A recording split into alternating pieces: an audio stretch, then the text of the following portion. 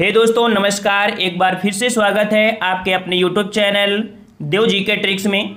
तो चलते स्टार्ट करते हैं। यहाँ पर आपका पहला प्रश्न दिया गया है कि निम्नलिखित में से कौन सा रात्रि का पर्यावाची नहीं है? रात्रि का पर्यावाची नहीं है।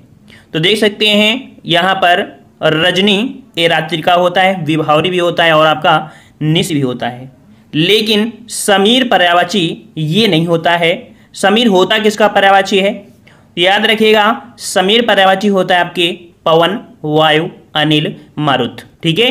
तो समीर की भी पर्यावाची आपको रट जाएँगी। पवन, वायु, अनिल, मारुत। ये होती हैं आपके समीर की पर्यावाची नेक्स्ट क्वेश्चन दिया है, मृगेंद्र का पर्यावाची शब्द। मृगेंद्र का पर्यावाची और आपको आंसर याद दिख चुका है।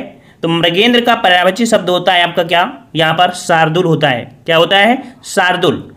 अब शार्दुल के भी आपके पर्यावाची होते हैं, जैसे सिंह व्याघ्र केसरी, मृगपति। ठीक है? ये होते हैं आपके शार्दुल के पर्यावाची अर्थात सिंह व्याघ्र केसरी, मृगापति। ये होते हैं आपके शार्दुल के पर्यावाची नेक्स्ट क्वेश्चन आपसे अगला पूछा गया है कि कौन सा क्षेत्र का पर्यावाची नहीं है? क्षेत्र का पर्यावाची नहीं है। तो यहाँ पर देखते हैं, आपका राक्षस दानव, निशाचर तो ये एक है, लेकिन आपको सी नंबर ये आपको अलग दिख रहा है। भूसुर। भूसुर ये पर्यावाची क्षेत्र का नहीं है। ये होता है, भूसुर पर्यावाची जो होती है, वो आपके ब्राह्मण का होता है। और ब्राह्मण के भी और भी पर्यावाची होते हैं, ब्राह्मण, द्विज, महीदेव। ठीक है? ये पर्यावाची होते हैं आपके भूसुर के। ठीक है? ऑप्शन आपका सी हो जाएगा। अगला क्वेश्चन है, रूख का पर्यावाची शब्द बताइए। रूख का पर्यावाची शब्द आपसे पूछा गया है। और रू का पर्यावाची यहाँ पर आपका सही हो जाएगा। विटअप क्या हो जाएगा? विटअप विटअप के पर्यावाची तो आप जानते ही हैं, ठीक है? तो ऑप्शन राइट आपके यहाँ पर ए हो जाएगा विटअप हो जाएगा। नेक्स्ट क्वेश्चन दिया है कि कौन सा शब्द ब्रह्मा का पर्यावाची नहीं है? ब्रह्मा का पर्यावाची नहीं है। तो देख सकते हैं, ब्रह्मा का पर्यावाची यहाँ पर कमलासन तो हो, नहीं होगा, चतुरानंद। हाँ चतुर्भुज, यहाँ पर चतुर्मुख दिया और चतुर्भुज। तो देखिए, यहाँ पर ब्रह्मा का पर्यावाची कमलासन होता है चतुरानन होता है, चतुर्भुज हो, चतुर्मुख होता है, लेकिन चतुर्भुज नहीं होता है, ठीक है? ऑप्शन राइट आपका डी हो जाएगा, चतुर्भुज। ये ब्रह्मा का पर्यावाची नहीं होता है, ये होता है आपके विष्णु का पर्यावाची ठीक है? चतुर्भुज किसका पर्यावाची होता है? विष्णु का पर्यावाची और भी इसके पर्यावाची होते हैं, हरि, लक्ष्मीपति, ये पर्यावाची आपके चतुर्भुज की होती हैं, ठीक है? चलिए नेक्स्ट क्वेश्चन आपसे अगला पूछा गया है, कौन सा शब्द घोड़ा का पर्यावाची नहीं है? घोड़ा का पर्यावाची नहीं है।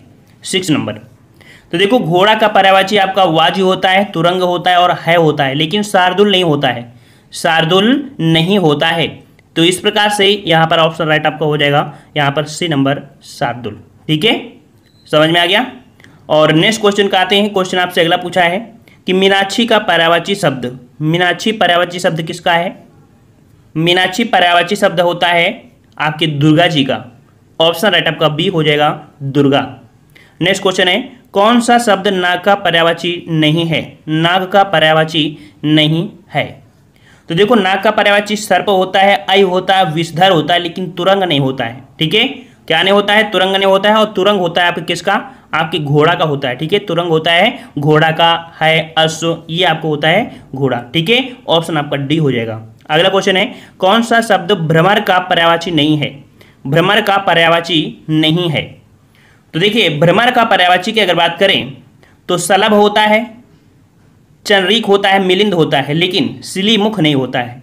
सिली मुख नहीं होता है तो बात आती है सिली मुख किसका पर्यावाची है? तो याद रखिए, ये होता है बाण का पर्यावाची। बाण के और भी पर्यावाची होते हैं, बाण, तीर, सर। ये पर्यावाची आपके सिलीमुख के होते हैं, ठीक है? ऑप्शन राइट आपके यहाँ पर सी हो जाएगा। सिलीमुख। ये भ्रमर का पर्यावाची नहीं है। अगला है, कौन सा शब्द इंद्र का पर्यावाची नहीं है? इंद्र का पर्यावाची नहीं है, दस नंबर। तो यहाँ पर इंद्र का पर्यावाची, अगर बात करें कि इंद्र का पर्यावाची पुरंदर होता है, शक्र होता है और मधवा होता है, लेकिन गणाधिप नहीं होता है। गणाधिप नहीं होता है, ऑप्शन आपका डी हो जाएगा गणाधिप ये आपका, कह सकते हैं, इंद्र का पर्यावाची नहीं है। अगला है, आपका हृदय गर्भ का पर्यावाची शब्द हृदय गर्भ गर्भ का पर्यावाची शब्द पूछा है। तो हृदय गर्भ का पर्यावाची होता है आपका ब्रह्मा, ठीक है? क्या होता है आपका? ब्रह्मा होता है। ऑप्शन राइट आपका बी हो जाएगा, ब्रह्मा। नेक्स्ट क्वेश्चन आपसे है, कौन सा शब्द दास का पर्यावाची नहीं है? दास का पर्यावाची नहीं है। देख लीजिए यहाँ पर। और बारह नंबर में देख सकते हैं, दास का पर्यावाची नहीं है। अर्थात तो यहाँ पर देखिए, अनुचर होता है भृत्य होता है और सेवक होता है, लेकिन परिकर परिकर दास का पर्यावाची नहीं होता है। परिकर का अर्थ होता है घर के लोग, या कह सकते हैं परिवार के लोग, ठीक है? तो इस प्रकार से ऑप्शन राइट आपका बी ये दास का पर्यावाची नहीं है, ठीक है? घर के लोग क्या दास होते हैं? नहीं होते हैं ना? तो इस प्रकार से डिफरेंस कौन है आपका? तो बी नंबर है। अगला है सूर्य का पर्यावाची शब्द बताना है। सूर्य का पर्यावाची और सूर्य का पर्यावाची आप लोग जानते ही होंगे। यहाँ पर जो मारतंड है ऑप्शन आपका बी ये सूर्य का पर्यावाची है, ठीक है? नेक्स्ट क्वेश्चन दिया गया है कि निम्नलिखित में से कौन सा शब्द अरविंद का पर्यावाची नहीं है? अरविंद का पर्यावाची नहीं है। तो अरविंद का पर्यावाची देखिए, पंकज होता है, जलज और अंबुज। यहाँ पर अरविंद का पर्यावाची नहीं है कौन? ए नंबर मिलिंद नहीं है, मिलिंद, ठीक है? मिलिंद जो होता है, वो भौरा का होता है, ठीक है? मिलिंद पर्यावाची किसका होता है? भावरा का होता है। भावरा के और भी होते हैं। भौरा आली भ्रमर, भावरा, ये होते हैं आपके मिलिंद के पर्यावाची ठीक है? अगला क्वेश्चन दिया गया है पर्यावाची शब्द का अर्थ क्या है? तो पर्यावाची शब्द का जो अर्थ होता है, क्या होता है भाई? समानार्थी शब्द होता है। क्या होता है? समानार्थी शब्द होता है। ऑप्शन राइट आपका यहाँ पर डी हो जाएगा। नेक्स्ट क्वेश्चन दिया है, यमुना का पर्यावाची आप वीडियो पूरा देखिएगा। वीडियो देखने के बाद आपको पता चलेगा कि नहीं, वाकई में आपको पर्यावाची संबंधित समस्याएँ आपकी खत्म हो गई हैं। और फिर भी अगर आपको समझ में एक बार में पूरी नहीं रटती हैं तो दोबारा वीडियो देखिएगा। दोबारा को आप पहले ही जवाब देते चले जाएँगे। यमुना का पर्यावाची पूछा गया है और यमुना का पर्यावाची यहाँ पर सही हो जाएगा। आपका डी नंबर कालिंदी होता है। हमेशा से पूछा जाता है आपका यमुना का पर्यावाची तो यमुना का पर्यावाची हो जाएगा कालिंदी। नेक्स्ट क्वेश्चन है कि निम्नलिखित में से कौन सा शब्द निशीथ का पर्यावाची नहीं है? निशीथ का पर्यावाची नहीं है। देखिए, निशीत का पर्यावाची होता है निशीथ मतलब रात्रि, और रजनी, निशा, ये तीन है, लेकिन तम तम जो है, ये निश्चित का पर्यावाची नहीं होता है। तम मतलब होता है क्या? तम मतलब होता है अंधकार। ठीक है? तो तम के पर्यावाची क्या हो गए? अंधकार, तिमिर, अंधेरा। ठीक है? ये हो जाएँगे आपके तम। ठीक है? तम किसका है? अंधकार का है। अंधकार, तिमिर अंधेरा, ये होते हैं आपके तम में। तो इस प्रकार से निश्चित का पर्यावाची कौन नहीं है? तम नहीं है। अगला क्वेश्चन है, जंगल शब्द का पर्यावाची। जंगल शब्द का पर्यावाची पूछा है। और अठारह का ऑप्शन राइट आपका सही जवाब हो जाएगा। जंगल का पर्यावाची होता है कांतार। क्या होता है? सी नंबर आपका हो जाएगा कांतार। और भी पर्यावाची होते हैं जंगल के, जैसे अरण्य, विपिन, वन, ये होते हैं जंगल के पर्यावाची। अगला क्वेश्चन है, क्रोध शब्द का पर्यावाची बताइए। क्रोध शब्द का पर्यावाची और याद रखिए, क्रोध शब्द का पर्यावाची होता है अमर्ष क्या होता है? अमर्ष होता है ऑप्शन आपका बी हो जाएगा अमर्ष हो जाएगा। चलिए नेक्स्ट क्वेश्चन आपसे दिया गया है कि बिजली शब्द का पर्यावाची नहीं है। बिजली शब्द का पर्यावची नहीं है। तो बिजली का पर्यावाची यहाँ पर आपका नहीं है कौन? तो देखो बिजली में आपका दामनी भी होता है, चंचला भी होता है, ताड़ित भी होता है, ताड़ित भी होता है। लेकिन वितुंडा नहीं होता है। यहाँ पर जो ऑप्शन है आपका ए नंबर हो जाएगा, बिजली वितुंडा का पर्यावाची नहीं है। तो वितुंडा है क्या? वितुंडा जो पर्यावाची होता है, वो गज का होता है। गज, हस्ती, ठीक है? और कुंभी, ये जो आपके होते हैं, आपके इसके होते हैं गज, हस्ती, मतंग, कुंभी, ये होते हैं वितुंडा के पर्यावाची। नेक्स्ट क्वेश्चन है, प्राची का पर्यावाची शब्द बताइए। प्राची प्राची का पर्यावाची पूछा है, और प्राची का पर्यावाची जो शब्द होता है, वो पूर्व होता है। याद रखिए ऑप्शन आपका सी हो जाएगा, पूर्व हो जाएगा। अगला है तरंग शब्द का पर्यावाची है। तरंग। तो तरंग शब्द का पर्यावाची क्या हो जाएगा आपका? तरंग होता है ऊर्म का पर्यावाची। ऑप्शन आपका सी हो जाएगा। तरंग पर्यावाची किसका होता है? ऊर्म का होता है। ऑप्शन राइट आपका डी हो जाएगा। अगला क्वेश्चन है कि निम्नलिखित शब्दों में से कौन सरिता का पर्यावाची नहीं है? यहाँ पर आपको जवाब देना है, सरिता का पर्यावाची नहीं है। और यहाँ पर आपका सही जवाब क्या हो जाएगा? तेईस को ऑप्शन राइट आपका हो जाएगा बी नंबर। त्रिपथगा। याद रखिए, तटनी, निम्ना और तरंगी की, तरंगी ड़ी ये जो है, वो सरिता का तो पर्यावाची है, लेकिन त्रिपथगा, ये सरिता का पर्यावाची नहीं है। बात आती है, त्रिपथगा है पर्यावाची किसकी? तो त्रिपथगा के पर्यावाची होती है अलकनंदा, भागीरथी, मंदाकिनी, सुरसरी। ये होते हैं त्रिपथ, त्रिपथगा के पर्यावाची होते हैं, ठीक है? अगला है, कि निम्नलिखित में से कौन कौन? कमल का पर्यावाची नहीं है। देख लीजिए, कमल का पर्यावाची नहीं है। तो 24 का ऑप्शन राइट यहाँ पर राजीव, कोलय, अंबुज, ये होते हैं कमल के पर्यावाची क्या होते हैं कमल के? राजीव, कोलय, अंबुज, ये होते हैं, लेकिन जलद, ये पर्यावाची कमल का नहीं है। जलद पर्यावाची होता है किसके? आपके बादल, ठीक है? बादल, पयोधर, मेघ, नीरद, ये होते हैं जलद के पर्यावाची ठीक है? क्या होंगे? बादल, पयोधर, मेघ, नीरद, ये पर्यावाची आपके जलद के होते हैं। अगला, इनमें से इनमें से एक शब्द देवता का पर्याय है। इनमें से एक शब्द देवता का पर्याय है और देवता का जो पर्याय है वो आपका कौन सा यहाँ पर? तो देवता का पर्याय आपका है, वो आपका है विबुध। ठीक है? ऑप्शन आपका बी हो जाएगा, विबुध। विबुध मतलब देव सुर अमर, आदित्य। ये होते हैं आपके देवता का पर्याय, ठीक है? देव, सुर, अमर, आदित्य, ये होते हैं, ठीक है? नेक्स्ट क्वेश्चन आपसे अगला है, बगीचा का पर्यावाची शब्द है। बगीचा का पर्यावाची यहाँ पर आपसे पूछा गया है। और बगा, बगीचा का पर्यावाची क्या हो जाएगा आपका? याद रखिए, बगीचा का पर्यावाची होता है आराम, ठीक है? ऑप्शन आपका सी हो जाएगा, आराम हो। तो याद रखिए बिडौजा जो पर्यावाची है, ये इंद्र का पर्यावाची होता है। ऑप्शन राइट आपका सी हो जाएगा, इंद्र का पर्यावाची जीव का पर्याय पूछा है जीव का पर्याय। और जीव का पर्याय क्या हो जाएगा भाई? यहाँ पर जीव का सही जवाब हो जाएगा आपका रसना। ठीक है, क्या हो जाएगा? रसना। ऑप्शन राइट आपका यहाँ पर बी हो जाएगा रसना। नेक्स्ट क्वेश्चन दिया गया है आपसे कि कौन सा शब्द अहि का पर्यावाची नहीं है? अहि का पर्यावाची नहीं है। तो यहाँ पर अहि का पर्यावाची कौन सा नहीं है? देखो, अहि का पर्यावाची उरग होता है, पवनाश होता है और सिंदूर होता है, लेकिन सरीसृप नहीं होता है। ऑप्शन आपका बी अहि का पर्यावाची कौन सा नहीं है? सरीसृप नहीं है। अगला है, नैसर्गिक का पर्यायवाची है। नैसर्गिक। नैसर्गिक का पर्याय प्राकृतिक होता है। ठीक है, इसका अर्थ क्या होता है? प्राकृतिक। तो ऑप्शन आपका सी हो जाएगा प्राकृतिक। या कह सकते हैं स्वाभाविक। ठीक है, प्राकृतिक या स्वाभाविक, ये अपन नैसर्गिक का पर्यायवाची होता है। ऑप्शन सी हो जाएगा। अगला है, निम्नलिखित में से कौन सा शब्द हाथ का पर्यायवाची नहीं है? हाथ का पर्यायवाची नहीं है। बत्तीस नंबर। और हाथ का पर्यायवाची देख सकते हैं। हस्त होता है पाणी होता है, कर होता है, लेकिन कट ही नहीं होता है। क्या नहीं होता है? कट ही नहीं होता है। ऑप्शन आपका ये हो जाएगा, कटी। कटी जो होता है, ये पर्यावाची होता है किसकी? ये होती कमर। किसकी होती है? कमरी। कमर और कह सकते हैं, लेक या श्रोणी। तो इस प्रकार से ये नंबर, ये आपका होता है किसका? आपकी कमर का होता है, कट मतलब कमर, ठीक है? अगला क्वेश्चन यहाँ पर दिया गया है, निम्नलिखित में से कौन सा शब्द सूर्य का पर्यावाची नहीं है? सूर्य का पर्यावाची नहीं है। चलिए, तेईस, तैंतीस का जवाब। और सूर्य का पर्यावाची शब्द नहीं है, देखिए, प्रभाकर होता है, दिनकर होता है दिनेश होता है, लेकिन विभाकर नहीं होता है। विभाकर विभाकर मतलब ये होता है चंद्रमा का। विभाकर किसका होता है? चंद्रमा का। चंद्रमा, चाँद, हिमांशु, ये होते हैं आपके इसके। अगला है, मार शब्द पर्यावाची है। मार शब्द जो पर्यावाची है, ये किसका है? मार शब्द पर्यावाची, ये जो आपका है, मार शब्द पर्यावाची है। तो देखिए, मार शब्द पर्यावाची है, चौंतीस का ऑप्शन आपका हो जाएगा, डी नंबर अनंग।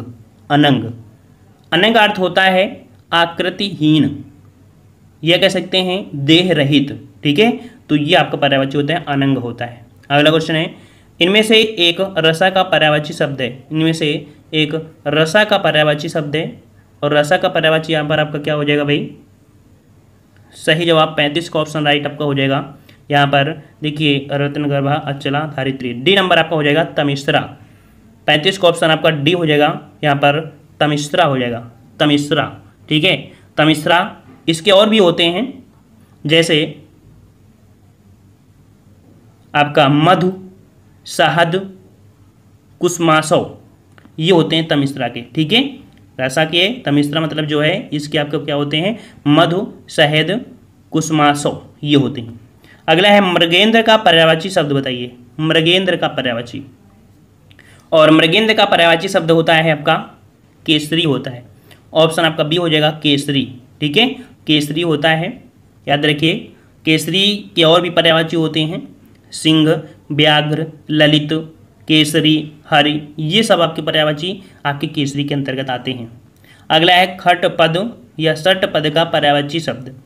सट पद का पर्यावाची क्या होता है? भ्रमर होता है। बिल्कुल इजी क्वेश्चन है बी नंबर हो जाएगा, भ्रमर हो जाएगा।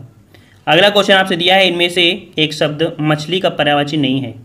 मछली का पर्यावाची नहीं है, आपका कौन सा? और यहाँ पर सही जवाब हो जाएगा, अड़तीस का ऑप्शन राइट आपका डी नंबर जलोदरी, ठीक है? जलोदरी, ये मछली का पर्यावाची नहीं होता है। मछली के पर्यावची, मत्स्य, मीन, सफरी, ये होते हैं, लेकिन जलोदरी नहीं होता है। अगला क्वेश्चन है कि निम्नलिखित में से कौन सा शब्द समुद्र का पर्यावची नहीं है? समुद्र का पर्यावची आपने काफ़ी बार पढ़ा होगा। पयोध, जलधि, वारिध। देखो, सब में धा धा धा है। यहाँ पर जो समुद्र का पर्यावाची नहीं है, वो आपका जलद। जलद होता है बादल का, ठीक है? जलद के पर्यावाची बादल, पयोधर, मेघ, ठीक है? ये आपके हो जाते हैं यहाँ पर। नेक्स्ट क्वेश्चन दिया गया है। निम्नलिखित में से शिव का पर्यावाची शब्द है। शिव का पर्यावाची। याद रखिए, शिव का पर्यावाची होता है रुद्र। क्या होता है? ऑप्शन आपका बी हो जाएगा, रुद्र होता है। अगला क्वेश्चन आपका है, इनमें से लहर का पर्यावाची नहीं है। लहर का पर्यावाची नहीं है। देखो, लहर का पर्यावाची बीच होता है, तरंग होता है और हिलोर होता है, लेकिन दुकूल नहीं होता है। ठीक है? दुकुल नहीं होता है दुकुल मतलब होता है दुपट्टा, वस्त्र। ठीक है? ये चीज़ आपको होते हैं वसन, ये सब होते हैं दुकुल। दुकुल मतलब वस्त्र, दुपट्टा, वसन, ये सब होते हैं दुकुल के पर्यावाची। लहर के पर्यावाची बीच, तरंग और हिलोर होता है। अगला क्वेश्चन है, चांदनी का पर्यावाची शब्द नहीं है। चांदनी का पर्यावाची नहीं है। तो बयालीस नंबर आपका, चांदनी का पर्यावाची देखो, चंद्रतप, कौमदी ज्योत्सना ये होता है, लेकिन मयंक होता है, ये आपका चंद्रमा का पर्यावाची है तो इस प्रकार से ऑप्शन आपका डी हो जाएगा। अगला है कि निम्नलिखित में से कौन सा शब्द सरस्वती का पर्यावाची नहीं है? सरस्वती का पर्यावाची नहीं है। तो देखो, सरस्वती का पर्यावाची आपका वीणा पाणी, महाश्वेता, भारती, ये सरस्वती के पर्यावाची होते हैं, लेकिन पद्मा, ये आपके सरस्वती का पर्याय नहीं है, सी नंबर। जनार्दन किसका पर्यावाची है? जनार्दन किसका पर्यावाची है? तो याद रखिए, जनार्दन होता है आपके विष्णु का पर्यावाची ऑप्शन आपका सी हो जाएगा, विष्णु का पर्यावाची हो जाएगा। नेक्स्ट क्वेश्चन दिया गया है कि निम्नलिखित में से कौन सा शब्द हंस का पर्यावाची है? हंस का पर्यावाची है, पैंतालीस नंबर। तो हंस का पर्यावाची जो आपका है या होता है, वो आपको होता है मराल। ऑप्शन आपका यहाँ पर सी हो जाएगा, मराल हो जाएगा। मराल, या कह सकते हैं इसका एक और पर्यावाची होता है मुक्त भुग ये होता है इसका पर्यावाची ठीक है? हंस के, देखो हंस का पर्यावाची मराल हो गया और एक होता है मुक्त भोग, ठीक है? अगला क्वेश्चन दिया है, अलंकोश पर्यावाची शब्द है। अलंकोश पर्यावाची शब्द है। तो अलंकोर, अलंकोश जो पर्यावाची है वो कुबेर का है। किसका है? कुबेर का है। ऑप्शन आपका सी हो जाएगा, कुबेर हो जाएगा। अगला है, सूर्य का पर्यावाची नहीं है। सूर्य का पर्यावाची नहीं है। देख सकते हैं, सूर्य का पर्यावाची आपका रवि होता है, भास्कर होता है, ठीक है? हंस होता है, लेकिन सारंग नहीं होता है। सारंग पर्यावाची होता है, जो कि भुज, मृग, नाग, इसका होता है। तो इस प्रकार से ऑप्शन राइट आपका डी हो जाएगा यहाँ पर। अगला क्वेश्चन दिया गया है यहाँ पर कि निम्नलिखित में से कौन सा शब्द बादल का पर्यावाची नहीं है? बादल का पर्यावाची नहीं है। तो बादल का पर्यावाची देखो, जलद, नीरद, मेघ। लेकिन वारिध नहीं होता है, अभी हमने बताया था, वारिध नहीं होता है। वारिध होता है किसका? समुद्र का होता है, ठीक है? अगला क्वेश्चन है तर्कस का पर्यावाची शब्द बताइए। तर्कस का पर्यावाची। और याद रखिए, तर्कस का पर्यावाची जो होता है, वो आपका होता है निसंग होता है। क्या होता है? निसंग ऑप्शन राइट आपका डी हो जाएगा। स्त्री का पर्यावाची शब्द नहीं है। स्त्री का पर्यावाची शब्द नहीं है। तो स्त्री का पर्यावाची तरुणी ललाम, ललना ये है, लेकिन प्रमदा ये स्त्री का पर्यावाची नहीं है। ऑप्शन आपका यहाँ पर बी सही हो जाएगा। बसंत के चार पर्याय दिए हैं, इनमें से त्रुटिपूर्ण कौन सा है? बसंत। और यहाँ पर ऋतुपति, कुसुमाकर, मधुमास, ये तो है, लेकिन कांतार ये नहीं है। ऑप्शन आपका डी हो जाएगा, कांतार। ठीक है? सरस्वती के चार पर्याय दिए हैं, इनमें से गलत कौन सा है? देखते हैं। भारती, शारदा, भामा और वागीश्वरी। राइट आंसर आपका हो जाएगा यहाँ पर भामा। ऑप्शन आपका सी हो जाएगा। ये सरस्वती का पर्याय नहीं है सी नंबर। अगला है, महाश्वेता किसका पर्यावाची है? महाश्वेता किसका पर्यावाची है? तो याद रखिए, महाश्वेता, अभी हमने बताया था कि ये सरस्वती का पर्यावाची है। ऑप्शन राइट आपके यहाँ पर बी हो जाएगा, सरस्वती। मोर का पर्यावाची इनमें से क्या है? मोर का पर्यावाची इनमें से क्या है? तो मोर का पर्यावाची होता है कलापी। क्या होता है? पहला ही ऑप्शन आपका हो जाएगा, कलापी होता है। ऑप्शन आपका ये हो जाएगा कलापी। अक्सर नेक्स्ट क्वेश्चन है। दामनी का पर्यावाची शब्द है। दामनी का पर्यावाची। और दामनी का पर्यावाची शब्द यहाँ पर आपका हो जाएगा विद्युत। ऑप्शन आपका डी हो जाएगा, विद्युत हो जाएगा। अभी हमने बताया कि लगभग क्वेश्चन रिपीट हो जाएँगे और आंसर आपको बार बार समझ में आ जाएगा और रट जाएँगे।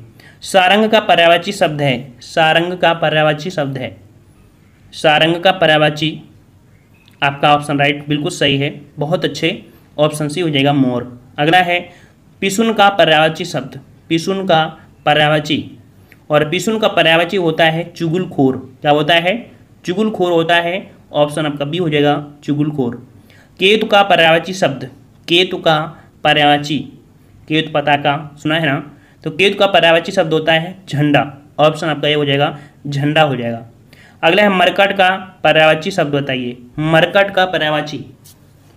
और मरकट का पर्यावाची शब्द होता है, जो कि आपका बंदर होता है ऑप्शन आपका सी हो जाएगा, बंदर हो जाएगा। अगला क्वेश्चन है कि कुसुमेश का पर्यावाची शब्द, कुसुमेश का पर्यावाची। कुसुमेश का पर्यावाची क्या होता है? याद रखिएगा, कामदेव होता है। क्या होता है? कामदेव होता है ऑप्शन आपका सी हो जाएगा, कामदेव। चंद्रमा का पर्यावाची शब्द पूछा है। फटाफट जवाब दीजिए। चंद्रमा का पर्यावाची। और जितने लोग हैं, सभी लोग वीडियो लाइक करिएगा। चंद्रमा का पर्यावाची। तो चंद्रमा का पर्यावाची होता है क्या? ससी होता है। ऑप्शन आपका डी हो जाएगा, ससी हो जाएगा। कमल का पर्यावाची शब्द पूछा गया है। कमल का पर्यावाची और कमल का पर्यावाची क्या होता है? अम्बुज होता है। अम्बुज होता है, ठीक है? अम्बुज ऑप्शन आपका सी हो जाएगा अम्बुज गणेश का पर्यावाची शब्द पूछा है। गणेश का पर्यावाची और गणेश का पर्यावाची क्या होता है? बिल्कुल इजी है। गजानन होता है। सी नंबर गजानन। दांत का पर्यावाची शब्द नहीं है। नहीं शब्द पूछ लिया है दांत का पर्यावाची नहीं है। तो दांत का पर्यावाची देख सकते हैं दंत रदन और दसन ये तो है लेकिन दाड़िम। दाड़िम ये पर्यावाची आपके दांत का नहीं है दाड़िम। दाड़िम का मतलब होता है अनार ठीक है? दाड़िम किसका पर्यावाची है? अनार का है। अनार राम बीज सुखपिय ठीक है? ये होता है आपका दाड़िम। दाड़िम मतलब अनार रा, राम बीज ये होते हैं ठीक है? अगला है घोड़ा का पर्यावाची शब्द नहीं है। घोड़ा का पर्यावाची आपका नहीं यहाँ पर पैंसठ नंबर। तो घोड़ा में आपका अश्व होता है, घोटक होता है है होता है, लेकिन कटक नहीं होता है। कटक पर्यावाची होती है किसकी? तो कटक पर्यावाची होती है फौज की। ठीक है, फौज नाम सुना है ना? तो कटक मतलब फौज हो गया, चतुरंगड़ी हो गया, सेना हो गया, पलटन हो गया, ये होते हैं आपके कटक के। कमल का पर्यावाची शब्द नहीं है। कमल का पर्यावाची शब्द नहीं है, छाछठ नंबर। और यहाँ पर आपका कमल का पर्यावाची नहीं है, छाछठ का जवाब हो जाएगा आपका बी नंबर, रसाल। रसाल, ये आपके कमल का पर्यावाची नहीं होता है, ठीक है? रसाल मतलब कह सकते हैं, आम का होता है, ठीक है? रसाल मतलब क्या हुआ? आम, मादक और आम्रफल, ये होते हैं आपके रसाल के। अगला है, तीर का पर्यावाची शब्द नहीं है। तीर का पर्यावाची शब्द नहीं है। तो तीर का पर्यावाची होता है बाण, नाराज़, सर। लेकिन तार नहीं होता है। ऑप्शन आपके यहाँ पर ये हो जाएगा। तीर का पर्यावाची कौन सा नहीं है? तार नहीं है ए नंबर। पहाड़ का पर्यावाची शब्द नहीं है। पहाड़ का पर्यावाची शब्द नहीं है। तो पहाड़ का पर्यावाची होता है पर्वत, भूधर, नग। लेकिन यहाँ पर सी नंबर, पहाड़ का पर्यावाची सवाल नहीं होता है। सी नंबर आपका हो जाएगा। अगला है, दिन का पर्यावाची शब्द नहीं है। दिन का पर्यावाची शब्द नहीं है। तो देखिए, दिन का जो पर्यावाची होता है, दिवस होता है तो वार होता है, वासर होता है, लेकिन दिन नहीं होता है। ठीक है? बी नंबर आपका यहाँ पर राइट हो जाएगा। अगला है, अनुचर का पर्यावाची शब्द नहीं है। अनुचर का पर्यावाची शब्द नहीं है। तो अनुचर का पर्याय होता है भ्रत्य चाकर, सेवक, लेकिन निर्झर नहीं होता है। सत्तर का ऑप्शन आपका डी हो जाएगा, निर्झर। ठीक है? अगला क्वेश्चन दिया है, वीणा पाणी का पर्यावाची शब्द है। वीणा पाणी का पर्यावाची शब्द। और वीणा पाणी का पर्यावाची शब्द जो आपका हो जाएगा, वो आपका हो जाएगा क्या? सही जवाब है सरस्वती। ठीक है? बहुत अच्छे। अगला क्वेश्चन है, कंचन का पर्यावाची शब्द। कंचन का पर्यावाची शब्द। कंचन का पर्याय क्या होता है आपका? कनक होता है, याद रखिएगा। कंचन का पर्यावाची शब्द होता है कनक। ऑप्शन आपका बी हो जाएगा। कंचन का पर्यावाची क्या होता है? कनक होता है। अगला है, केदार का पर्यावाची शब्द बताइए। केदार। और केदार किसे कहते हैं? आपके भगवान विष्णु अर्थात ऑप्शन राइट आपका भगवान शंकर अर्थात आपके महेश को बोलते हैं, ठीक है? तो ऑप्शन आपका सी हो जाएगा। केदार का पर्यावाची शब्द क्या है? महेश ऑप्शन राइट आपका सी हो जाएगा। घर का पर्यावाची शब्द पूछा है। घर का पर्यावाची और घर का पर्यावाची क्या होता है? निकेतन, गेह, है ना? ऑप्शन आपका यहाँ पर सी हो जाएगा, निकेतन। अगला है, भवन का पर्यावाची शब्द बताइए। भवन का पर्यावाची और भवन का पर्यावाची शब्द होता है घर होता है। क्या होता है? घर होता है। ऑप्शन राइट आपका यहाँ पर डी हो जाएगा घर। अगला है, कमल का पर्यावाची शब्द। कमल का पर्यावाची कमल का पर्यावाची क्या होता है? कमल का पर्यावाची होता है पुंडरीक। ऑप्शन आपका डी हो जाएगा। पुंडरीक होता है डी नंबर इंद्र का पर्यावाची शब्द है। इंद्र का पर्यावाची और इंद्र का पर्यावाची होता है आपका मधवा ऑप्शन राइट आपका यहाँ पर डी हो जाएगा। इंद्र का पर्यावाची क्या होता है? मधवा होता है, मधवा, ठीक है? अगला है भागीरथी का पर्यावाची शब्द बताइए। भागीरथी का पर्यावाची भागीरथी का पर्यावाची क्या होता है? आपका पढ़ता है कि आप गंगा को भागीरथी भी कहते हैं, क्योंकि गंगा को लाने का श्रेय भागीरथ को ही जाता है, इसलिए ऑप्शन आपका बी हो जाएगा, भागीरथ या गंगा। अगला है सरस्वती का पर्यावाची शब्द नहीं है। सरस्वती का पर्यावाची नहीं है कौन? देखो सरस्वती का पर्याय क्या होता है आपका? शारदा होता है, वाणी भी होता है और वीणा पाणी भी होता है, लेकिन कमला नहीं होता है। कमला पर्यावाची जो है, वो रमा, लक्ष्मी, लोकमाता, विष्णुप्रिया, हरिप्रिया, ये होते हैं कमला के पर्यावाची। ठीक है? रमा, लक्ष्मी, लोकमाता, विष्णुप्रिया, हरिप्रिया, ये होते हैं कमला के पर्यावाची। अगला है, रक्त का पर्यावाची नहीं है। रक्त का पर्यावाची नहीं है। तो रक्त का पर्यावाची खून होता है, रुधिर होता है, शोषित होता है, लेकिन कासर नहीं होता है। ऑप्शन आपका डी हो जाएगा कासरी। अगला है, पवन का पर्यावाची शब्द नहीं है। पवन का पर्यावाची शब्द नहीं है। तो पवन का पर्यावाची वात वायु समीर होता है, लेकिन अनल नहीं होता है। क्या नहीं होता है? बिना को जाएगा, अनल नहीं होता है। नेक्स्ट क्वेश्चन है, आकाश का पर्यावाची शब्द बताइए। आकाश का पर्यावाची शब्द आपसे पूछा गया है, और आकाश का सही पर्यावाची क्या बन जाएगा आपका? तो राइट आंसर आपका बिल्कुल सही जवाब है ऑप्शन सी व्योम होता है। अगला है, फूल का पर्यावाची शब्द नहीं है। फूल का पर्यावाची शब्द नहीं है। याद रखिए, हम फुल टेस्ट ज़रूर लगाते हैं, लेकिन हर एक टॉपिक को भी कंप्लीट करा देते हैं। फुल टेस्ट भी लगाते हैं कंबाइंड टेस्ट लगाते हैं। आपको आपकी जो हिंदी है, वो मज़बूत हो जाए। यही हमारा फ़र्ज़ है। और आप लोगों का भी फ़र्ज़ है कि हमें भी मोटिवेट करते रहिए। और हमारा जो फ़र्ज़ है, वो तो आपके साथ पूरा ही कर रहे हैं, ठीक है? तो फूल का पर्यावाची शब्द नहीं है आपका कौन सा? तो यहाँ पर देखिए, फूल का पर्यावाची सुमन होता है, कुसुम होता है, पुष्प होता है, लेकिन तनुजा नहीं होता है। यहाँ पर तनुजा किसका पर्यावाची होता है? याद रखिए, तनुजा होता है नंदिनी, बेटी, सुता, पुत्री। ये होता है आपका तनुजा का पर्यावाची क्या होता है? नंदिनी, सुता, बेटी, पुत्री, ये होता है आपका तनुजा का। अगला है, दिए हुए शब्दों में भिन्न अर्थ वाला शब्द आपको बताना है। तो भिन्न अर्थ यहाँ पर देखिए, भास्कर, रवि, दिवाकर दिया, लेकिन सुधाकर। सुधाकर ये आप कह सकते हैं आपका भिन्न है। सुधाकर मतलब होता है चंद्रमा, शशांक, शशि, राकेश, ठीक है? तो ये चंद्रमा का पर्यावाची आपका दिया गया है सुधाकर। अगला क्वेश्चन दिया गया है, दिए हुए शब्दों में से भिन्न अर्थ वाला शब्द बताइए।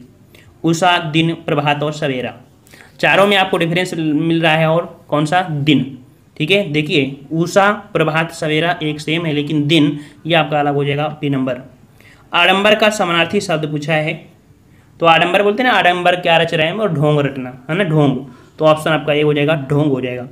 अगला है कपाल का समानार्थी शब्द बताइए।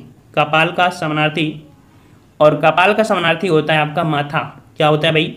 माथा होता है ऑप्शन आपका डी हो जाएगा। कपाल का समानार्थी, माथा। अगला है छंद का समानार्थी शब्द बताइए। छंद का समानार्थी, छंद का समानार्थी जो आपका बनता है, पद बनता है। क्या बनता है? पद बनता है ऑप्शन राइट आपका डी हो जाएगा पद। सूर्य का अपर्यावाची शब्द बताइए। सूर्य का अपर्यावाची दिन का दिवाकर, सूर्य तो है, लेकिन महेंद्र नहीं है। ऑप्शन आपका डी हो जाएगा। नागर का पर्यावाची शब्द बताइए। नागर का पर्यावाची और नागर का पर्यावाची यहाँ पर होता है नगरवासी। नागर का पर्यावाची क्या होता है दोस्तों?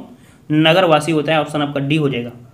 अगला क्वेश्चन आपका दिया गया है, आकाश का पर्यावाची शब्द नहीं है। आकाश का पर्यावाची शब्द नहीं है। तो आकाश का पर्यावाची बेवम नव अनंत होता है, लेकिन अम्बक नहीं होता है। ऑप्शन आपका बी हो जाएगा अम्बक तो अम्बक किसका पर्यावाची होता है? अम्बक होता है आँखें, लोचन, नेत्र। ये होता है आपके अंबक का। अगला है, दिव्य शब्दों में भिन्न अर्थ वाला शब्द बताइए। दिव्य, दिए हुए शब्दों में भिन्न अर्थ वाला शब्द बताना है बानवे में। और यहाँ पर आपका सही जवाब हो जाएगा आपका ए नंबर तुरंग हो जाएगा। क्या हो जाएगा? तुरंग हो जाएगा ऑप्शन राइट आपका ए हो जाएगा। देख सकते हैं मृगेंद्र, मृगराज और व्याघ्र ये एक है, लेकिन तुरंग आपका घोड़ा का होता है, इसलिए भिन्न अर्थ आपका है ए नंबर अगला है अंधकार का पर्यावाची शब्द बताइए। अंधकार का पर्यावाची और अंधकार का पर्यावाची होता है तिमिर। क्या होता है? हमने आपको बताया था, तिमिर, अंधियारा, है ना? ऑप्शन आपका सी हो जाएगा। अगला क्वेश्चन है, निधन का पर्यावाची शब्द बताइए। निधन का पर्यावाची शब्द पूछा है। और निधन का पर्यावाची शब्द आपका जो हो जाएगा, आपका हो जाएगा देहावसान। ऑप्शन आपका हो जाएगा बी नंबर देहावसान हो जाएगा। ठीक है, देहावसान हो जाएगा बी नंबर अगला, निम्नलिखित में से कौन सा विकल्प किरण का पर्यावाची नहीं है? किरण का पर्यावाची नहीं है। तो किरण का पर्यावाची यहाँ पर पूछा है, अंश, रश्मि और मयूख। लेकिन प्रकाश, ये किरण का पर्यावाची नहीं है। ऑप्शन आपका बी हो जाएगा। अगला क्वेश्चन है कि समानार्थी शब्द का चयन कीजिए। समानार्थी शब्द। जो दिया है नियति। नियति का समानार्थी आपका होता है भाग्य। क्या होता है? भाग्य ऑप्शन राइट आपका डी हो जाएगा भाग्य। अलंकेश पर्यावाची शब्द है। अलंकेश पर्यावाची शब्द है। ये कुबेर का पर्यावाची होता है, याद रखिएगा। कुबेर का पर्यावाची होता है अलंकेश। अगला है, कौन सा शब्द बादल का पर्यावाची नहीं है? कौन सा शब्द बादल का पर्यावाची नहीं है? और बादल का पर्यावाची आपका कौन सा नहीं है? तो यहाँ पर ऑप्शन राइट आपका हो जाएगा। यहाँ पर वारिद वारिद वारिद होता है, हमने धा मतलब बताया था समुद्र। ठीक है? सागर, ये होता है आपका वारिद में। अगला क्वेश्चन है, असुर का पर्यावाची शब्द नहीं है। असुर का पर्यावाची शब्द नहीं है। तो असुर का धनुष दानव दैत्य होता है, लेकिन यक्ष नहीं होता है। यक्ष मतलब होता है जादू की शक्ति। यक्ष मतलब होता है जादू की शक्ति। अगला है, आम का पर्यावाची शब्द नहीं है। आम का पर्यावाची शब्द नहीं है। तो अमृत फल, आम्र और रसाल तो होते हैं, लेकिन पिक नहीं होता है। याद रखिए, पिक किसका होता है? तो पिक मतलब होता है कोयल या सारिका वसंत, दूध वन प्रिया ठीक है? पिक के पर्यावाची क्या हुए? कोयल सारिका वसंत, दूध वन प्रिया नेक्स्ट क्वेश्चन दिया गया है कि अनुपम का पर्यावाची शब्द। अनुपम का पर्यावाची शब्द पूछा है। और यहाँ पर एक सौ का सही जवाब हो जाएगा। अनुपम मतलब होता है अद्वितीय होता है। ठीक है ऑप्शन आपका डी हो जाएगा। अद्वितीय होता है। हनुमान का पर्यावाची शब्द नहीं है तो हनुमान का पर्यावाची पवन सुत अंजनी पुत्र, मारुत तो होता है, लेकिन विनायक नहीं होता है। विनायक विनायक होता है एक दंत, गजानन, गौरी नंदन, गण। यहाँ पर कह रहा है स्थावर का विलोम। यहाँ पर पहला पॉइंट आता है ये कि स्थावर का मतलब क्या स्थावर का मतलब होता है स्थिर। या जो चल ना सकता हो। स्थिर या जो चल ना सकता हो, उसे हम लोग बोलते हैं स्थावर। तो इसका मतलब क्या हो गया? इसका मतलब ये हुआ, इसका जो विलोम बनेगा जंगम, अर्थात स्थिर नहीं, वो चल सकने वाला हो, ठीक है, गतिशील हो। तो स्थावर का विलोम होता है जंगम, ठीक है, समझ में आया? दूसरा क्वेश्चन आपका है, ग्रस्त का विपरीत, ग्रस्त का विपरीत। और ग्रस्त का विपरीत क्या हो जाएगा भाई? तो ऑप्शन राइट आपके यहाँ पर देखो, ग्रस्त का विपरीत हो जाएगा मुक्त। क्या हो जाएगा यहाँ पर? मुक्त हो जाएगा, अर्थात उसे बिल्कुल मुक्त हो चुका है। ठीक है? ग्रस्त मतलब कह सकते हैं बीजे है, और इसके बाद मुक्त मतलब बिल्कुल से फ्रीडम अर्थात फ्री हो गया है। अगला क्वेश्चन यहाँ पर दिया है, मूक का विलोम। मूक का विलोम। मुख का विलोम मतलब बहुत कम बोलता हो, है? और यहाँ पर जो मुख का विलोम हो जाएगा वाचाल जो बहुत ज़्यादा बोलता हो ऑप्शन आपके यहाँ पर बी हो जाएगा वाचाल हो जाएगा। ओके नेक्स्ट क्वेश्चन आपसे अगला पूछा गया है, इस प्रश्न का विलोम बताइए। इस प्रश्न का विलोम बताना है। तो बस यहाँ पर आपको आ लगा देना है और सीधा सीधा आपको आंसर दिख जाएगा। ठीक है? जो दिख रहा है, जो ना दिख रहा हो। अर्थात ऑप्शन आपका यहाँ पर डी हो जाएगा, जिसका जवाब डी आ रहा है बिल्कुल सही है। नेक्स्ट क्वेश्चन है, अग्ग का विलोम शब्द बताइए। अग्ग का विलोम। अग्ग का विलोम क्या होगा? विज्ञ हो जाएगा। बिल्कुल सही है वेरी गुड अग्ग का विलोम क्या होता है? विज्ञ होता है। नेक्स्ट क्वेश्चन आपसे दिया है, गौरव का विलोम बताइए। गौरव का विलोम। गौरव का विलोम। गौरव गौरव मतलब बहुत ऊँचा होना, है ना? किसी चीज़ बोले गौरव तो उसको हो जाएगा लाघव अर्थात बिल्कुल छोटा। तो यहाँ पर गौरव का विलोम हो जाएगा लाघव ऑप्शन आपका यहाँ पर ए हो जाएगा। बहुत अच्छी तैयारी आपकी हो चुकी है, और थोड़ा ही बच्चे हैं जो नए हैं, उनके यहाँ पर थोड़ी दिक्कतें हो रही हैं। लेकिन किताबों का सहारा लीजिए, पक्का। यहाँ पर आप लोग भी तोते जैसे बोलेंगे। अगर आप हमारे चैनल में आए हैं तो जिस प्रकार से तोता बोलने लगता है कुछ दिनों में, आप लोग भी बोलने लगेंगे। ठीक है? चलिए, सृष्टि का विलोम बताइए। सृष्टि का विलोम। और सृष्टि का विलोम हो जाएगा प्रलय। क्या हो जाएगा? प्रलय हो जाएगा ऑप्शन आपका बी हो जाएगा। जो चीज़ आप जानते हैं, उस पर हमको यहाँ पर ज़्यादा देर तक नहीं बोलेंगे। अगला है, इप्सित का विलोम। इप्सित का विलोम। इप्सित का विलोम होता है अनिप्सित। ठीक है? अन लगा दीजिए और आपका आंसर हो जाएगा अनिप्सित। नेक्स्ट क्वेश्चन दिया है, साहचर्य का विलोम। साहचर बिल्कुल पास पास आना। और साहचर में तो चार दोस्त होते हैं, बिल्कुल पास में होते हैं ना? तो इसका हो जाएगा अलगाव। ठीक, जब फूट पड़ती है तो दोस्त बहुत दूर होते हैं। तो साहचर्य का विलोम क्या हो जाएगा आपका यहाँ पर? अलगाव हो जाएगा। ऑप्शन आपका यहाँ पर डी हो जाएगा, अलगाव हो जाएगा। नेक्स्ट क्वेश्चन दिया है, विराट का विलोम। विराट, बोलते हैं विराट रूप है इनका। तो बिल्कुल क्षुब्ध रूप हो जाएगा, अर्थात ऑप्शन आपका डी हो जाएगा, विराट का विलोम हो जाएगा, आपका डी नंबर क्षुब्ध हो जाएगा, ठीक है? नेक्स्ट क्वेश्चन आपसे अगला पूछा गया है, आहूत का विलोम बताइए, आहूत का विलोम, आहूत का विलोम हो जाएगा अनाहूत, ठीक है? आहूत मतलब बुलाना, ठीक है? तो ऑप्शन आपका क्या हो जाएगा, आपका डी अनाहूत हो जाएगा डी नंबर अगला है, अर्थ का विलोम बताइए, अर्थ का विलोम तो अर्थ का अनर्थ होता है, ठीक है? अर्थ का क्या होता है? अनर्थ होता है। तो यहाँ पर भाई कोई आपका ऑप्शन नहीं दिया है, ठीक है? तो इस प्रकार से ये क्वेश्चन आपको कह सकते हैं, अर्थ का यहाँ पर लिख लीजिएगा, अनर्थ होता है, ठीक है? अर्थ का अनर्थ होता है। यहाँ पर आपका सी दिया है, जो कि आपका गलत दिया गया है, ठीक है? इसलिए हम कहते हैं कि पहले पढ़ लीजिए, फिर पीडीएफ का सहारा लीजिए, ठीक है? तो अर्थ का विलोम क्या होता है? अनर्थ हो जाएगा, ठीक है? अगला है वादी का विलोम बताइए। वादी का विलोम। वादी मतलब होता है वक्ता। वादी मतलब क्या होता है? वक्ता।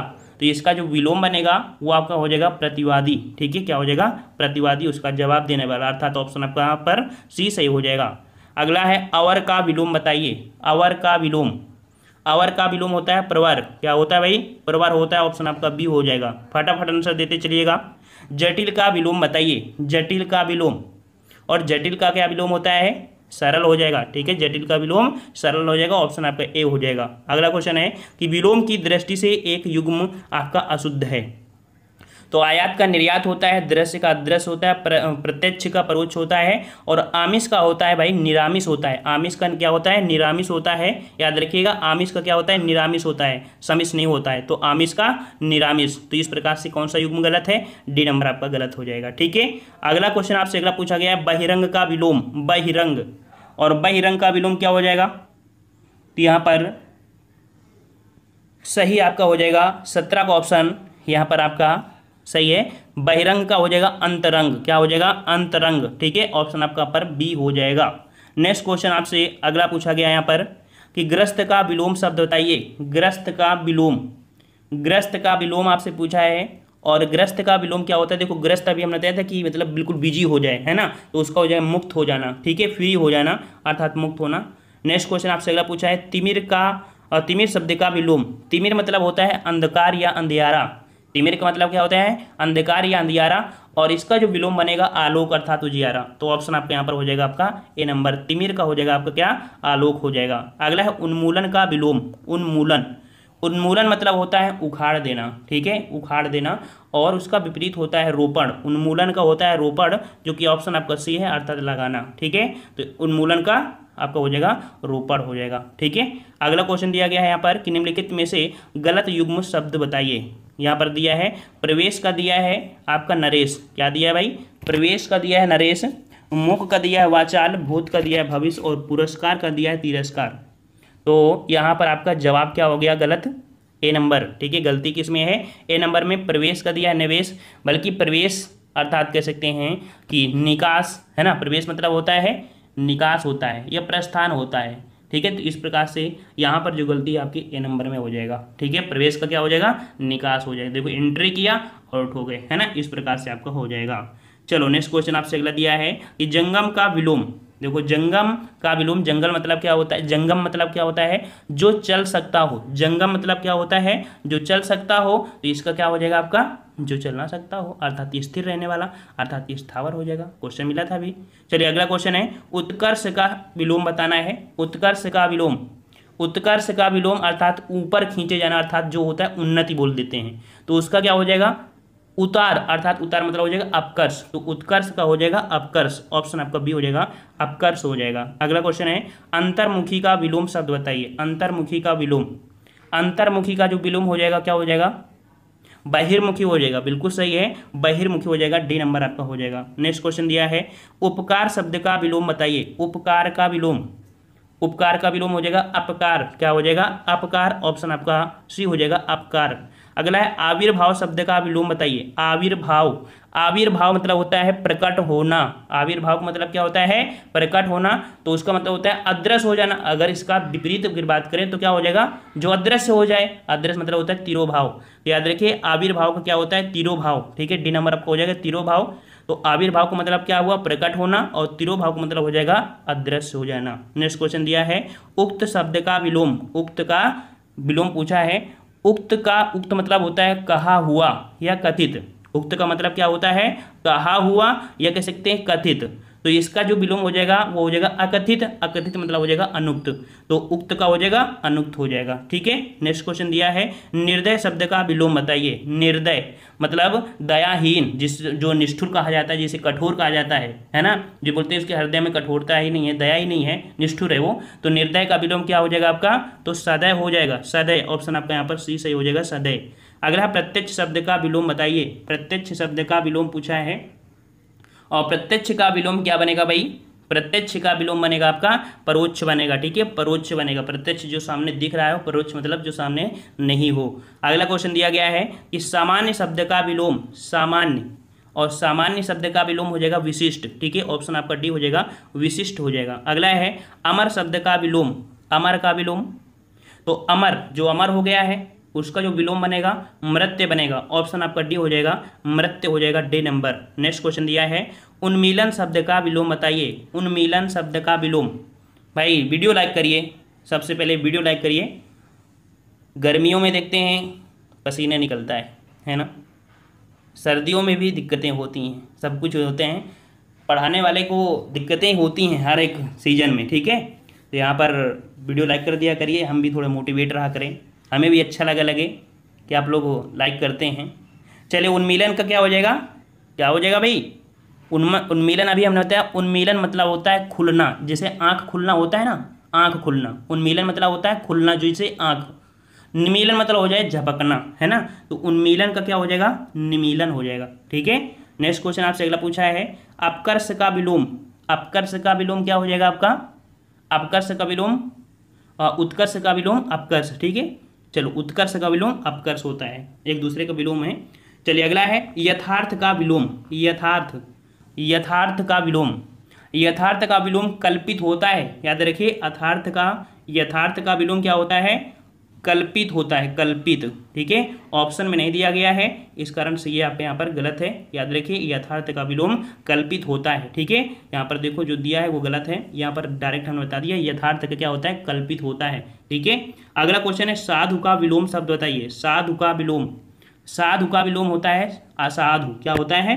असाधु ऑप्शन आपको यहाँ पर डी हो जाएगा, ठीक है? डी नंबर नेक्स्ट क्वेश्चन है, श्री गणेश का विलोम, श्री गणेश। देखो, कोई कार्य करते हैं, उसे बोलते हैं श्री गणेश, और काम जब समाप्त हो जाता है, उसे बोलते हैं इत श्री। तो श्री गणेश शब्द का विलोम होता है आपका इत श्री, और इत श्री कौन है? बी नंबर आपका हो जाएगा। नेक्स्ट क्वेश्चन दिया गया है, धनी का विलोम शब्द बताइए। धनी का विलोम, और धनी का विलोम क्या होता है भाई? धनी होता है, एक निर्धन होता है है ना? धनी हो गया, एक निर्धन हो गया। तो ऑप्शन क्या हो जाएगा? डी नंबर आपका हो जाएगा निर्धन। नेक्स्ट क्वेश्चन दिया गया है, उन्मीलन शब्द का विलोम, उन्मीलन। उन्मीलन शब्द का विलोम पूछा गया है भाई। और उन्मीलन, अभी हमने आपको बताया भी था, है ना? उन्मीलन का हो जाएगा, निमीलन हो जाएगा, निमीलन। अभी आपको मिला भी था, है ना? उन्मीलन मतलब होता है खुलना जैसे आँख का, और निमीलन मतलब झपकना। अगला क्वेश्चन दिया है, अधिकृत शब्द का विलोम, अधिकृत का विलोम। अधिकृत मतलब होता है अधिकार, ठीक है? अधिकार में आया हुआ। तो इसका हो जाएगा अनाधिकार ऑप्शन आपका बी हो जाएगा अनाधिकार। नेक्स्ट क्वेश्चन है इप्सित शब्द का विलोम, इप्सित का विलोम। इप्सित इप्सित मतलब होता है इच्छा की गई हो। ठीक है? क्या की गई हो? इच्छा। इच्छा ज़ाहिर की जाती ना? इप्सित मतलब होता है इच्छा की गई हो। और इसका जो विपरीत बनेगा, अनिप्सित बन जाएगा तो ऑप्शन आपका यहाँ पर हो जाएगा अनिप्सित। नेक्स्ट क्वेश्चन दिया है, स्वजाति का विलोम। स्वजाति। स्वजाति है मतलब एक ही जाति के तो उसका हो जाएगा विजाति। ऑप्शन आपका यहाँ पर डी हो जाएगा, विजाति हो जाएगा। ठीक है? नेक्स्ट क्वेश्चन दिया गया है उन्मूलन का विलोम। उन्मूलन अब बताया था उन्मूलन का रोपण ठीक है? उन्मूलन मतलब होता है कि उखाड़ना और, और रोपड़ मतलब लगाना है ना? तो ऑप्शन आपका यहाँ पर डी हो जाएगा रोपण। नेक्स्ट क्वेश्चन दिया गया है आपसे कि अमित शब्द का विलोम अमित शब्द का विलोम। अब यहाँ अमित का अर्थ भी आना चाहिए। अमित मतलब होता है बेहद या कह सकते हैं अत्यंत। ठीक है? बेहद या अत्यंत। तो अमित शब्द का विलोम क्या बनेगा? इसका बनेगा अमित का बनता है परमित। क्या बनता है? परमित बनता है, सीमित भर। ऑप्शन आपका पर सी हो जाएगा। अगला है अनुलोम शब्द का विलोम। अनुलोम। अनुलोम मतलब क्या होता है? आप लोग बोलते हैं ना, योगा करना, योगा में बोलते हैं ना, अनुलोम विलोम करिए, है ना? अनुलोम, प्रतिलोम बोलते हैं। अर्थात जो ऊपर से नीचे की ओर आने वाला क्या हुआ? अनुलोम मतलब होता है ऊपर से नीचे की ओर आने वाला। प्रतिलोम हो जाएगा नीचे से ऊपर की ओर जाने वाला। अर्थात अनुलोम का होता है प्रतिलोम ऑप्शन बी हो जाएगा। अगला क्वेश्चन है, परिश्रम का विलोम। अब ये तो बता ही सकते हो ना भाई? परिश्रम तो बता ही सकते हो, परिश्रम का विलोम। परिश्रम परिश्रम कर रहे हैं भाई, अब विश्राम कर लीजिए थोड़ा तो क्या हो जाएगा?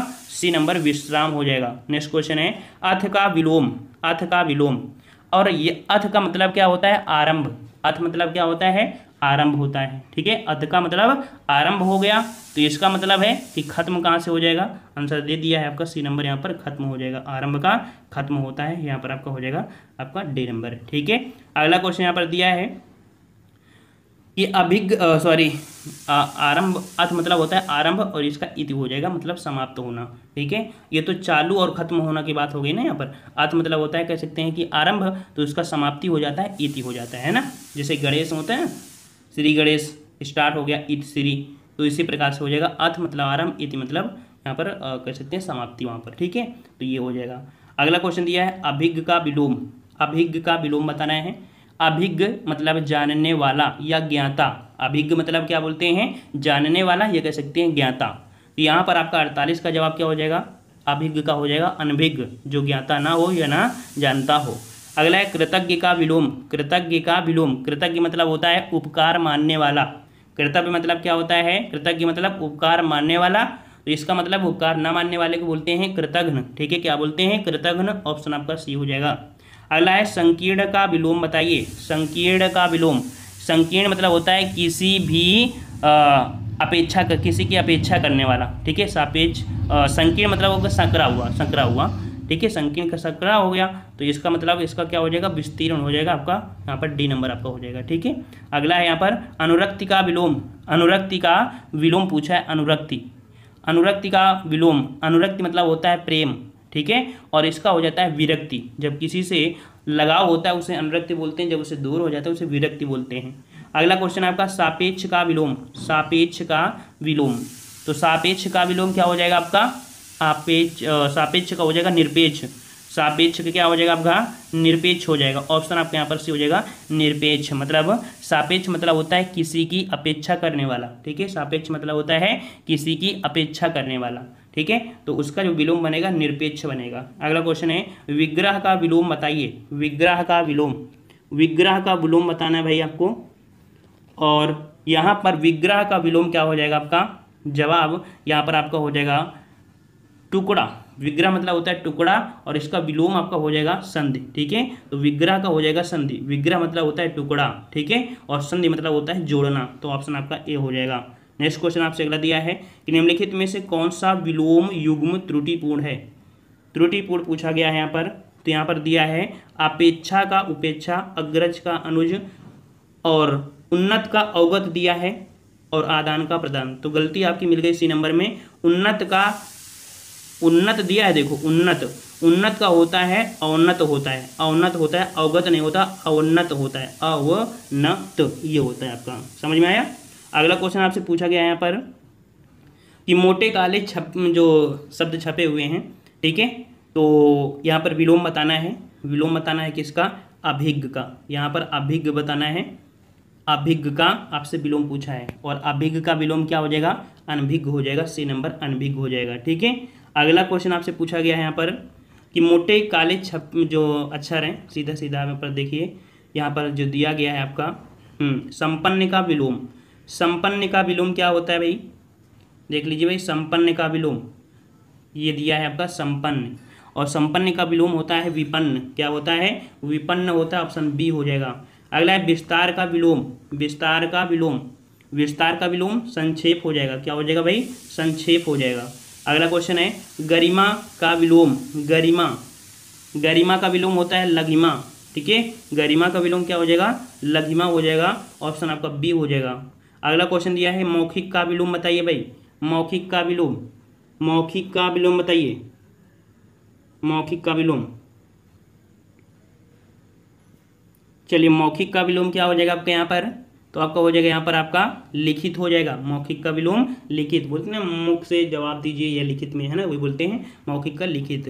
अगला क्वेश्चन है, अनाथ का विलोम शब्द। अनाथ का विलोम। अनाथ का विलोम हो जाएगा। क्या बनेगा भाई? अनाथ का। अनाथ का होता है सनाथ। अनाथ का होता है सनाथ। देखिए, अनाथ का मतलब होता है असहाय, या जिसका कोई मालिक या कोई सहारा ना हो, ठीक है? तो अनाथ का हो जाएगा सनाथ, ठीक है?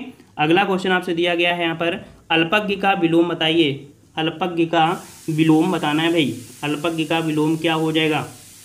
चलिए, यहाँ पर अल्पज्ञ का विलोम हो जाएगा सर्वज्ञ। सर्वज्ञ हो जाएगा, बिल्कुल सही है। अच्छी तैयारी है, बहुत अच्छी तैयारी है। चलिए, सकारात्मक का विलोम बताइए। सकारात्मक क्या हो जाएगा? नकारात्मक हो जाएगा, ठीक है? ए नंबर, नकारात्मक हो जाएगा। नेक्स्ट क्वेश्चन है, सम्मुख का विलोम बताइए। सम्मुख का विलोम। सम्मुख का विलोम बताना है भाई यहाँ पर। सम्मुख का विलोम क्या हो जाएगा आपका? चलिए, सम्मुख का विलोम। सम्मुख सम्मुख, तिरसठ का जवाब। सम्मुख मतलब होता है जो सामने मौजूद हो। सम्मुख मतलब क्या होता है? जो सामने मौजूद हो। तो इसका जो विपरीत बनता है, वो बनता है विमुख। क्या बनता है? विमुख ऑप्शन आपका बी हो जाएगा। अगला है अथ का विलोम। अभी हमने बताया था अथ का विलोम। अथ मतलब आरंभ, है ना? तो इसका विपरीत हो जाएगा इति। ऑप्शन आपका बी हो जाएगा इति। अगला क्वेश्चन है, उर्वर का विलोम शब्द बताइए। उर्वर का विलोम। उर्वर का विलोम। उर्वर का, उर्वर जैसे होता है, खेत में बोलते हैं ना तो उर्वरा शक्ति ज़्यादा है तो उसका क्या हो जाता है? ऊसर बन जाता है। तो उर्वर का विलोम हो जाएगा ऊसर। ऑप्शन आपका सी हो जाएगा। अगला क्वेश्चन दिया है, थोक का विलोम बताइए। थोक मतलब होता है क्या? ढेर, या कह सकते हैं, जहाँ इकट्ठा हुआ बहुत होता है। तो थोक का विपरीत होता है परचून। परचून में क्या करते हैं ना एक एक चीज़ें लोगों को देते हैं ना? तो उस प्रकार से आपका क्या हो जाएगा? परचून बन जाएगा। अगला क्वेश्चन दिया गया है कि भूषण का विलोम। भूषण का विलोम भूषण का विलोम होता है दूषण। भूषण का विलोम होता है दूषण। भूषण का मतलब होता है गहना या कह सकते हैं जेवर। और इसका जो विलोम बनता है, वो आपका दूषण बनता है। ऑप्शन आपका सी हो जाएगा। अगला क्वेश्चन है, अवनिका विलोम शब्द बताइए। अवनिका विलोम। अवनि मतलब होता है धरती। याद रखिए अवनि का मतलब होता है धरती, और धरती का जो आपका कह सकते हैं विलोम बनेगा, वो आपका बनेगा आकाश आकाश मतलब अंबर। तो अवन का हो जाएगा अंबर, अवनि का विलोम अंबर। नेक्स्ट क्वेश्चन है कि हे का विलोम शब्द बताइए, हे। हे मतलब होता है घृणित या तुच्छ। हे मतलब क्या होता है? घृणित या तुच्छ होता है। तो इसका जो विलोम आपका बनेगा, वो आपका बनेगा ग्राह ग्राह। ठीक है? हे का विलोम हो जाएगा, ग्राह ऑप्शन आपका डी हो जाएगा। नेक्स्ट क्वेश्चन है, मृदुल का विलोम बताइए। मृदुल मृदुल मतलब होता है कोलम या, कोमल या मुलायम, ठीक है? मृदुल मतलब होता है कोमल या मुलायम। तो मृदुल का जो विलोम बनेगा, वो आपको बनेगा कठोर। क्या बनेगा? कठोर बनेगा, ठीक है? अगला क्वेश्चन है, ऋणात्मक का विलोम बताइए। ऋणात्मक का विलोम तो भाई, ऋणात्मक का विलोम क्या हो जाएगा आपका? धनात्मक हो जाएगा। सिंपल सा है, ठीक है? ऋणात्मक। अगला है कलुष का विलोम, बताइए। कलुष का विलोम निष्कलुष, ठीक है?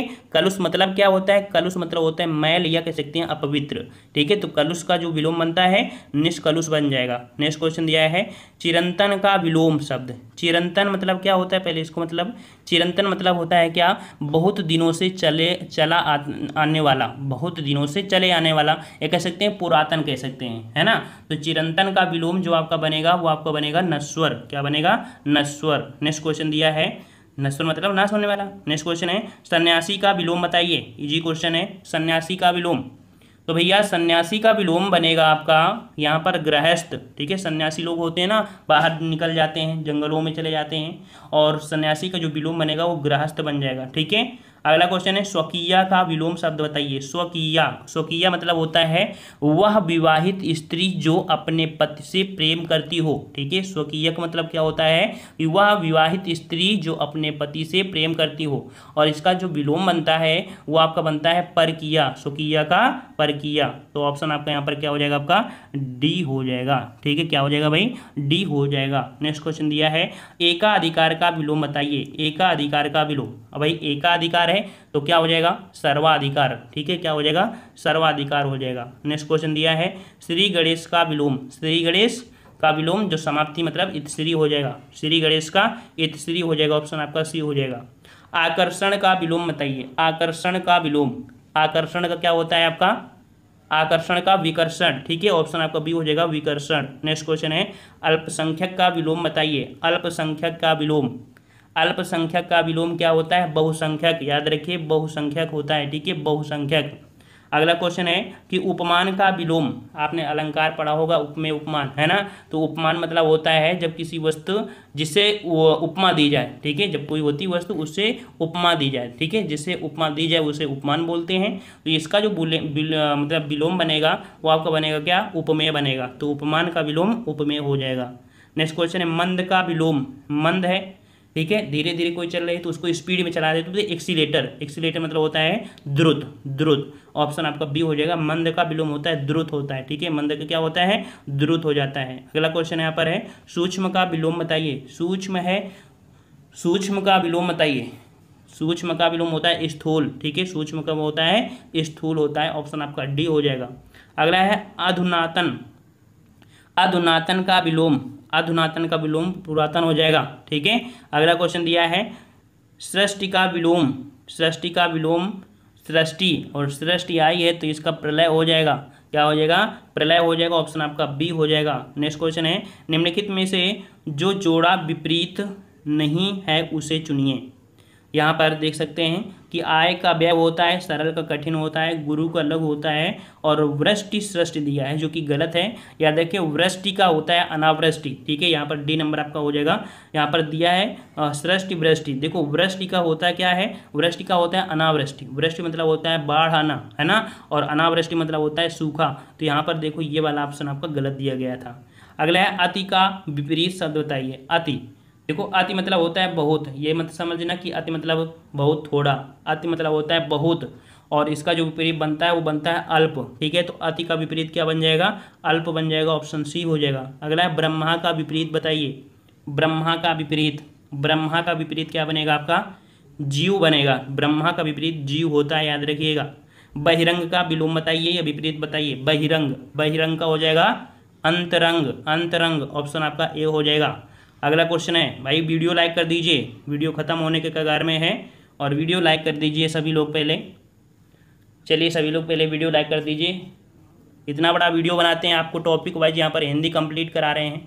आपको लगता तो है ही है कि हम मेहनत कर रहे हैं। बोलने में मेहनत नहीं लगती है। आप बताइए, आपके अंगूठे टाइप करने में आपके अंगूठे दर्द करने लगते हैं कि नहीं करने लगते? करते हैं ना? हमको बोलने में और दोनों चीज़ करने देख सकते हो, है ना? तो लाइक कर दिया करो। चलिए, अनागत का विलोम बताइए। अनागत का विलोम। अनागत का विलोम होता है क्या?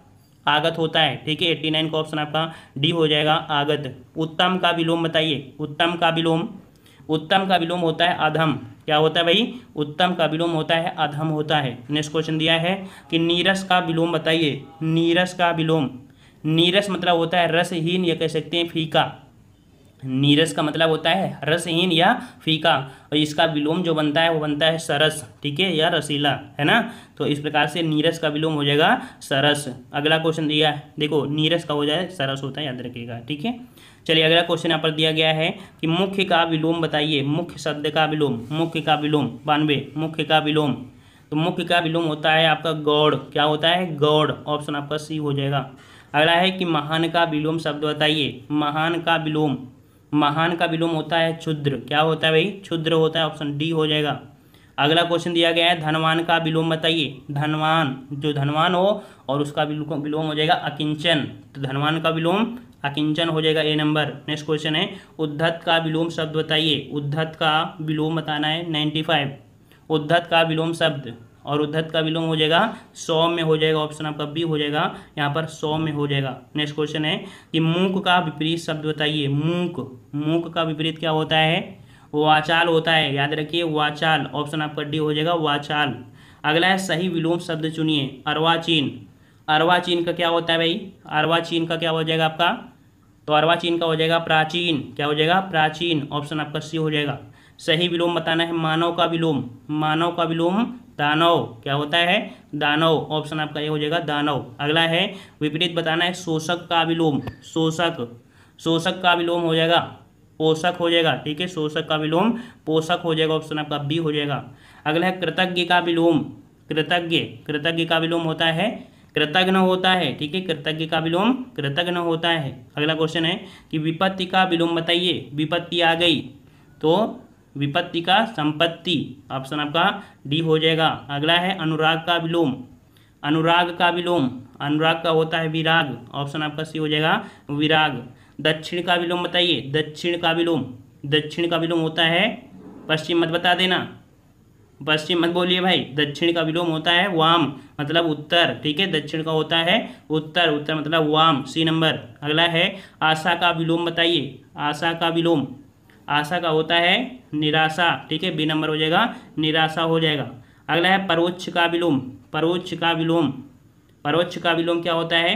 प्रत्यक्ष, ठीक है? प्रत्यक्ष प्रत्यक्ष परोक्ष मतलब प्रत्यक्ष मतलब होता है जो सामने और परोक्ष मतलब होता है इनडायरेक्ट जो सामने ना हो, ठीक है? तो परोक्ष का आपका हो जाएगा, प्रत्यक्ष हो जाएगा, ठीक है? यहाँ पर दिया गया है कि निम्नलिखित में से कौन तत्सम शब्दों की जोड़ी नहीं है। यहाँ पर तत्सम शब्दों की जोड़ी पूछा है, नहीं शब्द दिया है यहाँ पर। तो यहाँ पर पहला पॉइंट दिया है कि कर्म, विद्या, दधि, भात, मत्स्य, मृग, ज्ञान, क्षेत्र। यहाँ पर तत्सम शब्दों की जोड़ी जो आपकी सही नहीं है, वो आपकी कौन सी? देखो यहाँ पर दध दिया है और दधि का जो तत्सम बनता है, वो आपका दही बनता है। क्या बनता है? दही बनता है, जो भात नहीं बनता है भाई। ठीक है? तो आपका बी नंबर यहाँ पर आपका, कह सकते हैं ये तत्सम शब्दों की जोड़ी सही नहीं है। ठीक है? नेक्स्ट क्वेश्चन को आते हैं। क्वेश्चन है, करपट का तद्भव रूप कौन सा है? करपट का तद्भव पूछा है और करपट का तद्भव आपका बनेगा क्या भाई? करपट का तद्भव याद रखिएगा, कपड़ा होता है, ठीक है साथियों? ऑप्शन डी हो जाएगा, कपड़ा होता है, ठीक है? करपट का तद्भव क्या होता है? कपड़ा होता है। नेक्स्ट क्वेश्चन दिया है कि निम्नलिखित में से कौन सा एक शब्द तद्भव नहीं है? तद्भव नहीं है, इसका मतलब तत्सम होगा। तो यहाँ पर देख सकते हैं कि तद्भव शब्द में पत्ता है, हाथ है और अंग्रेज़ है। लेकिन जो तस्कर है, ये तस्कर शब्द आपका तत्सम है, ठीक है? तस्कर जो है, ये तत्सम शब्द है और इसका जो तद्भव बनता है, वो स्मगलर बनता है। क्या बनता है इसका तद्भव? स्मगलर बनता है, ठीक है? चलिए दोस्तों, नेक्स्ट क्वेश्चन को आते हैं। क्वेश्चन आपसे अगला है कि कैवर्त शब्द का तद्भव शब्द बताइए। कैवर्त शब्द का तद्भव। कैवर्त शब्द का तद्भव जो बनता है, वो आपका बनता है क्या? जवाब देते चलिए भाई। यहाँ पर कैवर्ड शब्द का तद्भव बनता है? केवट क्या बनता है साथियों? केवट बनता है ऑप्शन आपका बी हो जाएगा। नेक्स्ट क्वेश्चन है कि ग्रद शब्द का तद्भव रूप बताइए। ग्रद शब्द का तद्भव रूप क्या बनेगा? ग्रद का तद्भव। और याद रखिए, ग्रद का तद्भव आपका बनता है क्या? क्या बनता है? गधा बन गीध बनता है सॉरी ठीक है? ग्रद का तद्भव बनता है गीध, ठीक है? और जो गधा होता है, ठीक है, गधा गधा का बनता है गर्धभ, है ना? तो यहाँ पर ग्रध मत बोल देना गर्धभ होता है। तो यहाँ पर ग्रध का पूछा था, जो कि गीध हो जाएगा। नेक्स्ट क्वेश्चन दिया गया है, मक्खी का तत्सम रूप बताइए। मक्खी का तत्सम, मक्खी का तत्सम आपका क्या होता है भाई? मच्छिका होता है, ठीक है, मच्छिका। और मच्छिका किस प्रकार से सही होगा? ए या डी सही होगा? तो याद रखिए ऑप्शन आपका डी सही होगा, मच्छिका इस प्रकार से सही होगा। नेक्स्ट क्वेश्चन आ गया है साथ यहाँ पर स्क्रीन पर कि निम्नलिखित में से कौन सा शब्द तद्भव नहीं है? कौन सा शब्द तद्भव नहीं है? नहीं शब्द दिया है साथियों। तो तद्भव शब्द आपका यहाँ पर नहीं है कौन सा? तो यहाँ पर दुआर है, गिरस्ती पाँव ये तो नहीं है बी नंबर यहाँ पर सायम ये जो आपका है, ये तत्सम है, ठीक है? और इसका जो तद्भव बनता है, वो आपका साम बनता है, ठीक है? साम बनता है, इस प्रकार से कौन हो जाएगा साथियों? ऑप्शन बी बनेगा। नेक्स्ट क्वेश्चन है, एकल शब्द का तद्भव शब्द बताइए। एकल का तद्भव शब्द पूछा है। एकल का तद्भव बनेगा साथियों क्या? तो एकल का बनेगा ऑप्शन राइट आपका यहाँ पर सी नंबर अकेला बनेगा। वेरी गुड ऑप्शन आपका सी हो जाएगा अकेला। नेक्स्ट क्वेश्चन है, करपट शब्द का तद्भव। अभी आंसर आपको इसका देखने को मिला था कि करपट का जो आपका तद्भव बनता है, कपड़ा बनता है, ठीक है? कपड़ा बनता है ऑप्शन सी हो जाएगा। नेक्स्ट क्वेश्चन दिया गया है, हल्दी शब्द का तत्सम। सबका जवाब यहाँ पर आना चाहिए। हल्दी शब्द का तत्सम क्या बनेगा साथियों? तो हरिद्रका बनता है या हर, हरिद्रा बनता है? बच्चों में कंफ्यूजन होता है, हरिद्रा या हरिद्रिका। तो याद रखिए साथियों, हल्दी का तत्सम रूप जो आपका होता है, हरिद्रा होता है, क्या होता है? हरिद्रा होता है। जवाब जिसका सी है बिल्कुल राइट हो जाएगा, हरिद्रा। हुलास शब्द का तत्सम बताइए। हुलास शब्द का तत्सम। और हुलास का तत्सम बनता है क्या साथियों? जवाब देते चलिए। फटाफट देना है आंसर आज। हुलास शब्द का तत्सम आपका उल्लास बनता है। याद रखिएगा ऑप्शन डी हो जाएगा उल्लास। नेक्स्ट क्वेश्चन है, नारियल शब्द का तत्सम। चलिए साथियों, नारियल शब्द का तत्सम यहाँ पर बताना है। और नारियल का जो तत्सम बनेगा, क्या बनेगा? बारह का जवाब यहाँ पर आपका सही आ रहा है बच्चों का। बिल्कुल सही जवाब आ रहे हैं यहाँ पर। और यहाँ पर आपका जो जवाब बारह का हो जाएगा ऑप्शन राइट आपका नारिकेल। क्या होगा? नारिकेल ऑप्शन आपका ए हो जाएगा। चलिए साथियों, अगला क्वेश्चन है, सींग शब्द का तत्सम बताइए। सींग शब्द है, इसका तत्सम बताना है। सींग शब्द का तत्सम बताना है साथियों। चलिए यहाँ पर सींग का होता है, सरंग होता है, सरंग। और कौन सा? ये वाला सरंग आपका होगा यहाँ पर, ठीक है? इसको मत लगाइएगा, इसको लगाना, ठीक है? ये आपका यहाँ पर सरंग हो जाएगा पूरा पूरा सा बनेगा यहाँ पर, ठीक ठीक है? अगला क्वेश्चन है, निम्नलिखित में से कौन सा शब्द तत्सम है? चलिए साथी यहाँ पर दीजिए जवाब कि तत्सम शब्द आपका कौन सा है यहाँ पर? चौदह का जवाब पूछा है। तो यहाँ पर स्कंद है ईर्षा है कपोत है और हल्दी है। यहाँ पर देखिए साथियों वहाँ पर आपके जवाब जो आ, हल्दी तत्सम नहीं है। तो इसका मतलब तद्भव पूछा है है ना? तो यहाँ पर ये भी तत्सम है, ये भी तत्सम है, ये भी तत्सम है। लेकिन हल्दी जो आपका है, ये आपका तद्भव है ना? और इसका हरिद्रा बनता है है ना? तो डी आपका इसका जवाब हो जाएगा। यहाँ पर बी आपका जो आंसर है, ये आपका गलत है। यहाँ पर डी नंबर आपका होगा, तत्सम नहीं है, ये आपका तद्भव है, ठीक है? चलिए साथियों नेक्स्ट क्वेश्चन का जवाब देना है कि निम्नलिखित में से कौन सा शब्द तत्सम है? यहाँ पर आपसे तत्सम शब्द पूछा है, और तत्सम शब्द आपका क्या बनेगा यहाँ पर सही? चलिए तत्सम शब्द आपका कौन है? पंद्रह का जवाब। और पंद्रह को ऑप्शन राइट आपका जवाब यहाँ पर देख सकते हैं, जो विस्मय है, विस्मय ऑप्शन डी हो जाएगा, विस्मय, यहाँ पर ये आपका कैसा है, आपका तत्सम है, ठीक है, तत्सम है। चलिए साथियों नेक्स्ट क्वेश्चन का जवाब देना है कि तद्भव शब्द का चयन कीजिए। तद्भव शब्द का चयन करना है साथियों यहाँ पर। चलिए यहाँ पर जवाब सही क्या हो जाएगा आपका? सोलह का ऑप्शन राइट आपका जवाब यहाँ पर आपका हो जाएगा, जो आपका तद्भव है, वो आपका है यहाँ पर निडर, ठीक है, क्या है आपका? निडर। निडर का जो आप कह सकते हैं तत्सम बनता है, वो निर्दय बनता है, निर्दर। ठीक है? निडर का तत्सम बनता है, निर्दर निर्दर। ठीक है? तो ऑप्शन आपका बी हो जाएगा। नेक्स्ट क्वेश्चन दिया है, गधा का तत्सम। अभी हमने बताया था, गधा का जो तत्सम बनता है, क्या बनता है? यहाँ पर जवाब आपका सत्रह का ऑप्शन क्या हो जाएगा आपका? तो गधा का होता है गर्धभ। गर्धभ सही लिखा जाएगा आपका डी नंबर चलिए साथियों नेक्स्ट क्वेश्चन दिया है कि प्री का तद्भव शब्द बताइए। प्री का तद्भव शब्द पूछा है। चलिए, यहाँ पर प्री का तद्भव होता है, पिया होता है। क्या होता है? पिया होता है। ऑप्शन राइट जिसका ए आया है, बिल्कुल राइट है।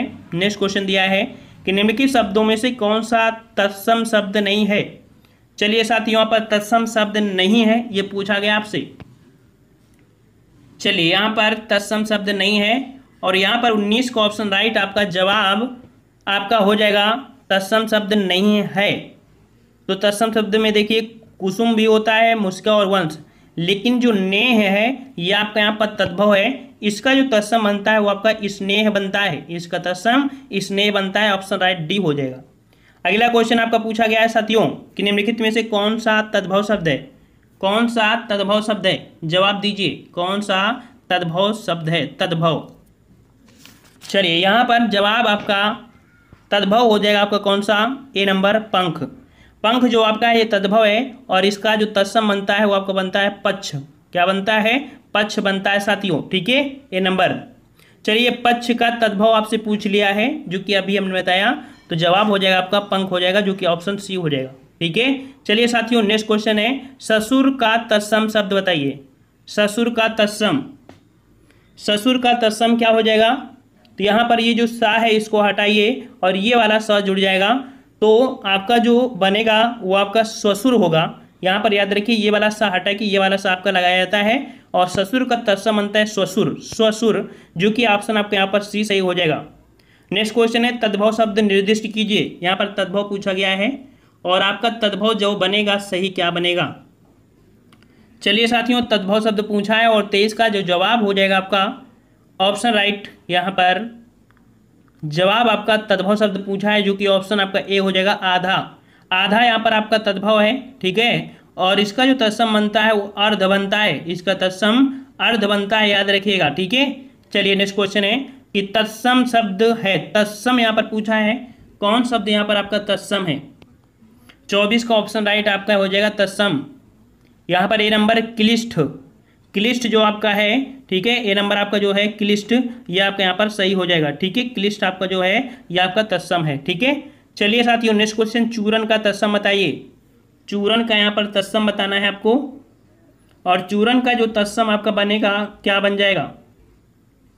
बिल्कुल सही जवाब आ रहा है यहाँ पर, बिल्कुल सही है वेरी गुड ऑप्शन राइट आपका पच्चीस का हो जाएगा आपका बी नंबर चूर्ण होता है, ठीक है, चूर्ण होता है, जो कि ऑप्शन बी सही हो जाएगा। अगला है, कौन सा तत्सम शब्द नहीं है? कौन सा तत्सम शब्द नहीं है? चलिए, यहाँ पर जवाब सही क्या हो जाएगा भाई? यहाँ पर जवाब सही क्या हो जाएगा? तो तत्सम शब्द आपका नहीं है, छब्बीस को ऑप्शन डी, रात। रात जो आपका है, ये तद्भव है, और रात्रि इसका कह सकते हैं आपका तत्सम बनता है। चलिए, नेक्स्ट क्वेश्चन है, तिक्त का तद्भव शब्द। तिक्त का तद्भव शब्द आपसे पूछा गया है कि तिक्त का तद्भव क्या बनेगा? सही जवाब यहाँ पर तिक्त का जो तद्भव बनता है, तीता बनता है। ठीक है ऑप्शन राइट आपका जवाब हो जाएगा आपका ए नंबर चलिए नेक्स्ट क्वेश्चन दिया है कि उत्पत्ति के आधार पर शब्द के कितने भेद होते हैं? उत्पत्ति के आधार पर शब्द के जो भेद होते हैं, याद रखिएगा आपके चार होते हैं। तत्सम तद्भव देशज विदेशज। ठीक है? शुद्ध आपके यही चार होते हैं, जोड़ने को तो पांचवा जोड़ देते हैं शंकर शब्द। बल्कि वो मिक्स हो जाता है। मेन आपके चार ही आपको यहाँ पर रखेंगे, ठीक है? चलिए साथियों नेक्स्ट क्वेश्चन दिया गया है। क्वेश्चन आपसे यहाँ पर कह रहा है कि संस्कृत के ऐसे शब्द जिसे हम ज्यों का त्यों प्रयोग में लाते हैं, कहलाते हैं। यहाँ पर देख सकते हैं, संस्कृत के ऐसे शब्द जिन्हें हम ज्यों का त्यों प्रयोग करते हैं, उन्हें हम बोलते हैं क्या? उन्हें तत्सम बोलते हैं। ठीक है, तत्सम बोलते हैं। ऑप्शन आपका यहाँ पर ए हो जाएगा। और ये क्वेश्चन अभी पूछे गए थे एग्ज़ाम में। ठीक है?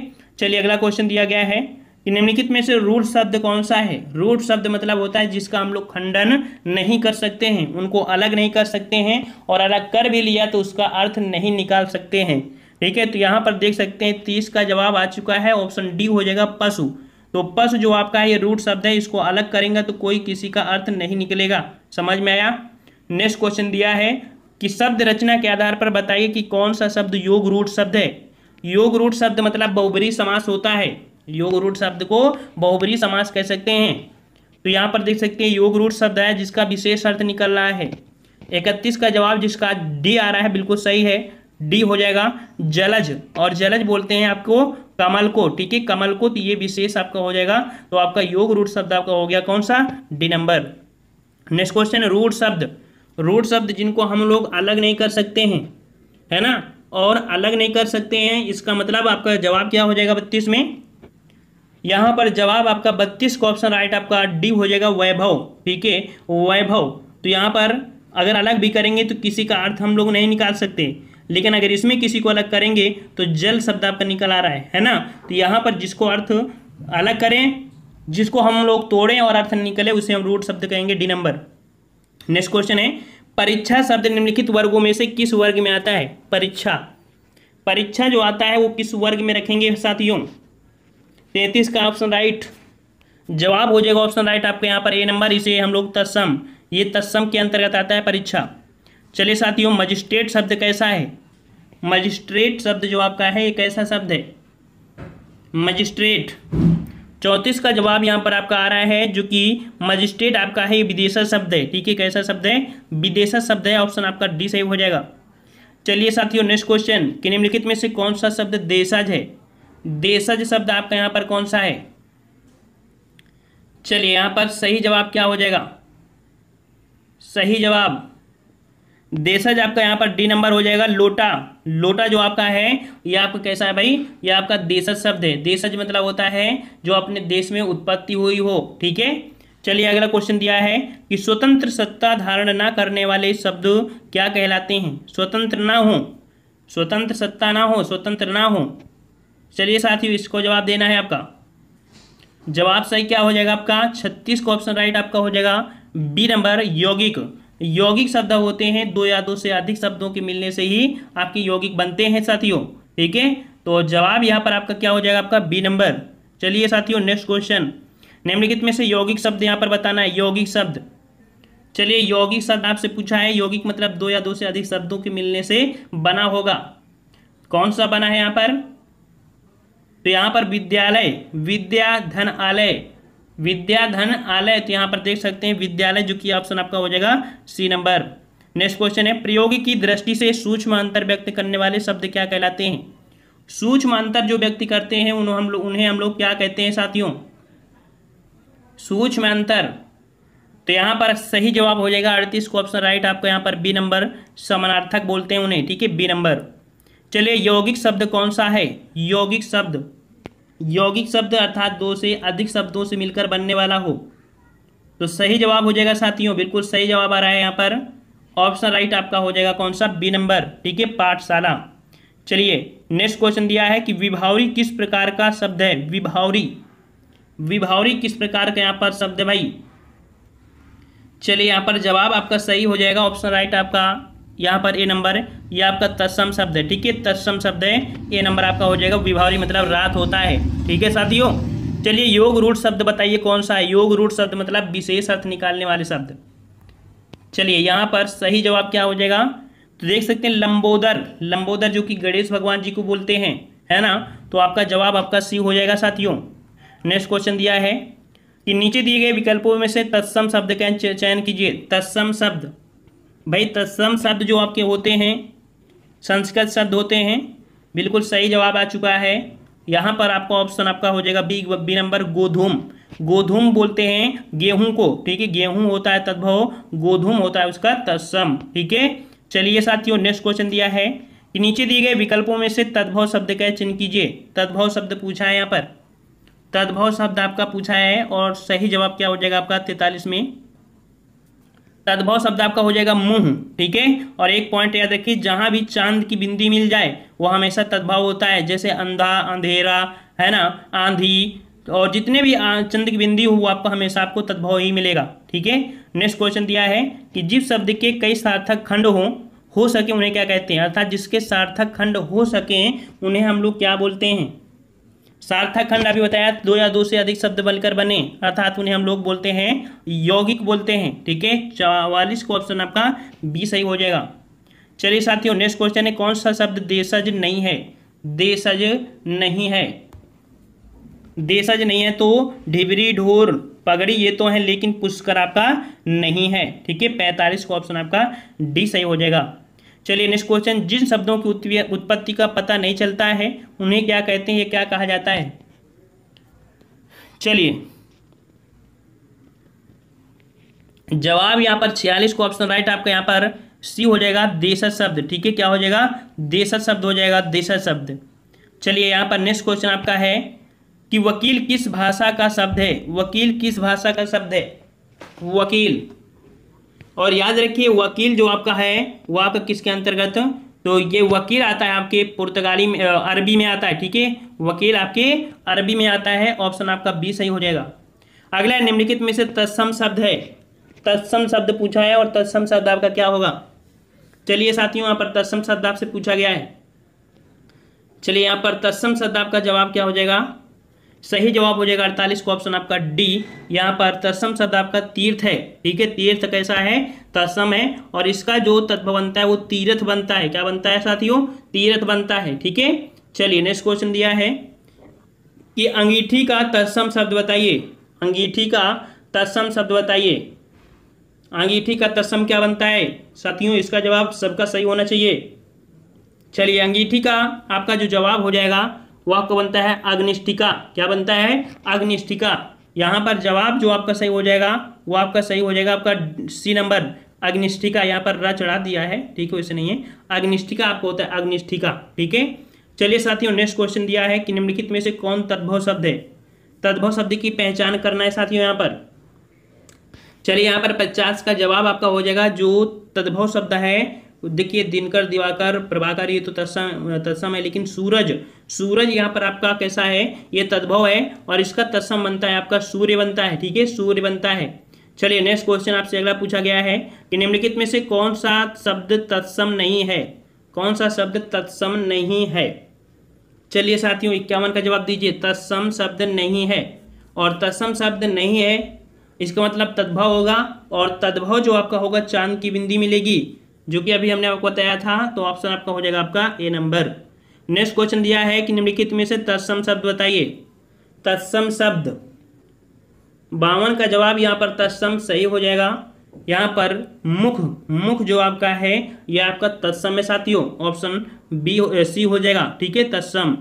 नेक्स्ट क्वेश्चन आपका दिया है, तद्भव शब्द बताना है, तद्भव। और तद्भव की अभी हमने बताया, जहाँ भी आपकी चाँद की बिंदी मिल जाए वह हमेशा क्या होता है? तद्भव होता है, जो कि ऑप्शन आपका डी हो जाएगा। पहचान बिल्कुल बिल्कुल पक्की हो चुकी है। चलिए गया सिंगार शब्द का तत्सम। सिंगार सिंगार का तत्सम आपका क्या होता है? श्रृंगार। और यहाँ पर जो श्रृंगार बनेगा, वो ये वाला श्रृंगार बनेगा यहाँ पर। ठीक है साथियों? सी नंबर नेक्स्ट क्वेश्चन है, हल्दी का तत्सम। इसका जवाब गलत मत करिएगा, अभी हमने बताया था। हल्दी का तत्सम क्या बनता है साथियों? हरिद्रा बनता है, ठीक है? बी नंबर हरिद्रा हो जाएगा। चलिए नेक्स्ट क्वेश्चन है, गेहूँ का तस्म गेहूँ का तस्म क्या बनता है? गेहूँ का गोधूम बनता है, गोधूम। और गोधूम कौन सा सही होगा यहाँ पर छप्पन में? आपका ए नंबर आपका हो जाएगा गोधूम। नेक्स्ट क्वेश्चन है, खंडहर का तस्म बताइए। खंडहर का तस्म खंडहर का तस्म जो आपका हो जाएगा खंडग्रह होता है। क्या होता है साथियों? खंडग्रह होता है, जो कि आपका यहाँ पर सी हो जाएगा, खंडग्रह। कि निम्नलिखित में से कौन समास नहीं है? देखिए, समास नहीं है। समास के छह प्रकार हमने आपको बताया, है ना? और इन छह प्रकार में से यहाँ पर देख सकते हैं आपका जो दिया गया है, आपका कर्म कारक समास। क्या आपने कर्म कारक समास पढ़ा है? नहीं पढ़ा है ना?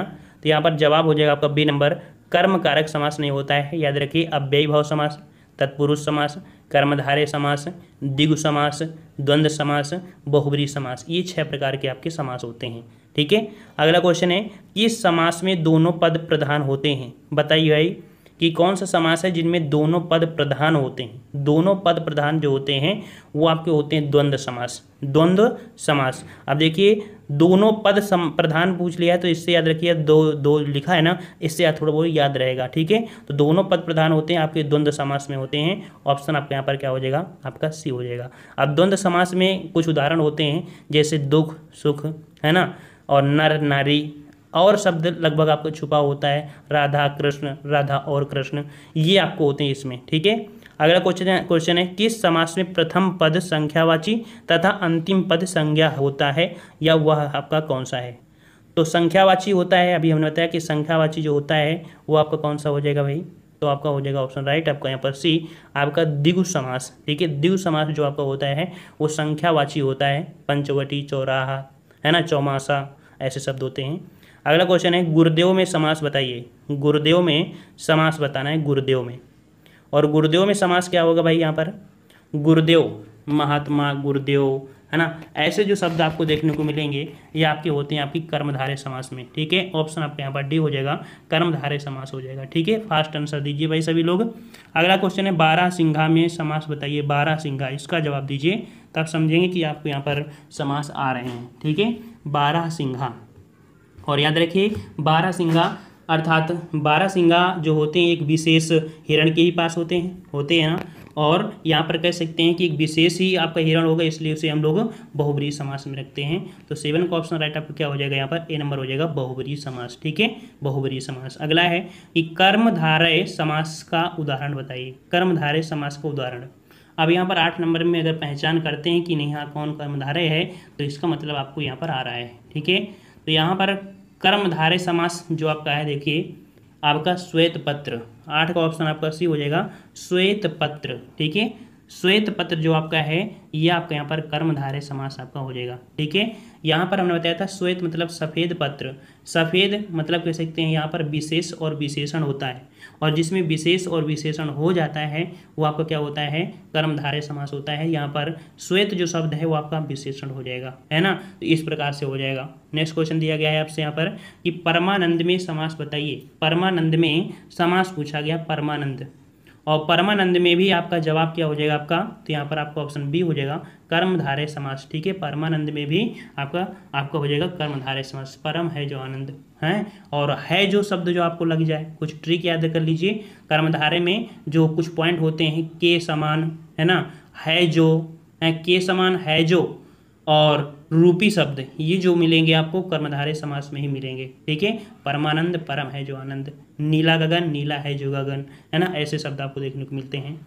अगला क्वेश्चन यहाँ पर दिया है महाजन महाजन। और महाजन में क्या हो जाएगा आपका? तो एक पॉइंट याद रखिए, महाशब्द जहाँ मिल जाए, महाशब्द जहाँ भी कहीं मिल जाए, वो आपका हमेशा कर्मधारय समास होता है। जैसे महापुरुष, महात्मा, है ना? जितने भी महाशब्द मिल जाएँ, वो आपका यहीं पर आपका होगा क्या? तो आपका यहाँ पर कर्मधारय समास होगा ऑप्शन आपका ए हो जाएगा। ठीक है? जो नए बच्चे हैं, वो लोग ट्रिक और पॉइंट को ध्यान देते जाएँ। पुराने बच्चों को तो लगभग तैयार ही है, तभी जवाब फटाफट आ रहे हैं। अगला कह रहा है, जिसमें कोई पद प्रधान नहीं होता है तथा अन्य अर्थ प्रधान प्रधान होता है वहाँ पर कौन है? अर्थात ऐसा कौन सा समास है जिसमें से कोई पद प्रधान ना हो, लेकिन अगला जो बनने वाला तीसरा शब्द होगा, वो प्रधान हो जाएगा।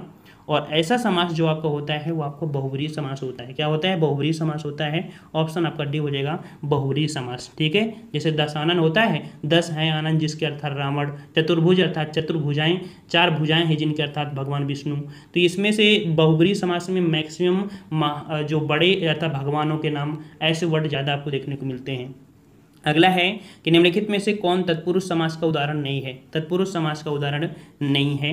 तो तत्पुरुष समाज के यहाँ पर देखते हैं आपके, तत्पुरुष के तो कई पार्ट होते हैं। यहाँ पर राजकुमार, राजा का कुमार, ये तो आपका है ही तत्पुरुष। यज्ञ देवी में भी है, ग्रामवासी में है, लेकिन आजन्म। देखो आजन्म, जिसका जन्म, यहाँ पर आ शब्द लिखा है, जो कि आपको कह सकते हैं उपसर्ग है। और कोई भी शब्द जो आपका उपसर्ग होता है, वो आपका क्या होता है भाई? तो वो आपका कह सकते हैं अव्ययी भाव समास होता है, अव्यय होता है।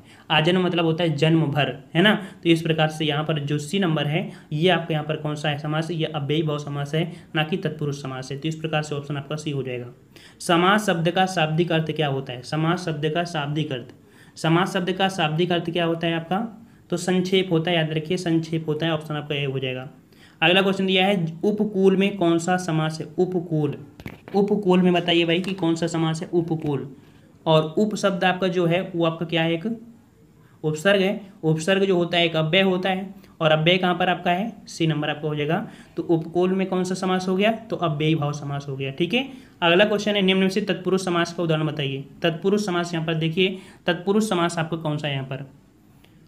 तो तत्पुरुष समार एक तरफा में होगा नहीं, धनंजय में नहीं होगा, वक्रतुंड में नहीं होगा, यहाँ पर आत्मनिर्भर। आत्मनिर्भर जो शब्द है, इसमें आपका क्या है आपका? ये तत्पुरुष समास है, आत्मनिर्भर। खुद पे आपका निर्भर हो जाना, खुद में निर्भर हो जाना, ठीक है? आत्मनिर्भर, सी नंबर। अगला है चंद्रशेखर, शब्द में समास बताइए, चंद्रशेखर। और चंद्रशेखर किसे बोले जाते हैं? आपके शंकर भगवान को। अर्थात चाँद किसके सर पे? है शिव भगवान के, है ना? तो आपका एक विशेष अर्थ निकालेगा और विशेष अर्थ किसमें होता है? तो आपके बहुबरी समास में होता है है ना? अगला क्वेश्चन दिया है कि निम्नलिखित में से द्विग समास का उदाहरण बताइए। द्विग समास अर्थात संख्यावाची होता है। अब द्विग समास आपका पूछा गया है और यहाँ पर सही किसे करेंगे? द्विग समास में। तो यहाँ पर दिया है त्रिभुवन त्रिभुवन, और एक दिया है तिरंगा। एकांत दशानंत तो होगा नहीं? तो देखो यहाँ पर आपका सही किया गया, आपको कौन सा यहाँ पर? ए नंबर त्रिभुवन, है ना? तो ऑप्शन आपका ए हो जाएगा त्रिभुवन। और अगला क्वेश्चन यहाँ पर दिया है यथाशीघ्र। यथाशीघ्र अभी हमने देखा था, बताया था कि यथाशीघ्र मतलब क्या होता है? समय के अनुसार। और यथा यहाँ पर जो आपका है अव्यय, और अव्यय मतलब आपका अव्ययी भाव समास तो ऑप्शन आपका यहाँ पर ए हो जाएगा, अव्ययी भाव समास। अगला क्वेश्चन है, चौराहा कौन सा समास है? चौराहा।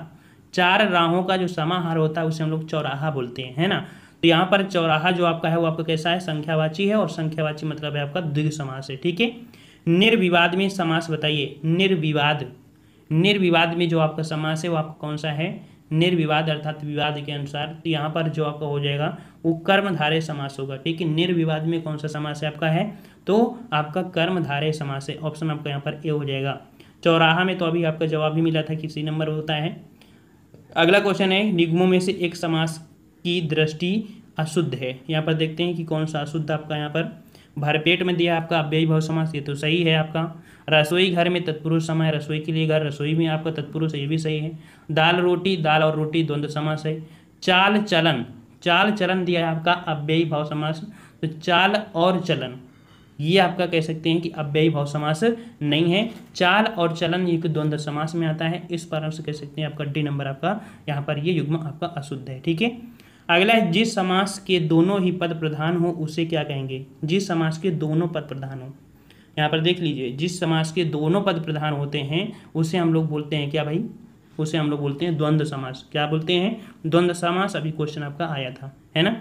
चलिए, जितने बच्चे अभी तक वीडियो लाइक नहीं किए हैं तो एक बार सबसे पहले लाइक कर दीजिए, ताकि हमें भी अच्छा लगने लगे कि हाँ इतने बच्चे हैं और हम इतना मेहनत से पढ़ा रहे हैं। और आपको अगर लगता है कि नहीं, हम मेहनत कर रहे हैं आपके साथ तो आप लोग ज़रूर लाइक कर दिया करिए, वीडियो आते ही लाइक कर दिया करिए। अगर आपको लगे कि नहीं, हमारे पास साथ टाइम पास कर रहे हैं तो भाई आप डिसलाइक भी कर दिया करिए, कोई दिक्कत नहीं है।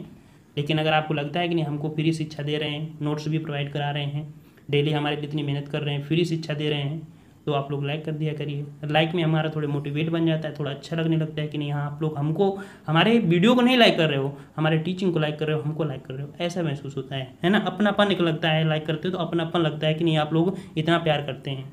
चलिए, चौबीस नंबर आपसे दिया है कि जिस समाज में पहले या बाद का कोई भी पद प्रधान नहीं होता, उसे क्या कहते हैं? तो अभी हमने बताया था ना आपको कि जिस समाज का कोई भी पद प्रधान ना हो, ठीक है, एक विशेष शब्द निकले तो वो आपका होता है बहुबरी समास तो ऑप्शन आपका हो जाएगा यहाँ पर बी नंबर बहुबरी समास। नेक्स्ट क्वेश्चन है कि जिस समास में अर्थ की दृष्टि से उत्तर पद प्रधान और पूर्व पद गौड़ हो, उसे क्या कहते हैं? उत्तर पद मतलब होता है कि बाद का पद प्रधान हो और जो पहला पद है, वो गौड़ हो तो उसे हम लोग बोलते हैं क्या?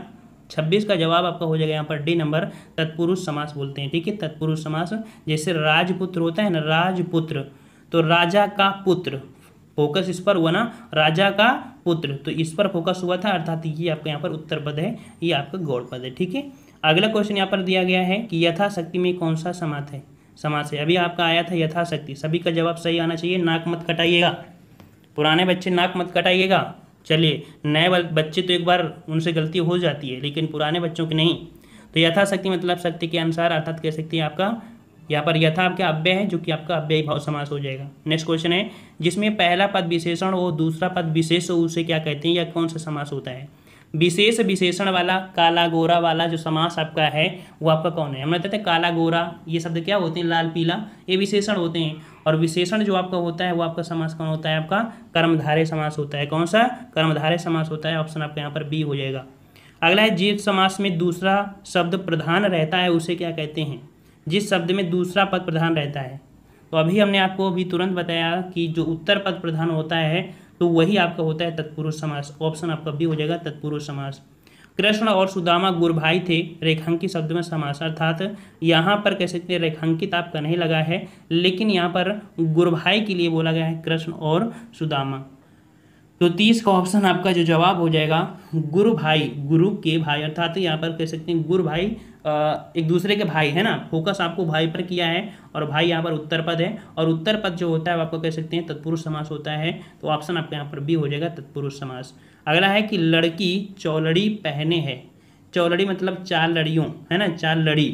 तो ये आपका क्या हो जाएगा? संख्यावाची। और संख्यावाची जो होता है, उसे हम लोग बोलते हैं दिव समास। ऑप्शन आपका ए हो जाएगा। अगला क्वेश्चन दिया है कि निम्नलिखित शब्दों में से कौन सा शब्द बहुबरी समास का उदाहरण है? बहुबरी समास आपसे बताया, पूछा गया है बहुबरी समास।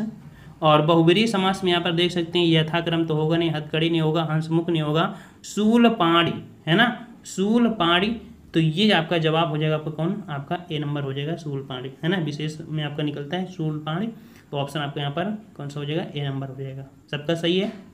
चलो, अगला क्वेश्चन है यहाँ पर। किनमें से कौन सा शब्द द्विग समास है? द्विग समास। और द्विग समास जो कि संख्यावाची होता है है ना? और संख्यावाची यहाँ पर क्या होना चाहिए? चतुर्भुज। चतुर्भुज जो आपका यहाँ पर है वो आपका यहाँ पर संख्यावाची हो जाएगा चार भुजाएँ ठीक है? अब यहाँ पर कह सकते हैं कि आ, कभी कभी आयोग क्या कर देता है कि चतुर्भुज को बहु बहुवरीम कर देते हैं। क्योंकि चतुर्भुज अर्थात चार भुजाएँ हैं जिनके है ना? चतुर्भुज चार भुजाएँ हैं जिनके तो भगवान विष्णु को तो बोल देते हैं ना। तो जब वो है नहीं है ऑप्शन में और दिया गया है द्विग समास तो हम लोग फोकस इसमें करेंगे। बहु इसमें तो कह देंगे ना। और कोई तो हमारे पास चारा है नहीं है और प्रश्न को आपको करके सही आना भी है। अगर ना भी आपको लगे कि नहीं, ये प्रश्न त्रुटि है तो उसको ज़रूर करिएगा। क्योंकि या तो उसका जवाब सही माना जाएगा, या तो उस प्रश्न को हटा दिया जाएगा। ओके? अगला क्वेश्चन यहाँ पर दिया है, प्रतिदिन समास में समास बताइए। प्रतिदिन शब्द।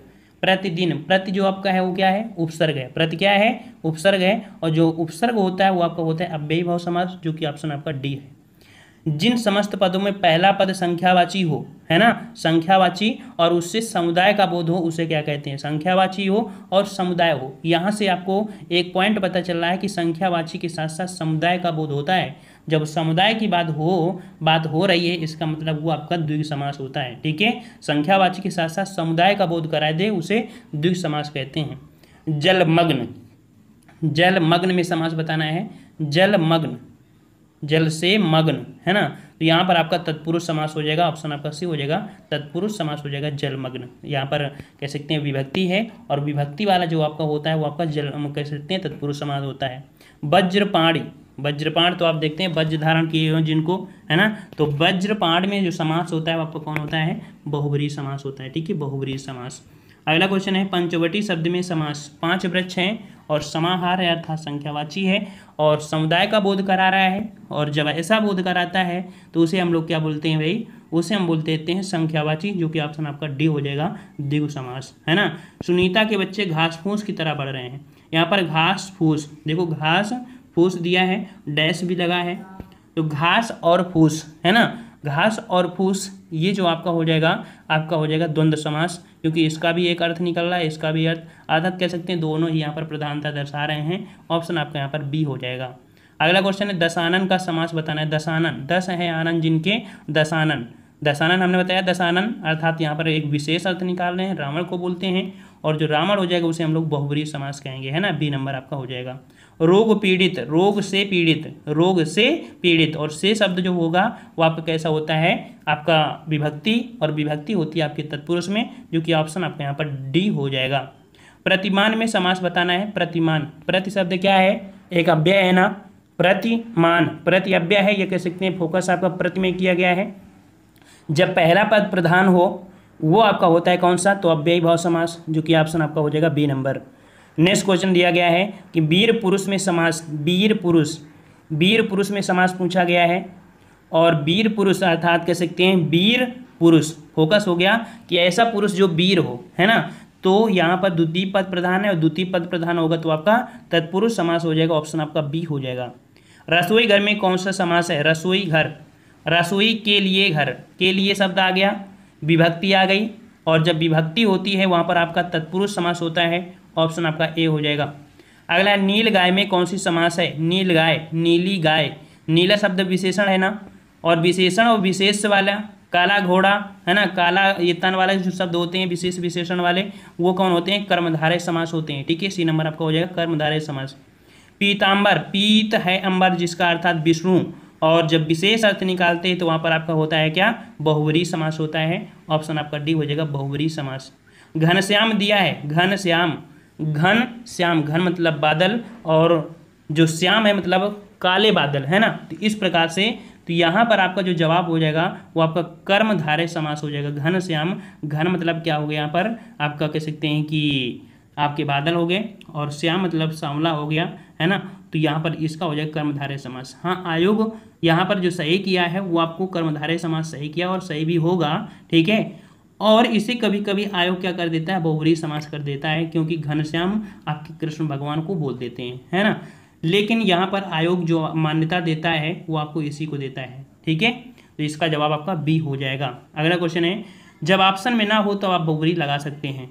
परमानंद में समास बताइए। परमानंद, परम है जो आनंद, ये प्रश्न आपको दोबारा से मिला है, और दोबारा से मिला है अर्थात आपने पढ़ लिया है। तो परम है जो आनंद, है जो शब्द जो होता है वो कर्मधारय समास में होता है ऑप्शन सी हो जाएगा कर्मधारय।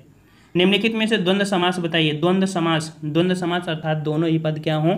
दोनों ही पद क्या हों? आपके प्रधान हों, ठीक है? वो पद आपका कौन हो जाएगा? आपका द्वंद्व समास हो जाएगा। और यहाँ पर पाप और पुण्य।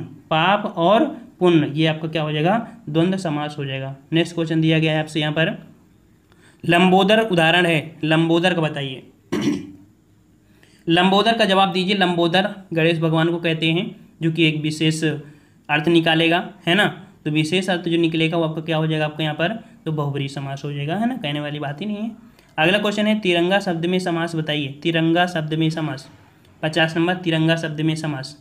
तो अभी हमने बताया था तिरंगा शब्द, जो कि यहाँ पर जवाब क्या हो जाएगा? तिरंगा। इस प्रकार से आपका क्या हो जाएगा? द्विग समास हो जाएगा, संख्यावाची। अगला है, दो या दो से अधिक शब्दों को मिलकर बने हुए नए सार्थक शब्दों को क्या कहते हैं? दो या दो से अधिक जो शब्दों से सार्थक शब्द मिलकर बनते हैं, उन्हें हम लोग क्या कहते हैं? तो यहाँ पर आपका इक्यावन का जवाब दीजिए भाई। इक्यावन का सही जवाब और सही जवाब यहाँ पर आपका हो जाएगा ऑप्शन राइट। इक्यावन का ऑप्शन राइट। बी नंबर, जो पढ़ रहे हो तो वही तो होगा ना? चलिए, अगला क्वेश्चन है। यहाँ पर दिया है, समास का शाब्दिक अर्थ क्या होता है? समास का शाब्दिक अर्थ क्या होता है भाई? तो समास का शाब्दिक अर्थ होता है आपका संक्षेप होता है, ठीक है, जो कि अभी आपने पढ़ा था ए नंबर आपका हो जाएगा। निम्नांकित में से कौन सा पद अव्ययी भाव समास है? चलिए यहाँ पर अव्ययी भाव समास पूछा है, और अव्ययी भाव समास आपका कौन सा है? यहाँ पर सभी को जवाब देना है, अव्ययी भाव समास। तो देखिए प्रति शब्द आपका लगा हुआ है है ना? प्रतिशब्द लगा है, अव्यय है तो ऑप्शन आपका सी हो जाएगा प्रतिदिन। अगला है, जिस समास में उत्तर पद प्रधान होने के साथ साथ पूर्व पद तथा उत्तर पद में विशेष विशेषण का संबंध भी होता है है ना? विशेष विशेषण जो होता है वो आपको किसमें होता है भाई? विशेष विशेषण अभी देखो हमने बताया था। और विशेष विशेषण आपको किसमें हो गया आपका? तो आपके कर्मधारय समास में होता है है ना? ऑप्शन आपका यहाँ पर बी हो जाएगा, कर्मधारय समास। अगला क्वेश्चन आपसे यहाँ पर दिया गया है कि निम्नलिखित में से कर्मधारय समास किसमें है? कर्मधारय समास यहाँ पर किसमें है भाई?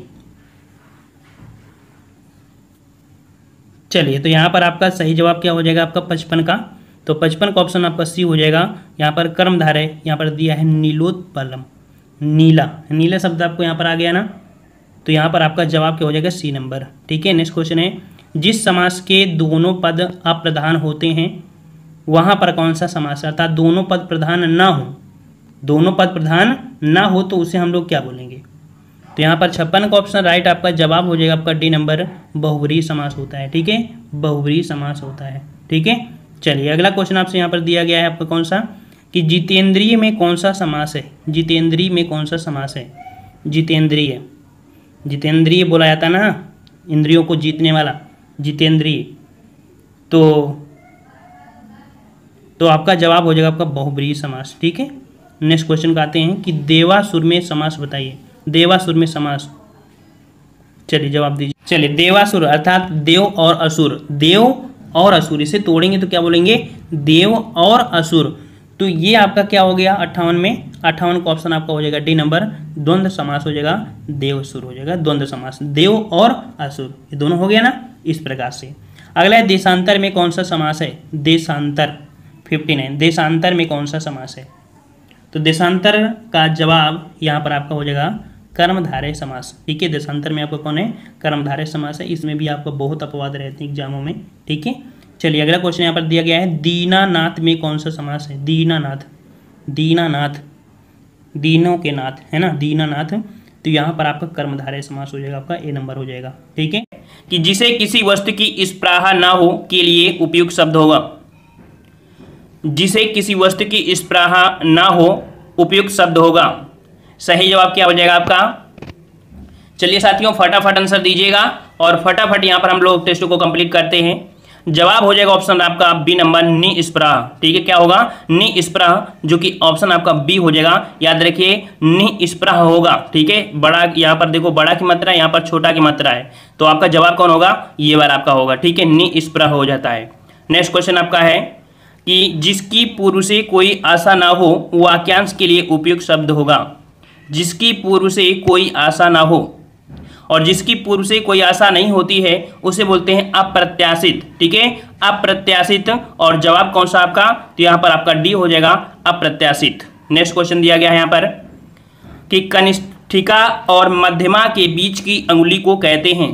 कनिष्ठिका और मध्यमा। इन दोनों के बीच की जो उंगली होती है, उसे क्या कहते हैं? चलिए, यहाँ पर जवाब बिल्कुल सही आ रहे हैं। बिल्कुल सही जवाब है। वेरी गुड ऑप्शन राइट आपका यहाँ पर इसे बोलते हैं अनामिका। और अनामिका कौन सा सही लिखा हुआ है? डी नंबर लिखा है अनामिका, ठीक है? डी नंबर आपका सही हो जाएगा। नेक्स्ट क्वेश्चन आपसे अगला पूछा गया है कि जिसके पेट में माने रस्सी, अर्थात रस्सी को दाम भी बोलते हैं तो जिसके पेट में माने रस्सी बाँध दी हो, उसे क्या कहते हैं? क्या कहते हैं? चलिए साथियों, बिल्कुल सही जवाब आ रहा है और उसे बोलते हैं दामोदर, ठीक है? दामोदर, जो कि ऑप्शन राइट आपका यहाँ पर आपका हो जाएगा डी नंबर। आपने झांसी वाली झांसी वाली रानी का नाम सुना था ना तो उन्होंने अपने पुत्र को, कह सकते हैं, जो दत्तक पुत्र था, उसको पीठ में बांधा था, ठीक है ना? तो वहीं पर आपका दामोदर। चलिए नेक्स्ट क्वेश्चन दिया है कि पीछे पीछे चलने वाला वाक्यांश के लिए एक शब्द बताइए। पीछे पीछे चलने वाला के लिए यहाँ पर आपको जवाब देना है। और यहाँ पर आपका जवाब बिल्कुल सही आ रहा है, यहाँ पर सभी का जवाब बिल्कुल सही आ रहा है। ऑप्शन आपका हो जाएगा अनुगामी। क्या बोलते हैं उसे? अनुगामी बोलते हैं ऑप्शन राइट आपका बी सही हो जाएगा। नेक्स्ट क्वेश्चन आपसे अगला पूछा है कि जिसके हृदय पर आघात हुआ हो, जिसके हृदय पर आघात हुआ हो, क्या बोलेंगे? बिल्कुल सही जवाब है। बिल्कुल सही जवाब है वेरी गुड ऑप्शन राइट आपका यहाँ पर हो जाएगा, मरमाहत। क्या होता है? मरमाहत होता है। ऑप्शन आपका यहाँ पर जवाब बी सही हो जाएगा। जिसके हृदय में आघात हुआ हो, उसे बोलते हैं मरमाहत। ठीक है? चलिए नेक्स्ट क्वेश्चन आपसे अगला पूछा गया है। कह रहा आपसे, जो अपने पद से हटाया गया हो, के लिए एक शब्द बताइए। जो अपने पद से हटाया गया हो के लिए शब्द क्या होगा? सही जवाब यहाँ पर आ चुके हैं और आ भी रहे हैं, बिल्कुल सही जवाब आ रहे हैं। ऑप्शन आपका डी हो जाएगा, पदच्युत ऑप्शन आपका यहाँ पर जवाब आपका डी सही हो जाएगा, ठीक है? नेक्स्ट क्वेश्चन आपसे अगला पूछा गया है कि जिसकी कोई कीमत ना हो सके, वाक्यांश के लिए एक शब्द बताइए। जिसकी कोई कीमत ना हो सके, वाक्यांश के लिए एक शब्द बताना है। और अच्छा प्रश्न आपका है, यहाँ पर जवाब हो जाएगा ऑप्शन राइट इसे बोलते हैं अमूल्य। क्या बोलते हैं? अमूल्य बोलते हैं। याद रखिए, बहुमूल्य मत बोलिएगा कि जिसकी कोई कीमत ना हो, उसे बोलते हैं अमूल्य। ठीक है? कोई कीमत ना हो। और जो बहुत महँगा होता है, उसे बोलते हैं बहुत बहुमूल्य, है ना? लेकिन इसकी कोई कीमत ही नहीं है तो आपका अमूल्य हो जाएगा ऑप्शन आपका बी सही हो जाएगा। अगला क्वेश्चन यहाँ पर दिया गया है, थोड़ा नपातुला भोजन करने वाला। थोड़ा नपातुला भोजन करने वाला। जैसे गर्ल्स होती हैं, बहुत मतलब सभी नहीं, लगभग अस्सी परसेंट, वो एक लिमिट होती है, एक रोटी, दो रोटी, एक रोटी, दो रोटी, है ना? तो यहाँ पर जो थोड़ा नपा तुला भोजन करते हैं, गिनकर बिल्कुल करते हैं, है ना? तो उसे क्या बोलते हैं? बोलते हैं मिताहारी। क्या बोलते हैं? मिताहारी, और जो कि ऑप्शन आपका कौन सा? यहाँ पर आपका जवाब आपका कौन सा हो जाएगा? सी नंबर आपका हो जाएगा मिताहारी, ठीक है? अगला क्वेश्चन यहाँ पर दिया गया है कि गुरु के समीप रहकर अध्ययन करने वाले के लिए क्या बोलते हैं? गुरु के समीप रहकर अध्ययन करने वाला। पहले के समय में गुरु और शिष्य। जो कि देखते हैं कि जो शिष्य थे, वो कुटी में जाकर रहते थे, है ना? चलिए तो यहाँ पर दस का जवाब हो जाएगा ऑप्शन राइट अंत्यवासी बोलते हैं। क्या बोलते हैं? अंत्यवासी बोलते हैं, आश्रमवासी नहीं, अंत्यवासी। ऑप्शन आपका डी सही हो जाएगा। नेक्स्ट क्वेश्चन आपका दिया गया है कि पत युक्त स्त्री को एक शब्द कहते हैं। जो पत युक्त पत्नी होती है, स्त्री होती है, जो पत युक्त स्त्री होती है, उसे क्या बोलते हैं? तो जवाब यहाँ पर आपका सही हो जाएगा। याद रखिएगा पत युक्त स्त्री को सधवा बोलते हैं, ठीक है? ऑप्शन आपका सी हो जाएगा, सधवा। सी नंबर आपका सही हो जाएगा। नेक्स्ट क्वेश्चन आपसे पूछा गया यहाँ पर कि झगड़ा लगाने वाला मनुष्य, चलिए साथियों, जवाब दीजिए। झगड़ा लगाने वाला मनुष्य के लिए शब्द बताइए। और यहाँ पर बिल्कुल सही जवाब आ रहे हैं। और जवाब यहाँ पर बिल्कुल सही है। बारह का ऑप्शन राइट आपका यहाँ पर डी हो जाएगा, नारद। ठीक है? नारद मुनि है। ये झगड़ा लगाते थे, इधर की बात उधर उधर की बात इधर, है ना? झगड़ा लगाने वाले। नेक्स्ट क्वेश्चन दिया गया है कि तिलक लगाने के लिए किस अन्न का प्रयोग होता है? देखते हैं कि जो तिलक लगाते हैं ना तो ऐसे आप लोग बोलते हैं चावल, है ना? लेकिन जो तिलक लगाने के लिए अन्न का प्रयोग करते हैं, इसे हम लोग बोलते हैं अच्छत बोलते हैं। क्या बोलते हैं? अच्छत बोलते हैं। वेरी गुड अच्छे यहाँ पर तैयारी है और जवाब यहाँ पर भी अच्छत हो जाएगा। ठीक है? चलिए, ऐसे ही धनाधन तैयारी होना चाहिए हर एक सब्जेक्ट में। ठीक है? किताबों से पढ़ते रहिए। हम आपसे बार बार बोल रहे हैं। चलिए, जिसका जन्म छोटी जाति अर्थात निचले वर्ण में हुआ हो, उसे लिए यहाँ पर बताना है क्या शब्द होगा। जिसका जन्म छोटी जात में हुआ हो। तो जवाब यहाँ पर आपका अंत्यज हो जाएगा। क्या हो जाएगा? अंत्यज। ऑप्शन आपका सी हो जाएगा। उसे अछूत मत बोलिएगा, ना ही शूद्र बोलिएगा। ठीक है? ना ही अंडज बोलिएगा। यहाँ पर क्या बोलेंगे? अंत्यज बोलेंगे। ऑप्शन आपका सी सही हो जाएगा। नेक्स्ट क्वेश्चन दिया गया है। कि महल के भीतरी भाग को किसी शब्द में जानते हैं। किस शब्द में जानते हैं यहाँ पर होगा? कि महल के भीतरी भाग को क्या बोलते हैं? महल के भीतरी भाग को, बिल्कुल सही जवाब है, अंतपुर बोलते हैं। ठीक है वेरी गुड ऑप्शन आपका सी हो जाएगा, अंतपुर होता है। ठीक है? चलिए, अगला है, बहुत अधिक बोलने वाला व्यक्ति। बहुत अधिक बोलने वाला व्यक्ति। जो लोग अभी नए हैं, वो लोग चैनल को सब्सक्राइब कर लीजिए। साथ में वीडियो लाइक कर दीजिए। हमें भी अच्छा लगे और आपको अच्छा लगे। और उम्मीद करते हैं कि आपको अच्छा लग ही रहा होगा। और अच्छा लग रहा है तभी वीडियो आप देख भी रहे होंगे, ठीक है? चलिए तो बहुत अधिक बोलने वाले को हम क्या बोलते हैं? क्या बोलते हैं? वाचाल बोलते हैं, ठीक है? बिल्कुल सही है, वाचाल ऑप्शन आपका यहाँ पर डी सही हो जाएगा। नेक्स्ट क्वेश्चन दिया गया है कि जिसके सिर पर चंद्र हो के लिए उपयुक्त शब्द बताइए। जिसके सिर पर चंद्र हो के लिए उपयुक्त शब्द बताइए। सत्रह का जवाब देना है। और जवाब यहाँ सत्रह का ऑप्शन राइट बिल्कुल सही जवाब है। उन्हें चंद्रशेखर बोलते हैं। ठीक है, क्या बोलते हैं उन्हें? चंद्रशेखर बोलते हैं। नेक्स्ट क्वेश्चन आपसे अगला पूछा गया है। कह आपसे जिसके हृदय में ममता नहीं है, के लिए उपयुक्त शब्द बताइए। जिसके हृदय में ममता नहीं है, क्या होगा जवाब यहाँ पर? तो बिल्कुल सही जवाब है। ऑप्शन राइट यहाँ पर आपका हो जाएगा, निर्मम बोलते हैं। क्या बोलते हैं साथियों? निर्मम बोलते हैं। आपका सी हो जाएगा, निर्दय मत बोलिएगा। ठीक है, निर्दय मत बोलिएगा। क्या बोलेंगे? निर्मय बोले, निर्मम बोलेंगे। ऑप्शन आपका यहाँ पर सही हो जाएगा सी। जिसके हृदय में ममता नहीं है, उसे निर्मम बोलते हैं। ठीक है, यही छोटी छोटी त्रुटियों को यहाँ पर समझना है। ठीक है, चलिए अगला है कि जिसका इलाज ना हो सके, उसके लिए उपयुक्त शब्द बताइए।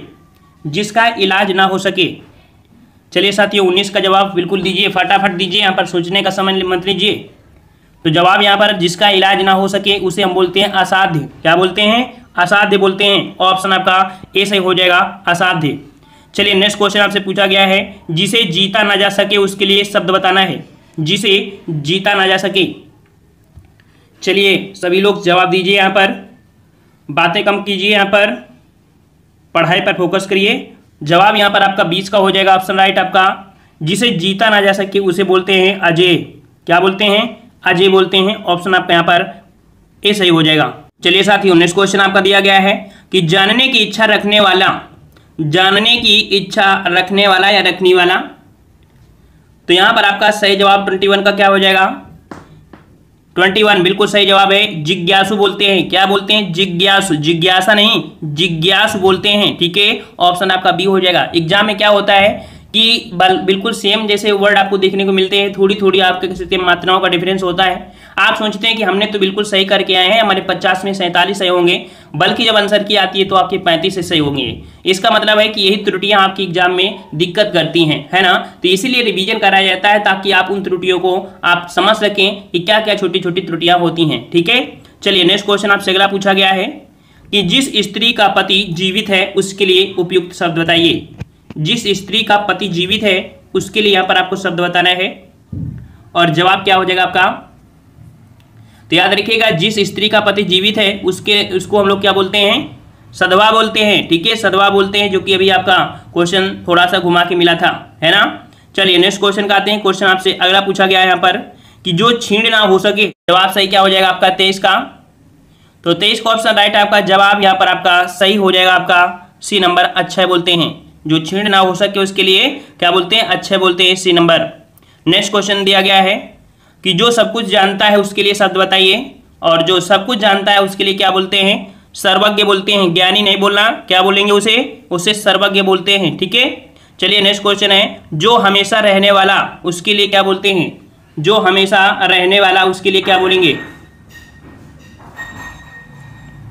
सही जवाब यहाँ पर 25 का ऑप्शन राइट आपका हो जाएगा। उसे जो हमेशा रहने वाला होता है, उसे हम लोग शाश्वत बोलते हैं। क्या बोलते हैं? शाश्वत बोलते हैं। चलिए नेक्स्ट क्वेश्चन आपका दिया गया है।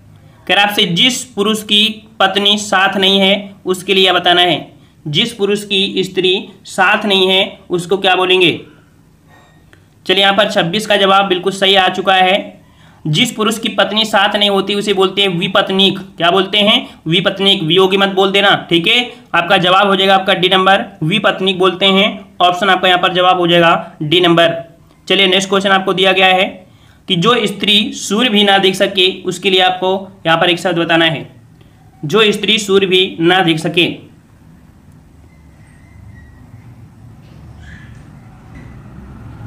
सही जवाब यहाँ पर आपका सही जवाब क्या हो जाएगा आपका? देख लीजिए चारों ऑप्शन में, गलती ना हो। आज सूर्य स्पया कौन सा डी नंबर आपका सही हो जाएगा? आज सूर्य स्पया बोलते हैं डी नंबर आपका हो जाएगा। नेक्स्ट क्वेश्चन आपसे पूछा गया है कि जो युद्ध में स्थिर रहता है, उसके लिए शब्द बताना है।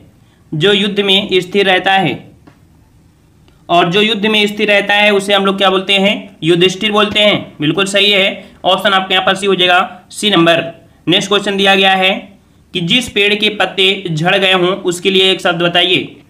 जिस पेड़ के पत्ते झड़ गए हैं, उसके लिए एक शब्द बताना है। और क्या बोल रहे हैं उसे? पत्रहीन बोलेंगे क्या? अपत बोलते हैं, याद रखिएगा, ठीक है? अपत बोलते हैं, डी नंबर आपका हो जाएगा। चलिए, नेक्स्ट क्वेश्चन दिया है कि तैरने की इच्छा को क्या बोलते हैं? तैरने की इच्छा को। यहाँ पर मानते हैं कि 75 परसेंट बच्चों को ये टॉपिक बिल्कुल इजी लग रहा है, लेकिन 25 परसेंट ऐसे बच्चे हैं जिनको यहाँ पर छोटी छोटी बारीकियों को ज्ञान नहीं है, गलती कर रहे हैं अभी भी। तो तैरने की इच्छा को क्या बोलते हैं? तो इसका जवाब हो जाएगा आपका बी नंबर, इसे बोलते हैं तितीर्सा। क्या बोलते हैं? तितीर्सा बोलते हैं ऑप्शन आपका बी सही हो जाएगा। अगला क्वेश्चन दिया गया है, जिसे बुलाया ना गया हो, वाक्यांश के लिए उपयुक्त होने वाला शब्द बताइए। जिसे बुलाया ना गया हो, और जिसे बुलाया ना गया हो, उसे क्या बोलते हैं? जवाब यहाँ पर आपका सही हो जाएगा। आपका जिसे बुलाया ना गया हो। क्या बोलेंगे भाई? यहाँ पर जवाब आपका हो जाएगा सी नंबर।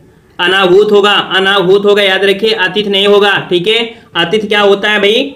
कि बिना पहले किसी सूचना के जो आ जाता है, उसे बोलते हैं, ठीक है? तो आपका जवाब यहाँ पर जो पूछा गया था, उसका आपका सी हो जाएगा। समझ में आ गया ना? चलिए, अगला है मोक्ष की इच्छा रखने वाला। मोक्ष की इच्छा रखने वाला। मोक्ष की इच्छा रखने वाले के लिए क्या बोलते हैं? तो यहाँ पर आपका जवाब सही हो जाएगा मुमुछ क्या बोलते हैं? मुमुछ बोलते हैं ऑप्शन राइट आपका सी सही हो जाएगा। अगला क्वेश्चन दिया है कि रंग मंच के पर्दे के पीछे का स्थान। रंग मंच के पर्दे के पीछे का स्थान। और यहाँ पर आपका सही जवाब क्या हो जाएगा? तो 33 को ऑप्शन राइट आपका जवाब हो जाएगा आपका, नेपथ्य बोलते हैं। क्या बोलते हैं? नेपथ्य बोलते हैं ऑप्शन राइट आपका यहाँ पर बी सही हो जाएगा। नेक्स्ट क्वेश्चन दिया गया है, हवन में जलाने वाली लकड़ी के लिए यहाँ पर शुद्ध शब्द बताइए। हवन में जलाने वाली लकड़ी। हवन में जलाने वाली लकड़ी। और यहाँ पर चौंतीस को ऑप्शन राइट आपका सही जवाब हो जाएगा क्या? डी नंबर आपको हो जाएगा समिधा। क्या होता है? समिधा होता है, ठीक है? नेक्स्ट क्वेश्चन पे आते हैं। क्वेश्चन आपसे अगला पूछा गया है कि पेट की अग्नि को क्या बोलते हैं? पेट में जो अग्नि लगी होती है, हैं? बोलते हैं ना, पेट में बहुत जलन हो रही है। तो उस जलन को क्या बोलते हैं? उसे बोलते हैं जठराग्नि, ठीक है? जठराग्नि बोलते हैं। और जो आपके समुद्र में आग लगती है, उसे बड़वाग्नि बोलते हैं और जंगलों में आग लगने वाले को दावाग्नि बोलते हैं, ठीक है? नेक्स्ट क्वेश्चन दिया गया है, जिसके पास कुछ ना हो, जिसके पास कुछ ना हो, जिसके पास कुछ नहीं होता है, उसे अकिंचन बोलते हैं, साथियों। ऑप्शन बी हो जाएगा अकिंचन। नेक्स्ट क्वेश्चन दिया गया है कि दिशाएँ ही जिनका वस्त्र है, दिशाएँ ही जिनका वस्त्र है, और जवाब बिल्कुल सही होना चाहिए इसका, कि दिशाएँ ही जिनका वस्त्र है, उसे बोलते हैं दिगंबर। क्या बोलते हैं? सी नंबर आपका हो जाएगा, दिगंबर बोलते हैं। नेक्स्ट क्वेश्चन दिया गया है, कि जिसका जन्म कन्या के गर्भ से हुआ हो, जिसका जन्म कन्या के गर्भ से हुआ हो, क्या बोलते हैं? जवाब यहाँ पर आपका सही क्या हो जाएगा? जवाब हो जाएगा आपका यहाँ पर, कानीन बोलते हैं, याद रखिएगा, कानीन बोलते हैं उसे, क्या बोलते हैं? कानीन, ठीक है? ऑप्शन बी सही हो जाएगा। अगला क्वेश्चन दिया गया है कि खाद्य सामग्री जो यात्रा के समय रास्ते में उपभोग के लिए दी जाती है, खाद्य सामग्री जो यात्रा के समय रास्ते में उपभोग के लिए दी जाती है।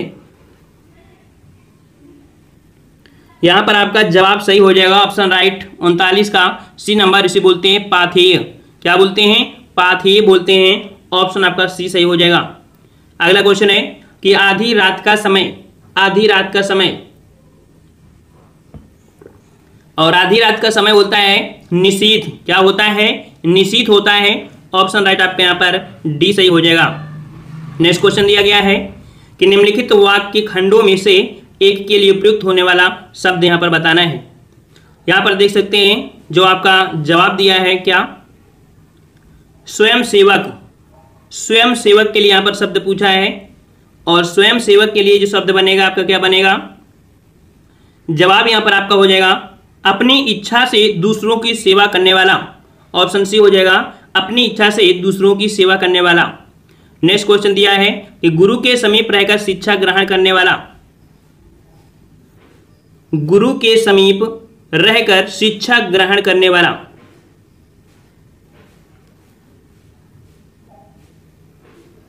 जवाब क्या हो जाएगा आपके यहाँ पर? तो इसे अंतेवासी बोलते हैं। क्या बोलते हैं? अंतेवासी बोलते हैं। तो यहाँ पर आपका जवाब क्या हो जाएगा आपका? सी नंबर अंतेवासी अगला क्वेश्चन दिया गया है कि हाथी के पीठ पर रखे जाने वाला आसन, हाथी के पीठ पर जो आसन रखा होता है, उसे हम लोग क्या बोलते हैं? जवाब यहाँ पर तैतालीस का आपका सही हो जाएगा ऑप्शन राइट यहाँ पर। बी नंबर, हौदा बोलते हैं उसे, ठीक है, क्या बोलते हैं? हौदा बोलते हैं, ऑप्शन आपका बी सही हो जाएगा। अगला क्वेश्चन दिया गया है कि जिसे प्रमाण द्वारा सिद्ध ना किया जा सके, जिसे प्रमाण द्वारा सिद्ध ना किया जा सके। चवालीस का ऑप्शन राइट आपका सही क्या हो जाएगा? तो जवाब यहाँ पर बिल्कुल सही है, चवालीस का ऑप्शन राइट यहाँ पर आपका हो जाएगा अप्रमेय। क्या हो जाएगा? अप्रमेय हो जाएगा। नेक्स्ट क्वेश्चन दिया गया है कि उपनिवेश से संबंध हो जिसका? उपनिवेश से संबंध हो जिसका? इसके लिए शब्द क्या बनता है? तो याद रखिए, इसके लिए शब्द बनता है औपनिवेशिक। ठीक है, औपनिवेशिक ऑप्शन आपका बी सही हो जाएगा। नेक्स्ट क्वेश्चन दिया गया है कि इनमें से एक के लिए प्रयोज्य शब्द बताइए। असुर स्पस्या अभी ये प्रश्न आपका आया था, असुर स्पस्या मतलब क्या होता है? असुर इस इस असुरम पस्या, है ना? असुरम पस्या है। तो जवाब यहाँ पर छियालीस का क्या हो जाएगा ऑप्शन राइट तो रनिवास में कड़े पर्दे में रहने वाली स्त्री, क्या होता है? रनिवास में कड़े पर्दे में रहने वाली स्त्री, एक ये भी अर्थ इसका होता है।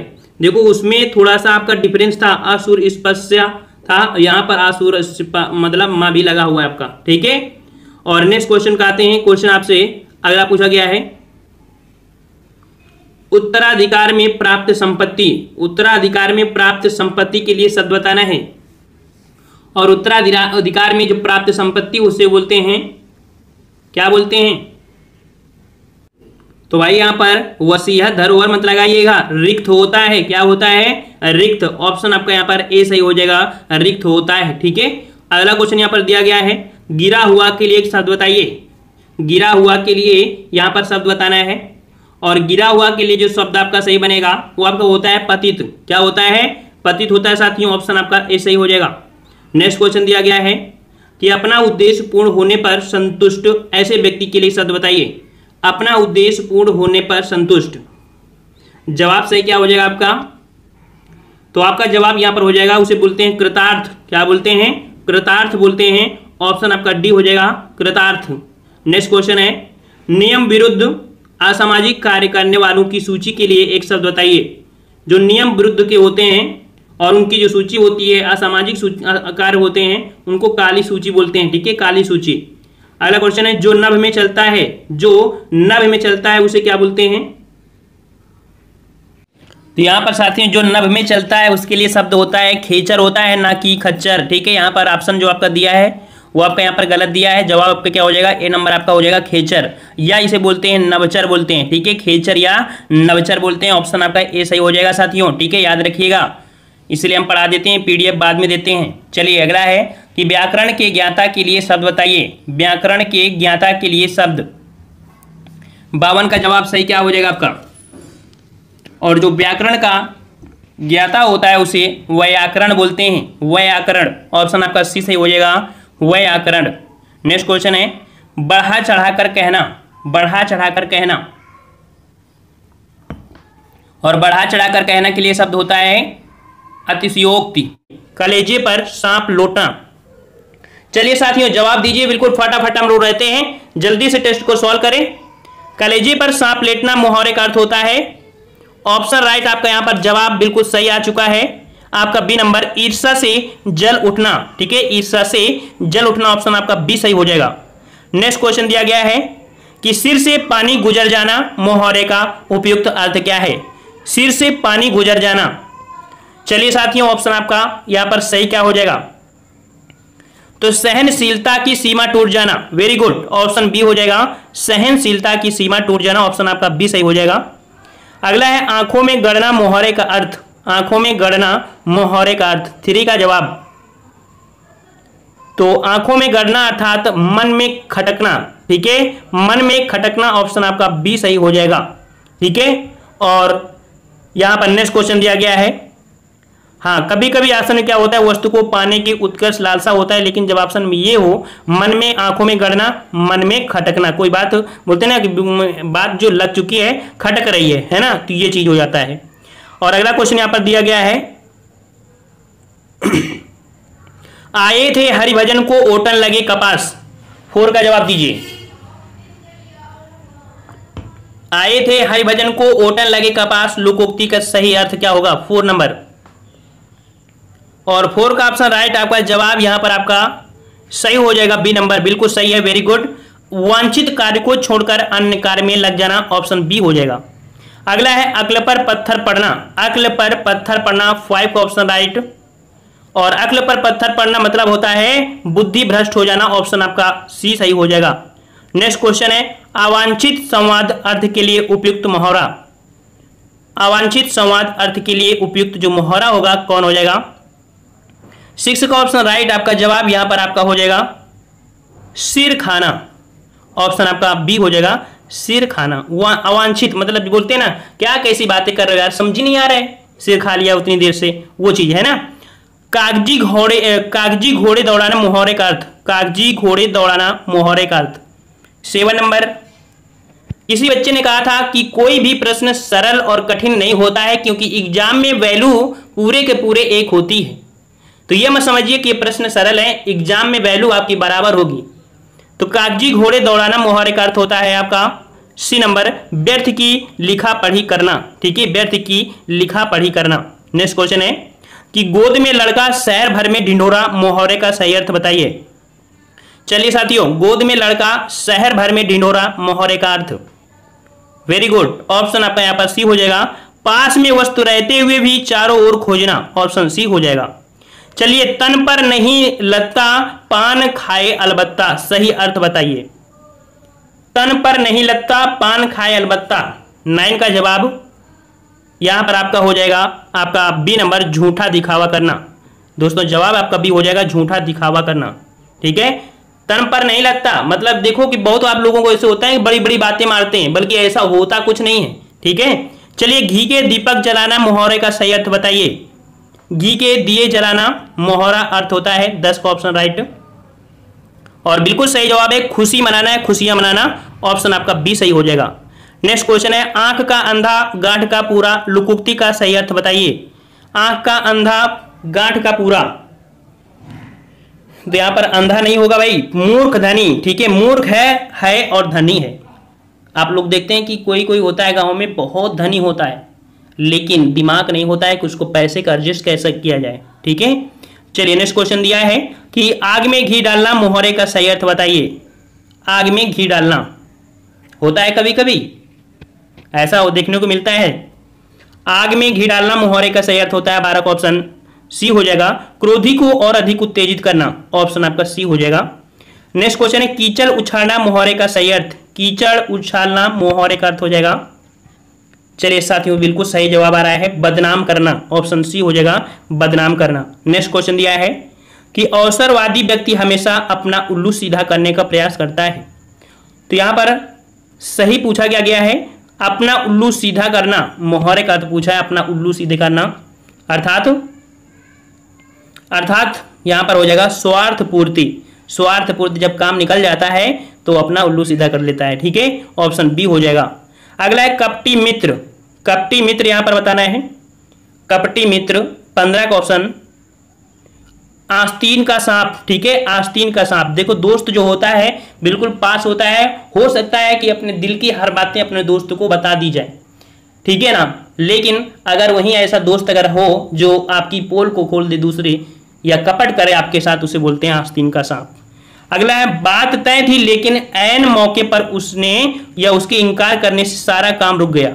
सारा काम रुक गया मतलब की बात यहाँ ये हो गई कि सारा काम रुक गया मतलब बात यह हो गई कि गुड़ गोबर हो गया।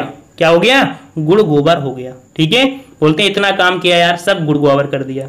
चलिए, अगला क्वेश्चन है, मुंशी प्रेमचंद उपन्यास सम्राट कहे जाते हैं। ये पॉइंट याद रखने, मुंशी प्रेमचंद को उपन्यास का सम्राट कहते हैं। उनका लेखन अति उत्तम है। तो लेखन अति उत्तम है। लेखन अति उत्तम है, इसका बताना है, इसके लिए मोहरा बताना है, लेखन अति उत्तम है। मतलब कि तूती बोलना, कलम तोड़ना या तूती बोलना। लेखन अति उत्तम है तो यहाँ पर जवाब हो जाएगा दोस्तों ऑप्शन बी यहाँ पर क्या हो जाएगा? कलम तोड़ना। यहाँ पर ऑप्शन आपका गलत दिया गया है डी तूती बोलना नहीं होगा। लेखन अति उत्तम है, ठीक है? मतलब बोलते हैं ना, आपकी राइटिंग बहुत अच्छा चल रही है। ऐसे बोलते हैं ना, बोलते कलम तोड़ लिखता है, बोलते हैं ना कलम तोड़ना। तो ये आपका बी हो जाएगा, यहाँ पर आपका डी नहीं आप पर बी होगा। ठीक है दोस्तों? चलिए, बच्चों को जरा सी शरारत पर विवेक ने रिक्त स्थान के लिए उपयुक्त मुहावरे का चयन कीजिए। विवेक ने क्या किया? बच्चों को जरा सी शरारत पर विवेक ने क्या किया? विवेक सर नहीं है एग्जामपुर वाले, ठीक है? चलिए, यहाँ पर बच्चों की जरा भी शरारत पर विवेक सर ने क्या किया भाई? घर सिर पर उठा लिया, घर सिर पर उठा लिया, यहाँ पर आपका ये हो जाएगा भाई। ठीक है? यहाँ पर ये भरा जाएगा, बच्चों की जरा सी शरारत पर विवेक सर ने घर सिर उठा लिया। अगला है यहाँ पर, अंधों में काना राजा, अर्थ बताइए। अंधों में काना राजा, अर्थ बताइए। अंधों में काना राजा 19 का जवाब। तो अज्ञानियों में अल्प ज्ञान वाले का सम्मान होना, ठीक है? मतलब अज्ञानी है अल्प ज्ञान है, और उसका सम्मान हो रहा है, ठीक है? नेक्स्ट क्वेश्चन दिया है, अपने पैर पर कुल्हाड़ी मारना का अर्थ। अपने पैर पर कुल्हाड़ी मारने का अर्थ क्या होता है भाई? स्वयं अपने को हानि पहुंचाना ऑप्शन आपका यहाँ पर डी सही हो जाएगा। अंधेर नगरी का अर्थ बताइए। अंधेर नगरी। अंधेर नगरी का जवाब यहाँ पर सही क्या हो जाएगा आपका? तो यहाँ पर साथियों, जवाब बिल्कुल साथ में आना चाहिए और जितने लोग नए हैं, हमने बता दिया है, वीडियो लाइक करिएगा और चैनल को सब्सक्राइब कर लीजिए। चलिए, अंधेर नगरी। तो 21 का जवाब यहाँ पर सही आ चुका है, सभी का जवाब है यहाँ पर कि अन्याय की जगह, ठीक है? क्या होगा दोस्तों? अन्याय की जगह, अंधेर नगरी, अन्याय की जगह। आग में घी डालना का अर्थ क्या होता है? किसी के क्रोध को भड़काना, है ना? तो ऑप्शन आपका सी सही हो जाएगा, जो कि अभी आपने पढ़ा था। आड़े समय पर काम आना का अर्थ, आड़े समय पर काम आना का अर्थ बताया है। आड़े समय पर काम आना। मतलब होता है जब कभी कभी देखते हैं ना कि आपकी जेब में रुपए पड़े हुए हैं, कहाँ पर? मोबाइल में। और इसके बाद आप कहीं जा रहे हैं, आपने देखा कि हमारे थैली में तो कोई पैसा नहीं है, तब आपने देखा कि अरे यार, हमने मोबाइल में रख लिया था यार, चलो कम से कम यही काम आ गए। तो मुसीबत में काम या मुसीबत में सहायक होना इस प्रकार से उसे हम लोग जोड़ सकते हैं, या कोई ऐसा व्यक्ति जो हो, जो मुसीबत के समय आपको साथ दे, वही सबसे बड़ा भगवान होता है। ठीक है? अगला क्वेश्चन यहाँ पर है, ईमान बेचना का अर्थ बताइए। ईमान बेचना का अर्थ चलिए साथियों, ईमान बेचना का अर्थ होता है आपका तो अपने कर्तव्य से हट जाना। ऑप्शन आपका डी हो जाएगा, अपने कर्तव्य से हट जाना। काठ का उल्लू का अर्थ बताइए, काठ का उल्लू। काठ का उल्लू जो होता है, वो मूर्ख होता है। क्या होता है? मूर्ख होता है, काठ का उल्लू। ठीक है? अगला क्वेश्चन है कि द्रौपदी का चीर का अर्थ क्या है? द्रौपदी का चीर। आपने महाभारत देखा होगा, द्रौपदी का चीर हरण देखा होगा। उस समय देख रहे थे कि साड़ी खत्म ही नहीं हो रही थी। अर्थात कभी ना समाप्त होने वाला। सी नंबर आपका हो जाएगा। अगला है भगीरथ प्रयत्न का अर्थ। भगीरथ प्रयत्न का अर्थ। भगीरथ अर्थ बताया, बताइए भाई। तो भागीरथ को अगर आप जानते हैं तो इसका जवाब आप ज़रूर दे पाएँगे कि भागीरथ ने बहुत कठिन परिश्रम किया था। अपने कई पूर्वजों की, यहाँ पर कह सकते हैं, उनको मुक्ति दिलाने के लिए। ठीक है, कहते हैं कि हज़ार लोग थे। और वो लोग श्राप से नष्ट हो गए थे तो उनको श्राप से मुक्त दिलाने के लिए, गंगा को पृथ्वी में लाने के लिए भागीरथ ने बहुत अथक प्रयत्न किया, प्रयास किया। वही चीज़ है कि भागीरथ प्रयत्न। सत्ताईस का जवाब यहाँ पर आपका हो जाएगा बी नंबर, असाधारण प्रयत्न। मतलब कि जिसे हम लोग कह सकते हैं बहुत ज़्यादा उन्होंने संघर्ष किया हो, ठीक है? तो यहाँ पर आपको भी संघर्ष इसी प्रकार से करना है। अगर आपको जॉब लेनी है तो आपको भगीरथ प्रयत्न करना होगा। ये मत सोचो कि चलो हमने यूट्यूब से पढ़ के हमने यहाँ पर एग्ज़ाम फाइट कर दिया, ऐसा उदाहरण आपको देखने को नहीं मिलेगा। जो एग्ज़ाम पा जाने के बाद उदाहरण देते हैं कि हमने यूट्यूब से पढ़ लिया था और हम खुद से पढ़ लिए हैं और इसके बाद जॉब पा लिए बिल्कुल फैक होते हैं। ठीक है? याद रखना बुकों से पढ़ना कोचिंग से पढ़ना गुरु से पढ़ना यूट्यूब से पढ़ना, सब मिला के पढ़ाई होती है, तभी वो अथक प्रयास करने के बाद एक जॉब पाता है और जिस दिन ईमानदारी से जॉब पाता है, उसकी आँखों से आँसू आ जाते हैं। याद रखिएगा। ठीक है? चलिए एक बार वीडियो को लाइक करिए। हम भी आगे बढ़ते हैं। चलिए, भीष्म प्रतिज्ञा का अर्थ बताइए। भीष्म प्रतिज्ञा का अर्थ। भीष्म प्रतिज्ञा का अर्थ होता है दृढ़ प्रतिज्ञा लेना। भीष्म प्रतिज्ञा हो गया दृढ़ प्रतिज्ञा। अर्थात आप भी प्रयत्न करिए। आप भी प्रतिज्ञा कर लीजिए कि नहीं, हमको अपने मार्ग से तब तक नहीं हटना है, तब तक नहीं हटना है जब तक हमारा लक्ष्य और हमारा गोल हमारे पास ना हो। हमारी जॉब हमारी मुट्ठी में ना हो। तब तक आप प्रयास करिए। ठीक है? कभी हार मत मानिए। दृढ़ प्रतिज्ञा हो जाएगा। चलिए नेक्स्ट क्वेश्चन दिया है, खून पानी होने का अर्थ, खून पानी होने का अर्थ। और उनतीस का जवाब क्या हो जाएगा? खून पानी का अर्थ हो जाएगा बी नंबर कोई असर ना होना ऑप्शन बी हो जाएगा, कोई असर ना होना। अगला क्वेश्चन यहाँ पर दिया गया है कि अंतड़ियों में बल पड़ना अंतड़ियों में बल पड़ना मुहावरे का अर्थ हो जाएगा। अंतड़ियों में बल पड़ना अर्थात बहुत हंसना। क्या होता है कि जब आप लोग बहुत हँसते बोलते हैं, आते ना निकल आए बाहर बोलते हैं ना ऐसे ही? तो ये होता है ऑप्शन आपका बी हो जाएगा, ठीक है? चलिए। अंगूठा दिखाने का अर्थ बताइए। अंगूठा दिखाना। अंगूठा दिखाया ना? इंकार करना, ठीक है? ऑप्शन आपका ए हो जाएगा, इंकार करना। नेक्स्ट क्वेश्चन दिया गया है। उल्लू सीधा करना, अर्थ बताइए। उल्लू सीधा करना। तो उल्लू सीधा करना मतलब होता है अपना काम निकालना। ऑप्शन डी हो जाएगा, अपना काम निकालना। अगला है, माथा ठनकना का अर्थ बताइए। माथा ठनकना। माथा ठनकना मतलब क्या होता है? बोलते हैं, हमारा माथा ठनक रहा है। अभी मान जाओ, नहीं बाद में कहीं गड़बड़ ना हो जाए। बाद में मतलब होता है, आशंका, अर्थात अनिष्ट की आशंका, अर्थात कहीं कुछ गड़बड़ ना हो जाए। ठीक है? अनिष्ट की आशंका। अगला क्वेश्चन है कि ठीकरा उठना का अर्थ। ठीकरा उठना का अर्थ। ये आपके लिए टफ हो सकता है। ठीकरा शब्द क्या है? तो किसी के सर झूठा दोष लगाना। ठीक है, क्या होता है? किसी के सर झूठा दोष लगाना होता है, ठीकरा उठना। उलट फेर होने का अर्थ बताइए, उलट फेर होना। उलट फेर होना मतलब होता है, बिल्कुल है, परिवर्तन होना ऑप्शन आपका डी हो जाएगा, परिवर्तन होना। अगला है, पेट में दाढ़ी होने का अर्थ बताइए, पेट में दाढ़ी होना। चलिए साथियों, पेट में दाढ़ी होना, पेट में दाढ़ी तो नहीं होती है है ना? लेकिन लेकिन क्या होता है देखने में सीधा, परंतु चालाक होना, ठीक है? ऑप्शन आपका डी हो जाएगा। देखो, पेट में दाढ़ी होना मतलब बोल देते हैं जो जो बुज़ुर्ग होते हैं, बहु बुज़ुर्ग होते हैं तो वो लोग क्या होते हैं कि आपको लगेगा नहीं कि ये तो पागल है है ना? लेकिन कहते हैं ना कि एक्सपीरियंस बहुत बड़ी चीज़ होती है। आप डिप्लोमा करिए, कुछ भी करिए, लेकिन अगर आप ओल्ड जितना ओल्ड होते जाएँगे, आपको प्रमोशन मिलता जाएगा। वहाँ पर पढ़ाई लिखाई आपको वैल्यू नहीं रखेगा, आपका एक्सपीरियंस वैल्यू रखता है। यहाँ पर बोलते हैं, पेट में दाढ़ी होना, अर्थात जो बुज़ुर्ग होते हैं देखने में सीधा किंतु चालाक होना। चलिए, अगला क्वेश्चन है, पापड़ बेलना का अर्थ बताइए। पापड़ बेलना, बोलते हैं, बड़ा मुसीबत उठाया भाई, बहुत मुसीबत उठाए, तब हमको अपनी मंजिल तक पहुँच पाए, ठीक है? चलिए, अगला क्वेश्चन है, कान का कच्चा होना, कान का कच्चा होना, अड़तीस नंबर, और कान का कच्चा होना मतलब क्या होता है भाई? सुनी बात पर विश्वास करना। ऑप्शन आपका बी हो जाएगा, सुनी बात पर विश्वास करना। किसी बात को सुन लिया, बोला कि हमारे घर के बगल में किन्हीं को दिक्कत हो गई, पूरे गाँव में हल्ला मच गया, लेकिन वो नहीं थे कोई दूसरे थे पड़ोसी। है ना? सुनी सुनी बातें, हवा में फैल जाती हैं, ऐसी बहुत चीज़ें होती हैं यूट्यूब में देखने को मिलती हैं। है ना? चलिए, उन्नीस बीस होने का अंतर, उन्नीस बीस होने का अंतर। उन्नीस बीस मतलब बहुत कम अंतर होना, है ना? बोलते हैं ना कि शादी जैसे होती है, शादी। तो शादियों में बोलते हैं कि यार, लड़का यार वो जॉब करता है थोड़ा सा सांवला है, लड़की गोरी है।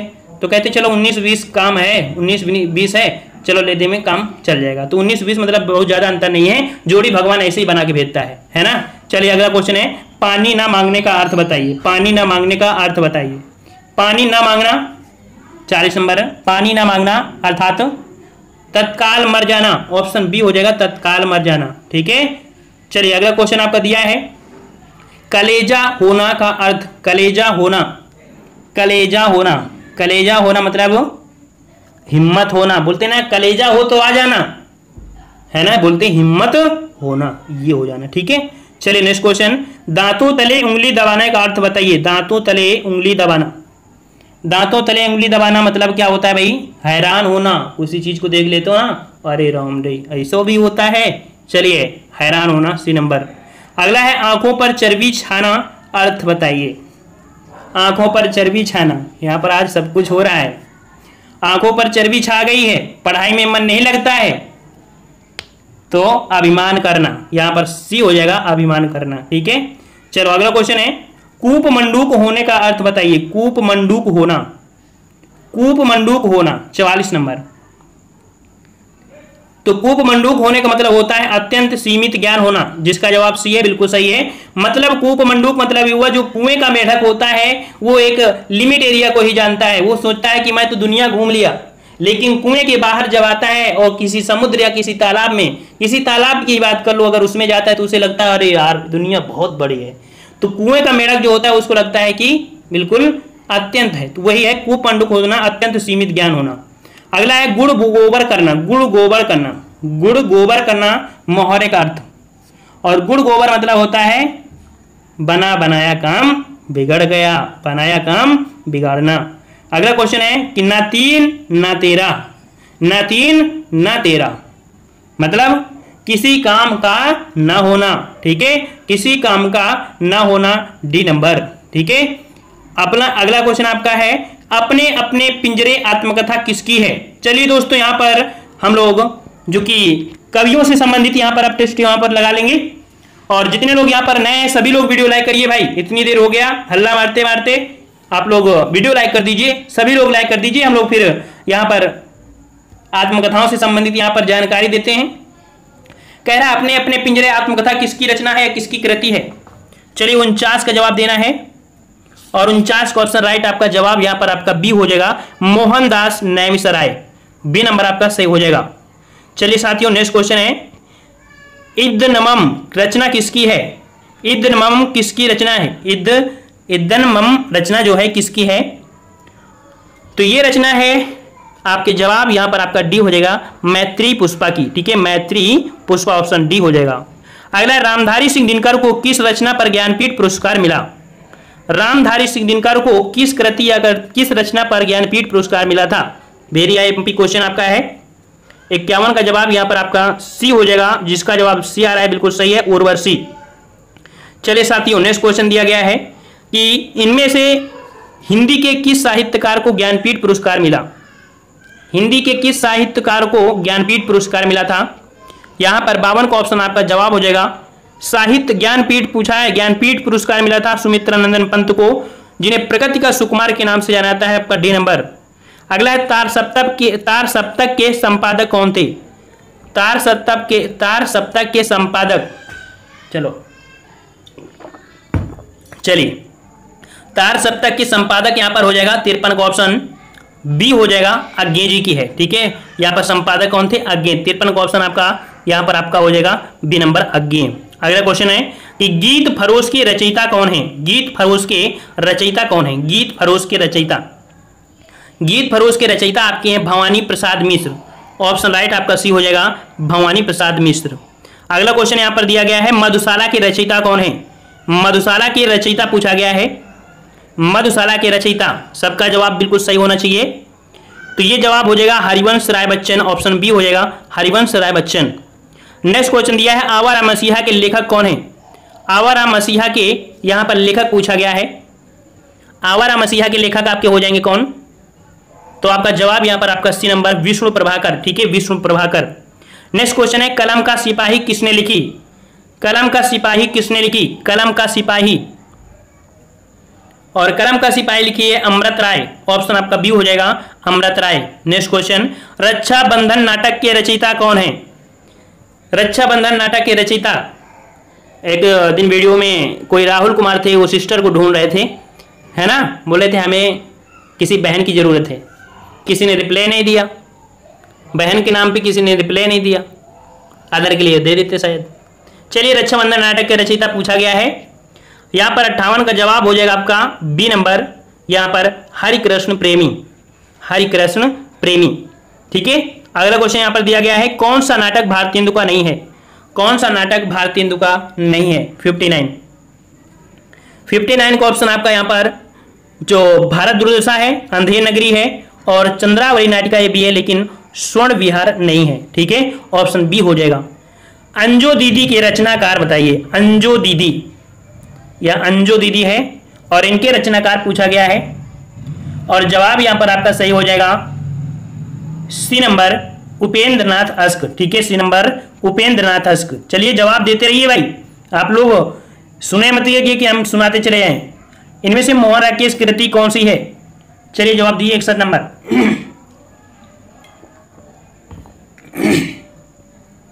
तो यहाँ पर राकेश की, जो मोहन राकेश थी इनकी कृति पूछा है, और मोहन राकेश की जो कृति है, वो लहरों के राजा हंस। ए नंबर आपका हो जाएगा, लहरों लहरों के लहरों के राजा हंस। अगला है, दूसरी परंपरा की खोज नामक कृति के लेखक कौन है? दूसरी परंपरा की खोज नामक कृति के लेखक कौन है? बासठ का जवाब। अगर आपको मज़ा आ रहा हो टेस्ट लगाने में तो एक बार दिल खोलकर वीडियो लाइक करिए, शेयर भी करिए। चलिए, बासठ का जवाब यहाँ पर आपका ए नंबर हो जाएगा, नामवर सिंह। दूसरी परंपरा खोज की, जो कृति के लेखक हैं, वो आपके नामवर सिंह थे। नेक्स्ट क्वेश्चन दिया गया है कि बिहारी रत्नाकर के रचयिता कौन है? बिहारी रत्नाकर, देख सकते हैं, पूरा का पूरा है। बिहारी रत्नाकर के रचयिता कौन है? तो बिहारी रत्नाकर के रचयिता यहाँ पर जवाब हो जाएगा सी नंबर आपके रत्नाकर जी, ऑप्शन सी हो जाएगा। अगला है, क्या भूलूं, क्या याद करूँ, किसकी आत्मकथा है? क्या भूलूं, क्या याद करूँ? ये जो आपकी आत्मकथा है, वो किसकी है? तो आपका जवाब यहाँ पर आपका हो जाएगा आपका ए नंबर, हरिवंश राय बच्चन। यहाँ पर कभी आपने गौर किया है कि बच्चन में सिंगल इन्वर्टेड कामा क्यों लगा है? क्योंकि ये उनका उपनाम है और जिनका भी उपनाम होता है वो सिंगल इन्वर्टेड कामा में ही मिलेंगे आपको। चलिए अगला क्वेश्चन दिया गया है कि तुम चंदन हम पानी किसकी कृति है? तुम चंदन हम पानी। चलो जवाब दो। यह विद्या निवास मिश्र की है ऑप्शन बी हो जाएगा विद्या निवास मिश्र। माटी की मूर्तें, माटी की मूर्तें ये जो आपकी पंक्ति कह सकते हैं कृति है, ये आपकी किसकी है? तो माटी माटी की मूर्तें हैं रामवृक्ष बेनीपुरी की। ऑप्शन बी हो जाएगा रामवृक्ष बेनीपुरी अगला है प्रेम पच्चीसी कहानी संग्रह के रचनाकार, प्रेम पच्चीसी। प्रेम पच्चीसी के यहाँ पर जो कहानी संग्रहकार है वो आपके कौन है? तो आपकी प्रेमचंद। नेक्स्ट क्वेश्चन है कि ज्ञानपीठ पुरस्कार किस क्षेत्र में श्रेष्ठ कार्य के लिए दिया जाता है? ज्ञानपीठ पुरस्कार। और ज्ञानपीठ पुरस्कार आपका होता है साहित्य के क्षेत्र के लिए दिया जाता है, याद रखिएगा डी नंबर। अगला प्रेम सागर के लेखक कौन है? प्रेम सागर। चलिए, प्रेम सागर, आपके लल्लू लाल प्रेम सागर। लल्लू है, प्रेम है। लल्लू लाल प्रेम सागर। अगला है, तुलसीदास ने अपनी रचनाओं में किसका वर्णन किया है? तुलसीदास ने अपनी रचनाओं में किसका वर्णन किया है? तो जवाब हो जाएगा यहाँ पर आपके राम का, ठीक है? तुलसीदास भगवान राम के अनन्य भक्त थे, ठीक है? बी नंबर आपका हो जाएगा। अगला क्वेश्चन है कि त्याग पत्र जो कि एक उपन्यास है, इसकी रचना किसने किया है? त्याग पत्र जो रचना है उपन्यास है, और इसकी रचना जो किया है, वो आपकी किसने किया है? ऑप्शन बी हो जाएगा जैनेन्द्र कुमार, बी नंबर। अगला ज्ञानपीठ पुरस्कार दिया जाता है तो देख सकते हैं, ज्ञानपीठ पुरस्कार जो दिया जाता है, वो किसके लिए दिया जाता है? तो भारतीय भाषा में साहित्यकारों की रचनात्मक लिखन हेतु। सी नंबर हो जाएगा कि भारतीय भाषा में, ठीक है, भारतीयों के लिए ही दिया जाता है, भारतीय भाषा में साहित्यकारों के लिए रचनात्मक लेखन हेतु। भाव विलास के रचयिता कौन थे? भाव विलास के रचयिता। भाव विलास के जो रचयिता थे, वो आपके थे देव, ठीक है? देव जी ऑप्शन आपका ए हो जाएगा। अगला क्वेश्चन है, एक कंठ विष पाई किसकी रचना है? एक कंठ विष पाई एक कंठ विष पाई। ये जवाब हो जाएगा आपका बी नंबर, ये दुष्यंत जी का नाटक है, ठीक है? दुष्यंत जी की रचना है। अगला है कुकुर मुत्ता की रचयिता कौन है? कुकुर मुत्ता भी पूछा गया था एग्ज़ाम में। कुकुर मुत्ता के रचयिता, पचहत्तर नंबर। और ये है निराला, पंत जी, निराला ऑप्शन आपका बी हो जाएगा। अगला है, इनमें से निराला जी की कविता कौन सी है? चलिए निराला जी के यहाँ पर पूछा गया है। यहाँ पर छिहत्तर का जवाब यहाँ पर आपका हो जाएगा बी नंबर। इनमें से निराला जी की कविता है आपकी तुलसीदास, याद रखिए क्वेश्चन रट लीजिएगा।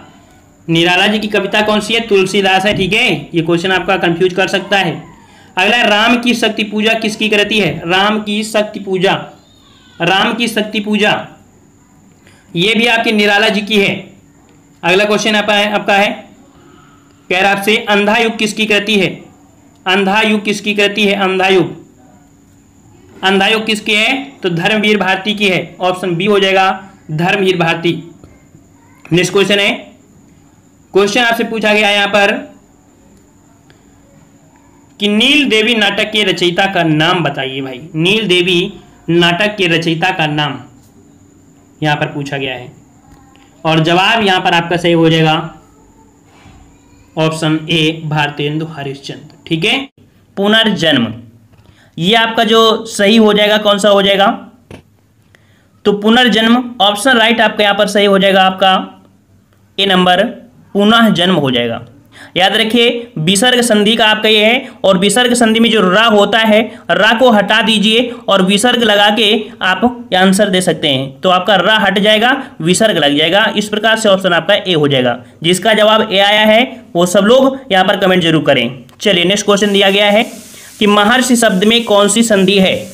महर्षि शब्द में कौन सी संधि है? महर्षि। अगर हम लोग इसे तोड़ते हैं तो बनेगा आपका क्या? महाधन ऋषि। क्या बनेगा? महाधन ऋषि बनेगा। अब यहाँ पर संधि कैसे पहचानेंगे? तो यहाँ पर देखिए, बड़ा आ है और यहाँ पर आपका ऋषि है। दोनों को मिलाने से अर बनता है और जो अर होता है, वो आपको मिलता है गुण संधि में। ठीक है? तो ये जो आपकी संधि है, किस संधि की है? ऑप्शन राइट आपके यहाँ पर सी हो जाएगा, गुण संधि हो जाएगा, ठीक है? गुण संधि। अगला क्वेश्चन है, उल्लास का संधि विच्छेद बताइए, उल्लास। और याद रखिएगा, जो डबल ला है, इस एक ला को ता में बदल दीजिए और सीधा जो शब्द लिखा है उसे लिख दीजिए। यहाँ पर बन जाएगा उत धन लाश जो कि ऑप्शन राइट आपके यहाँ पर क्या हो जाएगा, आपका डी नंबर हो जाएगा उत धन लाश आपके व्यंजन संधि में याद रखिएगा, जहाँ पर भी डबल आपको ला मिल जाए तो एक ला को ता में चेंज कर देना है, आधे ता में और पूरे को लिख देना है, ठीक है? अगला क्वेश्चन है यशा धन दा का संधि युक्त पद क्या होगा? यशा धन दा तो याद रखिए, आपके विसर्ग संधि में एक रूल और होता है। रूल क्या होता है? कि ओ को हटा दो और विसर्ग लगा दो, ठीक है? और सीधा जोड़ के आंसर दे दो। यहाँ पर आपको विसर्ग दिया गया है इस विसर्ग को हटा दो और ओ लगाकर सीधा जोड़ दो। तो यहाँ पर बनेगा क्या? यशोदा बनेगा, जो कि ऑप्शन राइट आपके यहाँ पर बी हो जाएगा। हर एक पॉइंट को बारीकी समझिए, पूरा टेस्ट लगाते लगाते याद रखिएगा, पूरा का पूरा यहाँ पर संविच्छेद कंप्लीट हो जाएगा। थोड़ा बोरिंग ज़रूर लगेगा, लेकिन याद रखिए, पूरा का पूरा टॉपिक आज कंप्लीट होगा। चलिए, एक बार सभी लोग वीडियो को लाइक कर दीजिए। चलिए, यहाँ पर दिया है अच्छौहड़ी का संधि विच्छेद बताइए। अच्छौहड़ी का संधि विच्छेद। और अच्छौहड़ी यहाँ पर एक पॉइंट याद रखिएगा कि जो गुण संधि होता है, गुण संधि, ट्रिक आपको बता रहे हैं, यहाँ पर ट्रिक है, ठीक है ट्रिक बता रहे हैं। ट्रिक क्या पहचाने कि गुण संधि में जो आपकी मात्रा होती है, वो आपकी ए होती है और आपकी क्या होती है?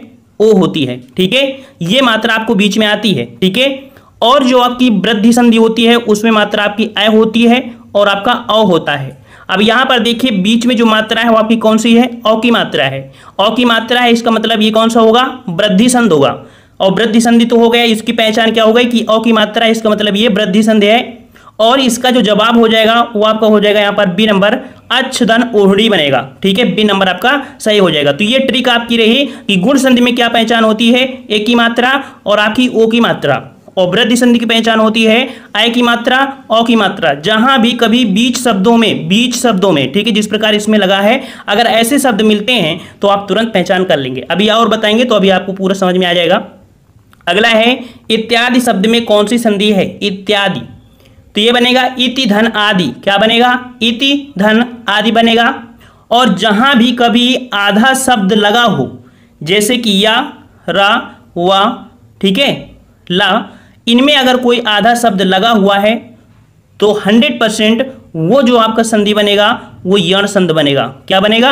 यण संधि बनेगा। देखो, यण में देखिए, जो अड़ा है आधा है ना? तो जहाँ भी इन शब्दों के आगे अगर आधा शब्द लगाए तो वो आपका यण संधि ही बनेगा। यहाँ पर इत्यादि हो गया, इति धन आदि, और आधा शब्द यहाँ पर जुड़ा हुआ है, वो आपका हो जाएगा, आपका यण संधि, ऑप्शन आपका ए हो जाएगा। ठीक है? छ वर्ण किसके योग से बना है? छ वर्ण किसके योग से बना हुआ है? ये हमने आपको बताया था वर्णमाला में। तो छह जो बनता है, का धन सा के योग से बनता है ऑप्शन आपका ए हो जाएगा। अगला क्वेश्चन दिया गया है गुड़ा केस के संधि विच्छेद गुड़ा केस अब यहाँ पर देख लीजिए, हमने बताया था कि ए की जहाँ मात्रा होगी, वहाँ पर आपका क्या होगा, गुण संधि होगा, ठीक है? अब ये तो पता चल गया कि इसमें गुण संधि है। गुण संधि में एक रूल भी होगा। रूल क्या है यहाँ पर? इसका जो तोड़ेंगे तो बनेगा गुड़ा गुड़ा का धन ईस बनेगा। ये वाला, बड़ा आ और आपका बड़ी ई, ठीक है? तो इस प्रकार से ए बनता है और ए जो होता है वो आपकी गुण संधि में होता है, याद रखिएगा, ठीक है? अगला क्वेश्चन है, निर्गुण का संधि विच्छेद होगा, निर्गुण का संधि विच्छेद देखो, और यहाँ पर रा उड़ा है रा को हटाइए, विसर्ग लगाइए, अर्थात यहाँ पर बनेगा निधन गुण बनेगा, जो कि ऑप्शन राइट आपका यहाँ पर सी है। सी है ना? बिल्कुल इजी हो जाएगा। पूरा टेस्ट लगाइए। जो बच्चे कमज़ोर हैं, वो लोग पूरा टेस्ट ज़रूर लगाइएगा। जिनको आता है, हीरोगिरी करते हो कि हमको संधि आती है, हम पहचान कर लेंगे तो उनकी कोई दिक्कत नहीं है। लेकिन जो बच्चे कमज़ोर हैं, वो ज़रूर फोकस करिए, बातों पर मत रहिए। किस शब्द में गुण संधि है? अब देख लीजिए, गुण संधि पूछा है, और गुण संधि में क्या होता है? एक ही मात्रा होती है। एक ही मात्रा होती है और यहाँ पर देख सकते हैं कि गुण संधि किसमें है? आपके भारतीय में, क्योंकि मात्रा कहाँ है? ए है। इस प्रकार से बी नंबर आपका हो जाएगा। समझ में आ गया? चलिए, अगला है जगन्नाथ। किस संधि का उदाहरण है? जगन्नाथ। यहाँ पर ना को हटाओ। आधा जो ना है, इसका परिवर्तन पंचमा अक्षर में हो जाता है। तो ना का परिवर्तन आपके ता में हो जाएगा। तो जगत धन नाथ बनेगा। जो कि यहाँ पर ऑप्शन राइट आपका क्या हो जाएगा? ए नंबर ये आपका व्यंजन संधि है। व्यंजन संधि है, इसको बनेंगे तो तोड़ेंगे तो क्या बनेगा? जगत धननाथ बनेगा। ओके अगला क्वेश्चन है, पवन का संधि विच्छेद बताइए। पवन का संधि विच्छेद फटाफट आंसर दीजिए भाई। पवन का संधि विच्छेद क्या बनेगा? तो यहाँ पर बनेगा, पोधन अन बनेगा। पोधन अन बनेगा। तो यहाँ पर देख सकते हैं कि ओ जब होता है और ओ प्लस आ होता है या एक सिंपल सा एक ट्रिक समझ लीजिए कि जब कोई साधारण वर्ड लिखा हो बिना मात्राओं का तो वो अयाधि संधि होता है। ठीक है, क्या होता है? अयाधि संधि होता है। यहाँ पर जब तीन अक्षर का कोई भी नाम लिखा हो, मात्रा ना लिखी हो तो ये 99 परसेंट चांस होंगे कि वो अयाधि संधि होगा। अब यहाँ पर जो पवन है, ये पवन तोड़ा गया तो बनेगा पो धन अन, अर्थात पवन बन जाएगा। यहीं पर अगर देखा जाए कि यह ये लिखा हुआ है, पौधन अन अर्थात बनेगा पावन बनेगा, ठीक है? पावन बनेगा। तो यहाँ पर पूछा था पवन का, और पवन का हो जाएगा पोधन अन, और ये आपकी है अयादि संधि। ये ट्रिक आपकी हो गई कि तीन अक्षर का नाम हो, बिना मात्रा का हो, वो आपका 99 परसेंट होगा अयादि संधि। समझ में आ गया ना? तीनों संधि कंप्लीट हुई। चलिए, यहाँ पर दिया है व्याप्त में संधि, बताइए। व्याप्त में संधि। और व्याप्त में जो संधि होगी, वो आपकी कौन सी? या के साथ आधा शब्द लगा हुआ है। और इसे अगर हम तोड़ते हैं तो बनेगा क्या? विधन, ये बनेगा विधन आप्त बनेगा, विधन आप्त बनेगा। और इस प्रकार से ये आपकी गुण संधि है। यहाँ पर ट्रिक देखो फॉलो कर रही थी कि नहीं सॉरी यहाँ पर यण संधि है। या के साथ आधा अक्षर है तो आपका हो गया सी नंबर महाधन उदय महाधन उदय, बनेगा क्या आपका? महोदय बनेगा महोदय बनेगा। और देखो, ओ की मात्रा है, और ओ की मात्रा किसमें होती है? गुण संधि में होती है। तो इस प्रकार से क्या हुआ आपका? यहाँ पर गुण संधि है। महोदय में क्या है? गुण संधि है। समझ में आ रहा होगा? बिल्कुल आ रहा होगा। एक बार ज़ोर से, सभी लोग वीडियो लाइक करिए, हमको भी मज़ा आने लगे। चलिए, सद्भावना का संधि विच्छेद सद्भावना। सत धन भावना। अर्थात व्यंजन संधि में एक रूल होता है कि ता, था, दा। अर्थात ता का परिवर्तन दा में होता है। तो यहाँ पर दा का परिवर्तन ता में हो जाएगा। दा को हटाएगा और ता आ जाएगा तो सत धन भावना बनेगा, जो कि ऑप्शन राइट आपका यहाँ पर डी हो जाएगा। नेक्स्ट क्वेश्चन दिया है व्रत छाया का संविच्छेद बताइए। व्रत छाया का संविच्छेद और ये जो आपका है ये है, ये बनेगा वृक्ष धन छाया बनेगा। याद रखिएगा, इसका जवाब आपका डी हो जाएगा, वृक्ष धन छाया बनेगा। अब ये संधि जो आपकी है, व्यंजन संधि है, याद रखिएगा, व्यंजन संधि है। व्यंजन संधि में जहाँ भी आपका छा हो और छा के पीछे अगर चा है, ना हो, तोड़ना हो तो चा हटा दीजिए और जोड़ना हो, अर्थात इस प्रकार से बनाना है तो आपको चा यहाँ पर लगा देना है। ठीक है? तो समझ में क्या आया कि जब संध विच्छेद करना हो तो चा को हटा दीजिए सीधा सीधा उसको लिख दीजिए वृक्ष धन, छाया। ये व्यंजन संधि का एक ट्रिक या कह सकते हैं, रोल होता है। ये नेक्स्ट क्वेश्चन है, भानुदय शब्द का संधि विच्छेद। भानुदय का, भानुदय शब्द है तो यहाँ पर इसे पहले तोड़ो। जब इसे तोड़ेंगे तो आपका बनेगा भानुधन उदय। यहाँ पर भानुधन उदय, कौन सा? ये वाला। छोटा ऊ प्लस छोटा ऊ बराबर बड़ा ऊ और छोटा ऊ और बराबर बड़ा ऊ जो बनता है, ये आपकी किसमें होता है? दीर्घ संधि में होता है, ठीक है? दीर्घ संधि है। तो भानुदय में क्या है? दीर्घ संधि ऑप्शन आपका यहाँ पर ए हो जाएगा। अगला क्वेश्चन है कि निम्नलिखित में से यह संधिविच्छेद सही है। इसमें से देखिए, कौन सा संधिविच्छेद आपका यहाँ पर सही है? अठारह नंबर। और अठारह का यहाँ पर सही हो जाएगा, परम धन आत्मा, परमात्मा, परम धन आत्मा। यहाँ पर ए नंबर हो जाएगा, छोटा, बड़ा, बराबर बड़ा, और ये रूल जो आपका होता है, ये भी होता है दीर्घ संधि का। ठीक है? चलिए नेक्स्ट क्वेश्चन दिया गया है यहाँ पर। घुड़दौड़ का सही संधि विच्छेद यहाँ पर बताइए। घुड़दौड़ का सही संधि विच्छेद बताइए। घुड़दौड़। चलिए, घुड़दौड़ का यहाँ पर बताना है, और घुड़दौड़ का जो संधि विच्छेद बनेगा, क्या बनेगा? तो यहाँ पर ऑप्शन आपका हो जाएगा घोड़ा दौड़। क्या बनेगा? घोड़ा दौड़ बनेगा। अब यहाँ पर देखो, बड़ा आ है, यहाँ पर आपका क्या है? औ है। ये जो आपका रूल होता है, बड़ा आ के साथ अ हो, वो आपको मिलेगा किसमें? आपकी वृद्धि संधि में मिलेगा। तो ये जो आपका है, ये आपके वृद्धि संधि का है, याद रखिएगा। अगला क्वेश्चन यहाँ पर दिया गया है कि महोदय का संधि विच्छेद अभी क्वेश्चन आपका आया था महोदय। हमने बताया था कि ओ की मात्रा हो और जहाँ ओ की मात्रा हो, वहाँ गुण संधि है तो ये तो पहचान आपकी हो गई, ये गुण संधि है। तो सही जवाब क्या हो जाएगा बयालीस का? बयालीस का जवाब हो जाएगा महाधन उदय। महाधन उदय, क्योंकि ये तो हट जाएगा तो बनेगा आपका क्या? महाधन उदय ऑप्शन डी हो जाएगा। अगला क्वेश्चन है, तन्मय का सही संधि विच्छेद बताइए, तन्मय। तन्मय न को हटाइए आदाता लगाइए तत् धनमय बनेगा।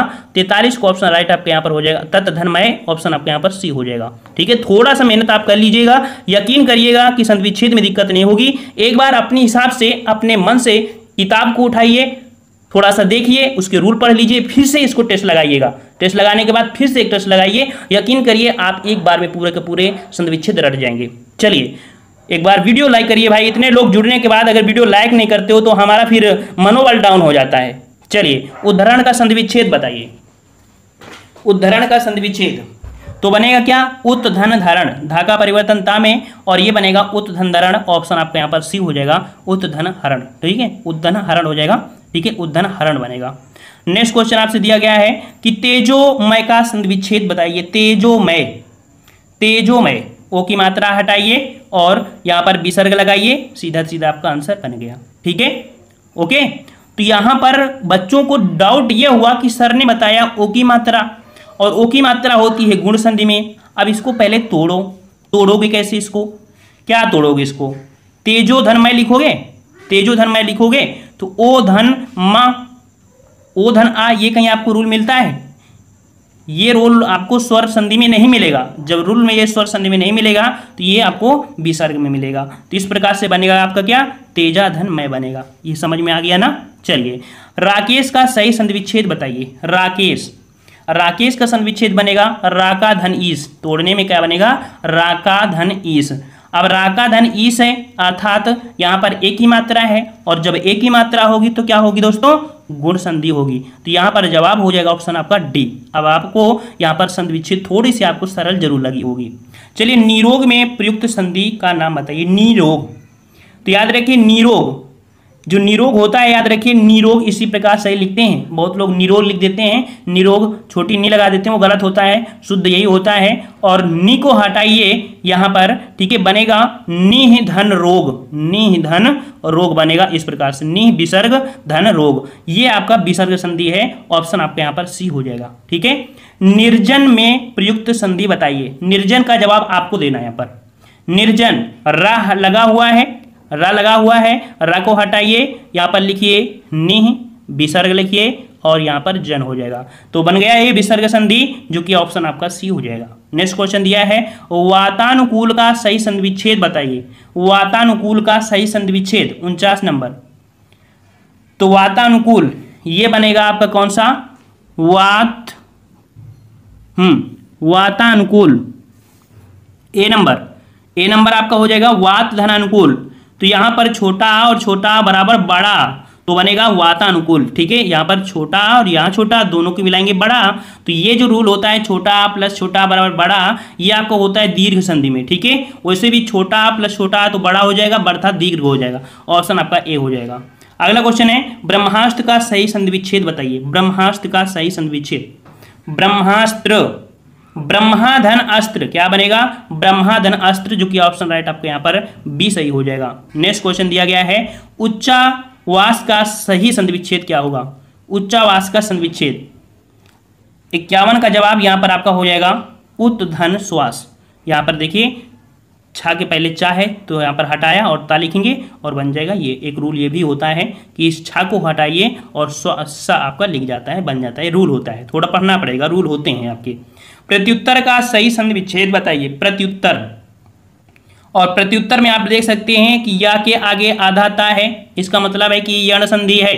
अब यण संधि का कुछ रूल होता है यहाँ पर इसे तोड़ेंगे तो बनेगा आपका आ, बनेगा आपका देखिए यहाँ पर प्रतिधन उत्तर छोटी ई धन आपका हो जाएगा छोटा उ जो कि आपको काम मिलेगा यण संधि मिलेगा ऑप्शन आपका यहाँ पर बी हो जाएगा ठीक है? अगला क्वेश्चन दिया गया है यहाँ पर, नमस्ते का सही संधि विच्छेद बताइए। नमस्ते का सही संधि विच्छेद। तो विसर्ग संधि में एक रूल होता है कि अगर ये सा मिल जाए तो इसे हटाकर विसर्ग लिख दीजिए। अगर ये सा मिल जाए तो इसे हटाकर विसर्ग लिख दीजिए। ये सा मिल जाए तो इसे हटाकर विसर्ग लिख दीजिए। रा लगा हुआ है तो इसे हटाकर विसर्ग लिख दीजिए। ये चार रूल तो आपको यहीं पर पता चल गया। तो यहाँ पर सा को हटाइए विसर्ग लगाइए, प्लस करके यहाँ पर जोड़ दीजिए। यहाँ पर आपका बनेगा नमः धन ते। नमः धन ते बनेगा, सा को हटाइए विसर्ग लिखिए, ये रूल होता है। ठीक है? अगला क्वेश्चन है, संतोष का सही संविच्छेद बताइए। संतोष का सही संविच्छेद संतोष, यहाँ पर ये बिंदी है सम धन तोष बनेगा। चौवन का ऑप्शन राइट आपको हो जाएगा बी नंबर यहाँ पर चौवन का ऑप्शन राइट आपका हो जाएगा सॉरी ए नंबर समधन तोष बनेगा, समधन तोष हो जाएगा, ठीक है? यहाँ पर आधा होगा ना इस कारण से।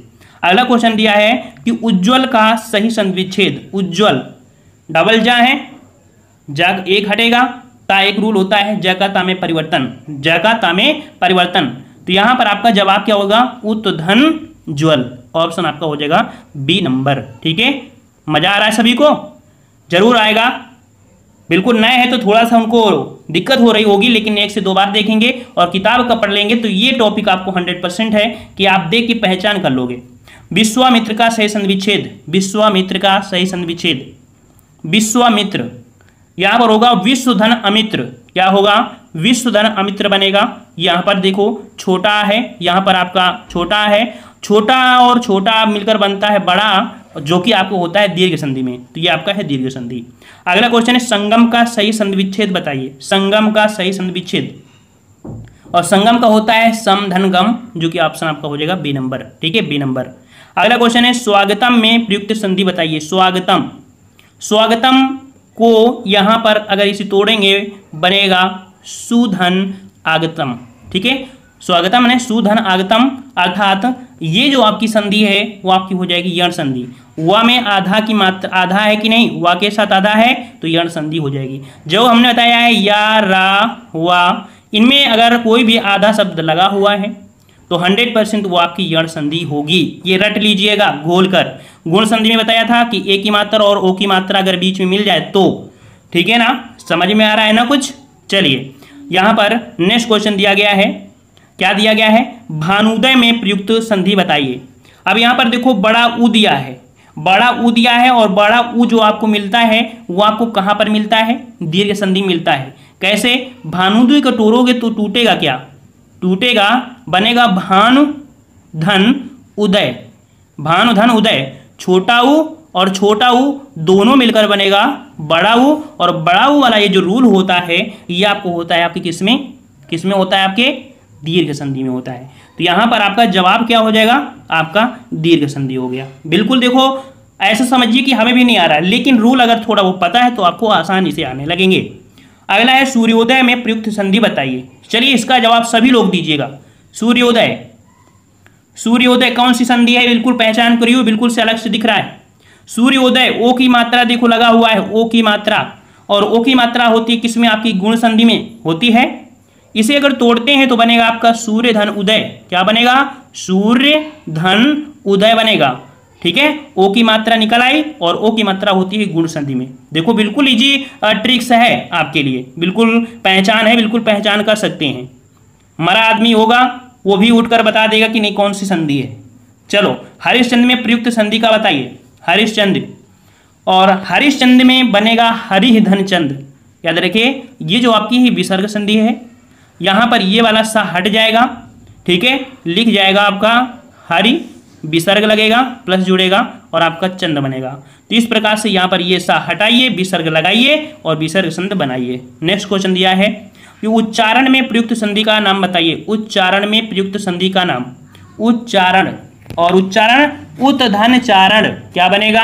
उत्धन चारण बनेगा, अर्थात यहाँ पर ये संधि आपकी बनेगी कौन सी? व्यंजन संधि। ठीक है? थोड़ा सा आप हम लोग फास्ट होते हैं। उल्लेख का संधि विच्छेद बताइए। उल्लेख उत्धन लेख क्या बनेगा? उत्धन लेख बनेगा। ये भी आपकी व्यंजन संधि है। ऑप्शन आपका यहाँ पर बी हो जाएगा।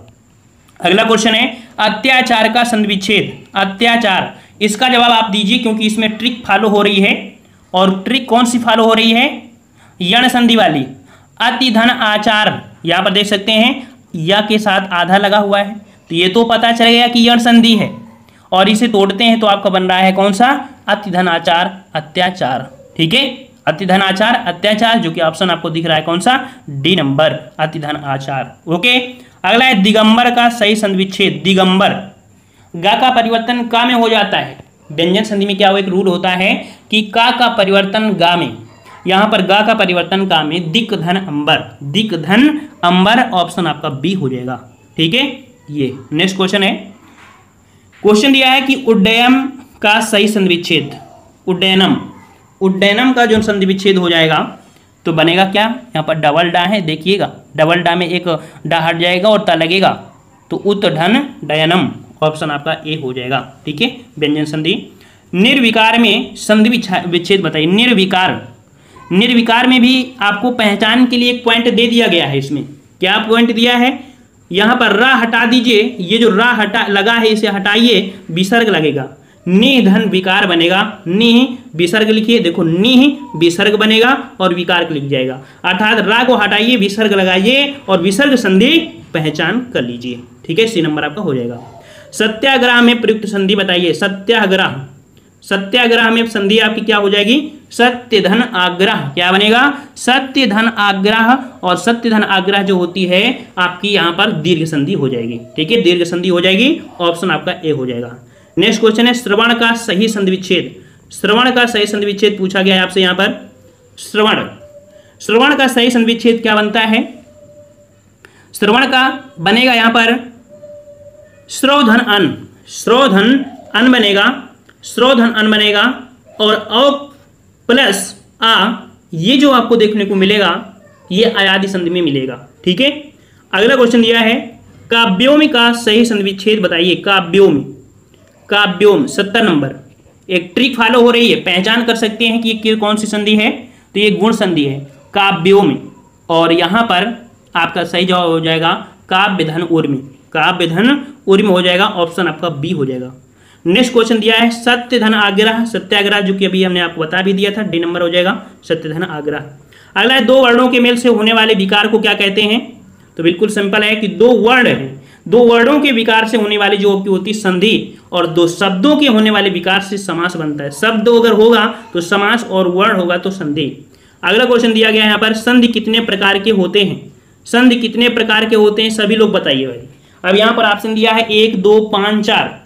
तो भैया, एक, दो, पाँच, चार यहाँ पर संधि होती है तीन प्रकार की। इस प्रकार से ये क्वेश्चन आपका गलत है। ऑप्शन में कहीं ना कहीं आपका तीन दिया होना चाहिए था। या क्वेश्चन ये दिया होता कि स्वर संधि कितने प्रकार की होती है। तो स्वर संधि आपकी पाँच प्रकार की होती है है ना? तो इस प्रकार से कह सकते हैं इसमें आपकी त्रुटि थी।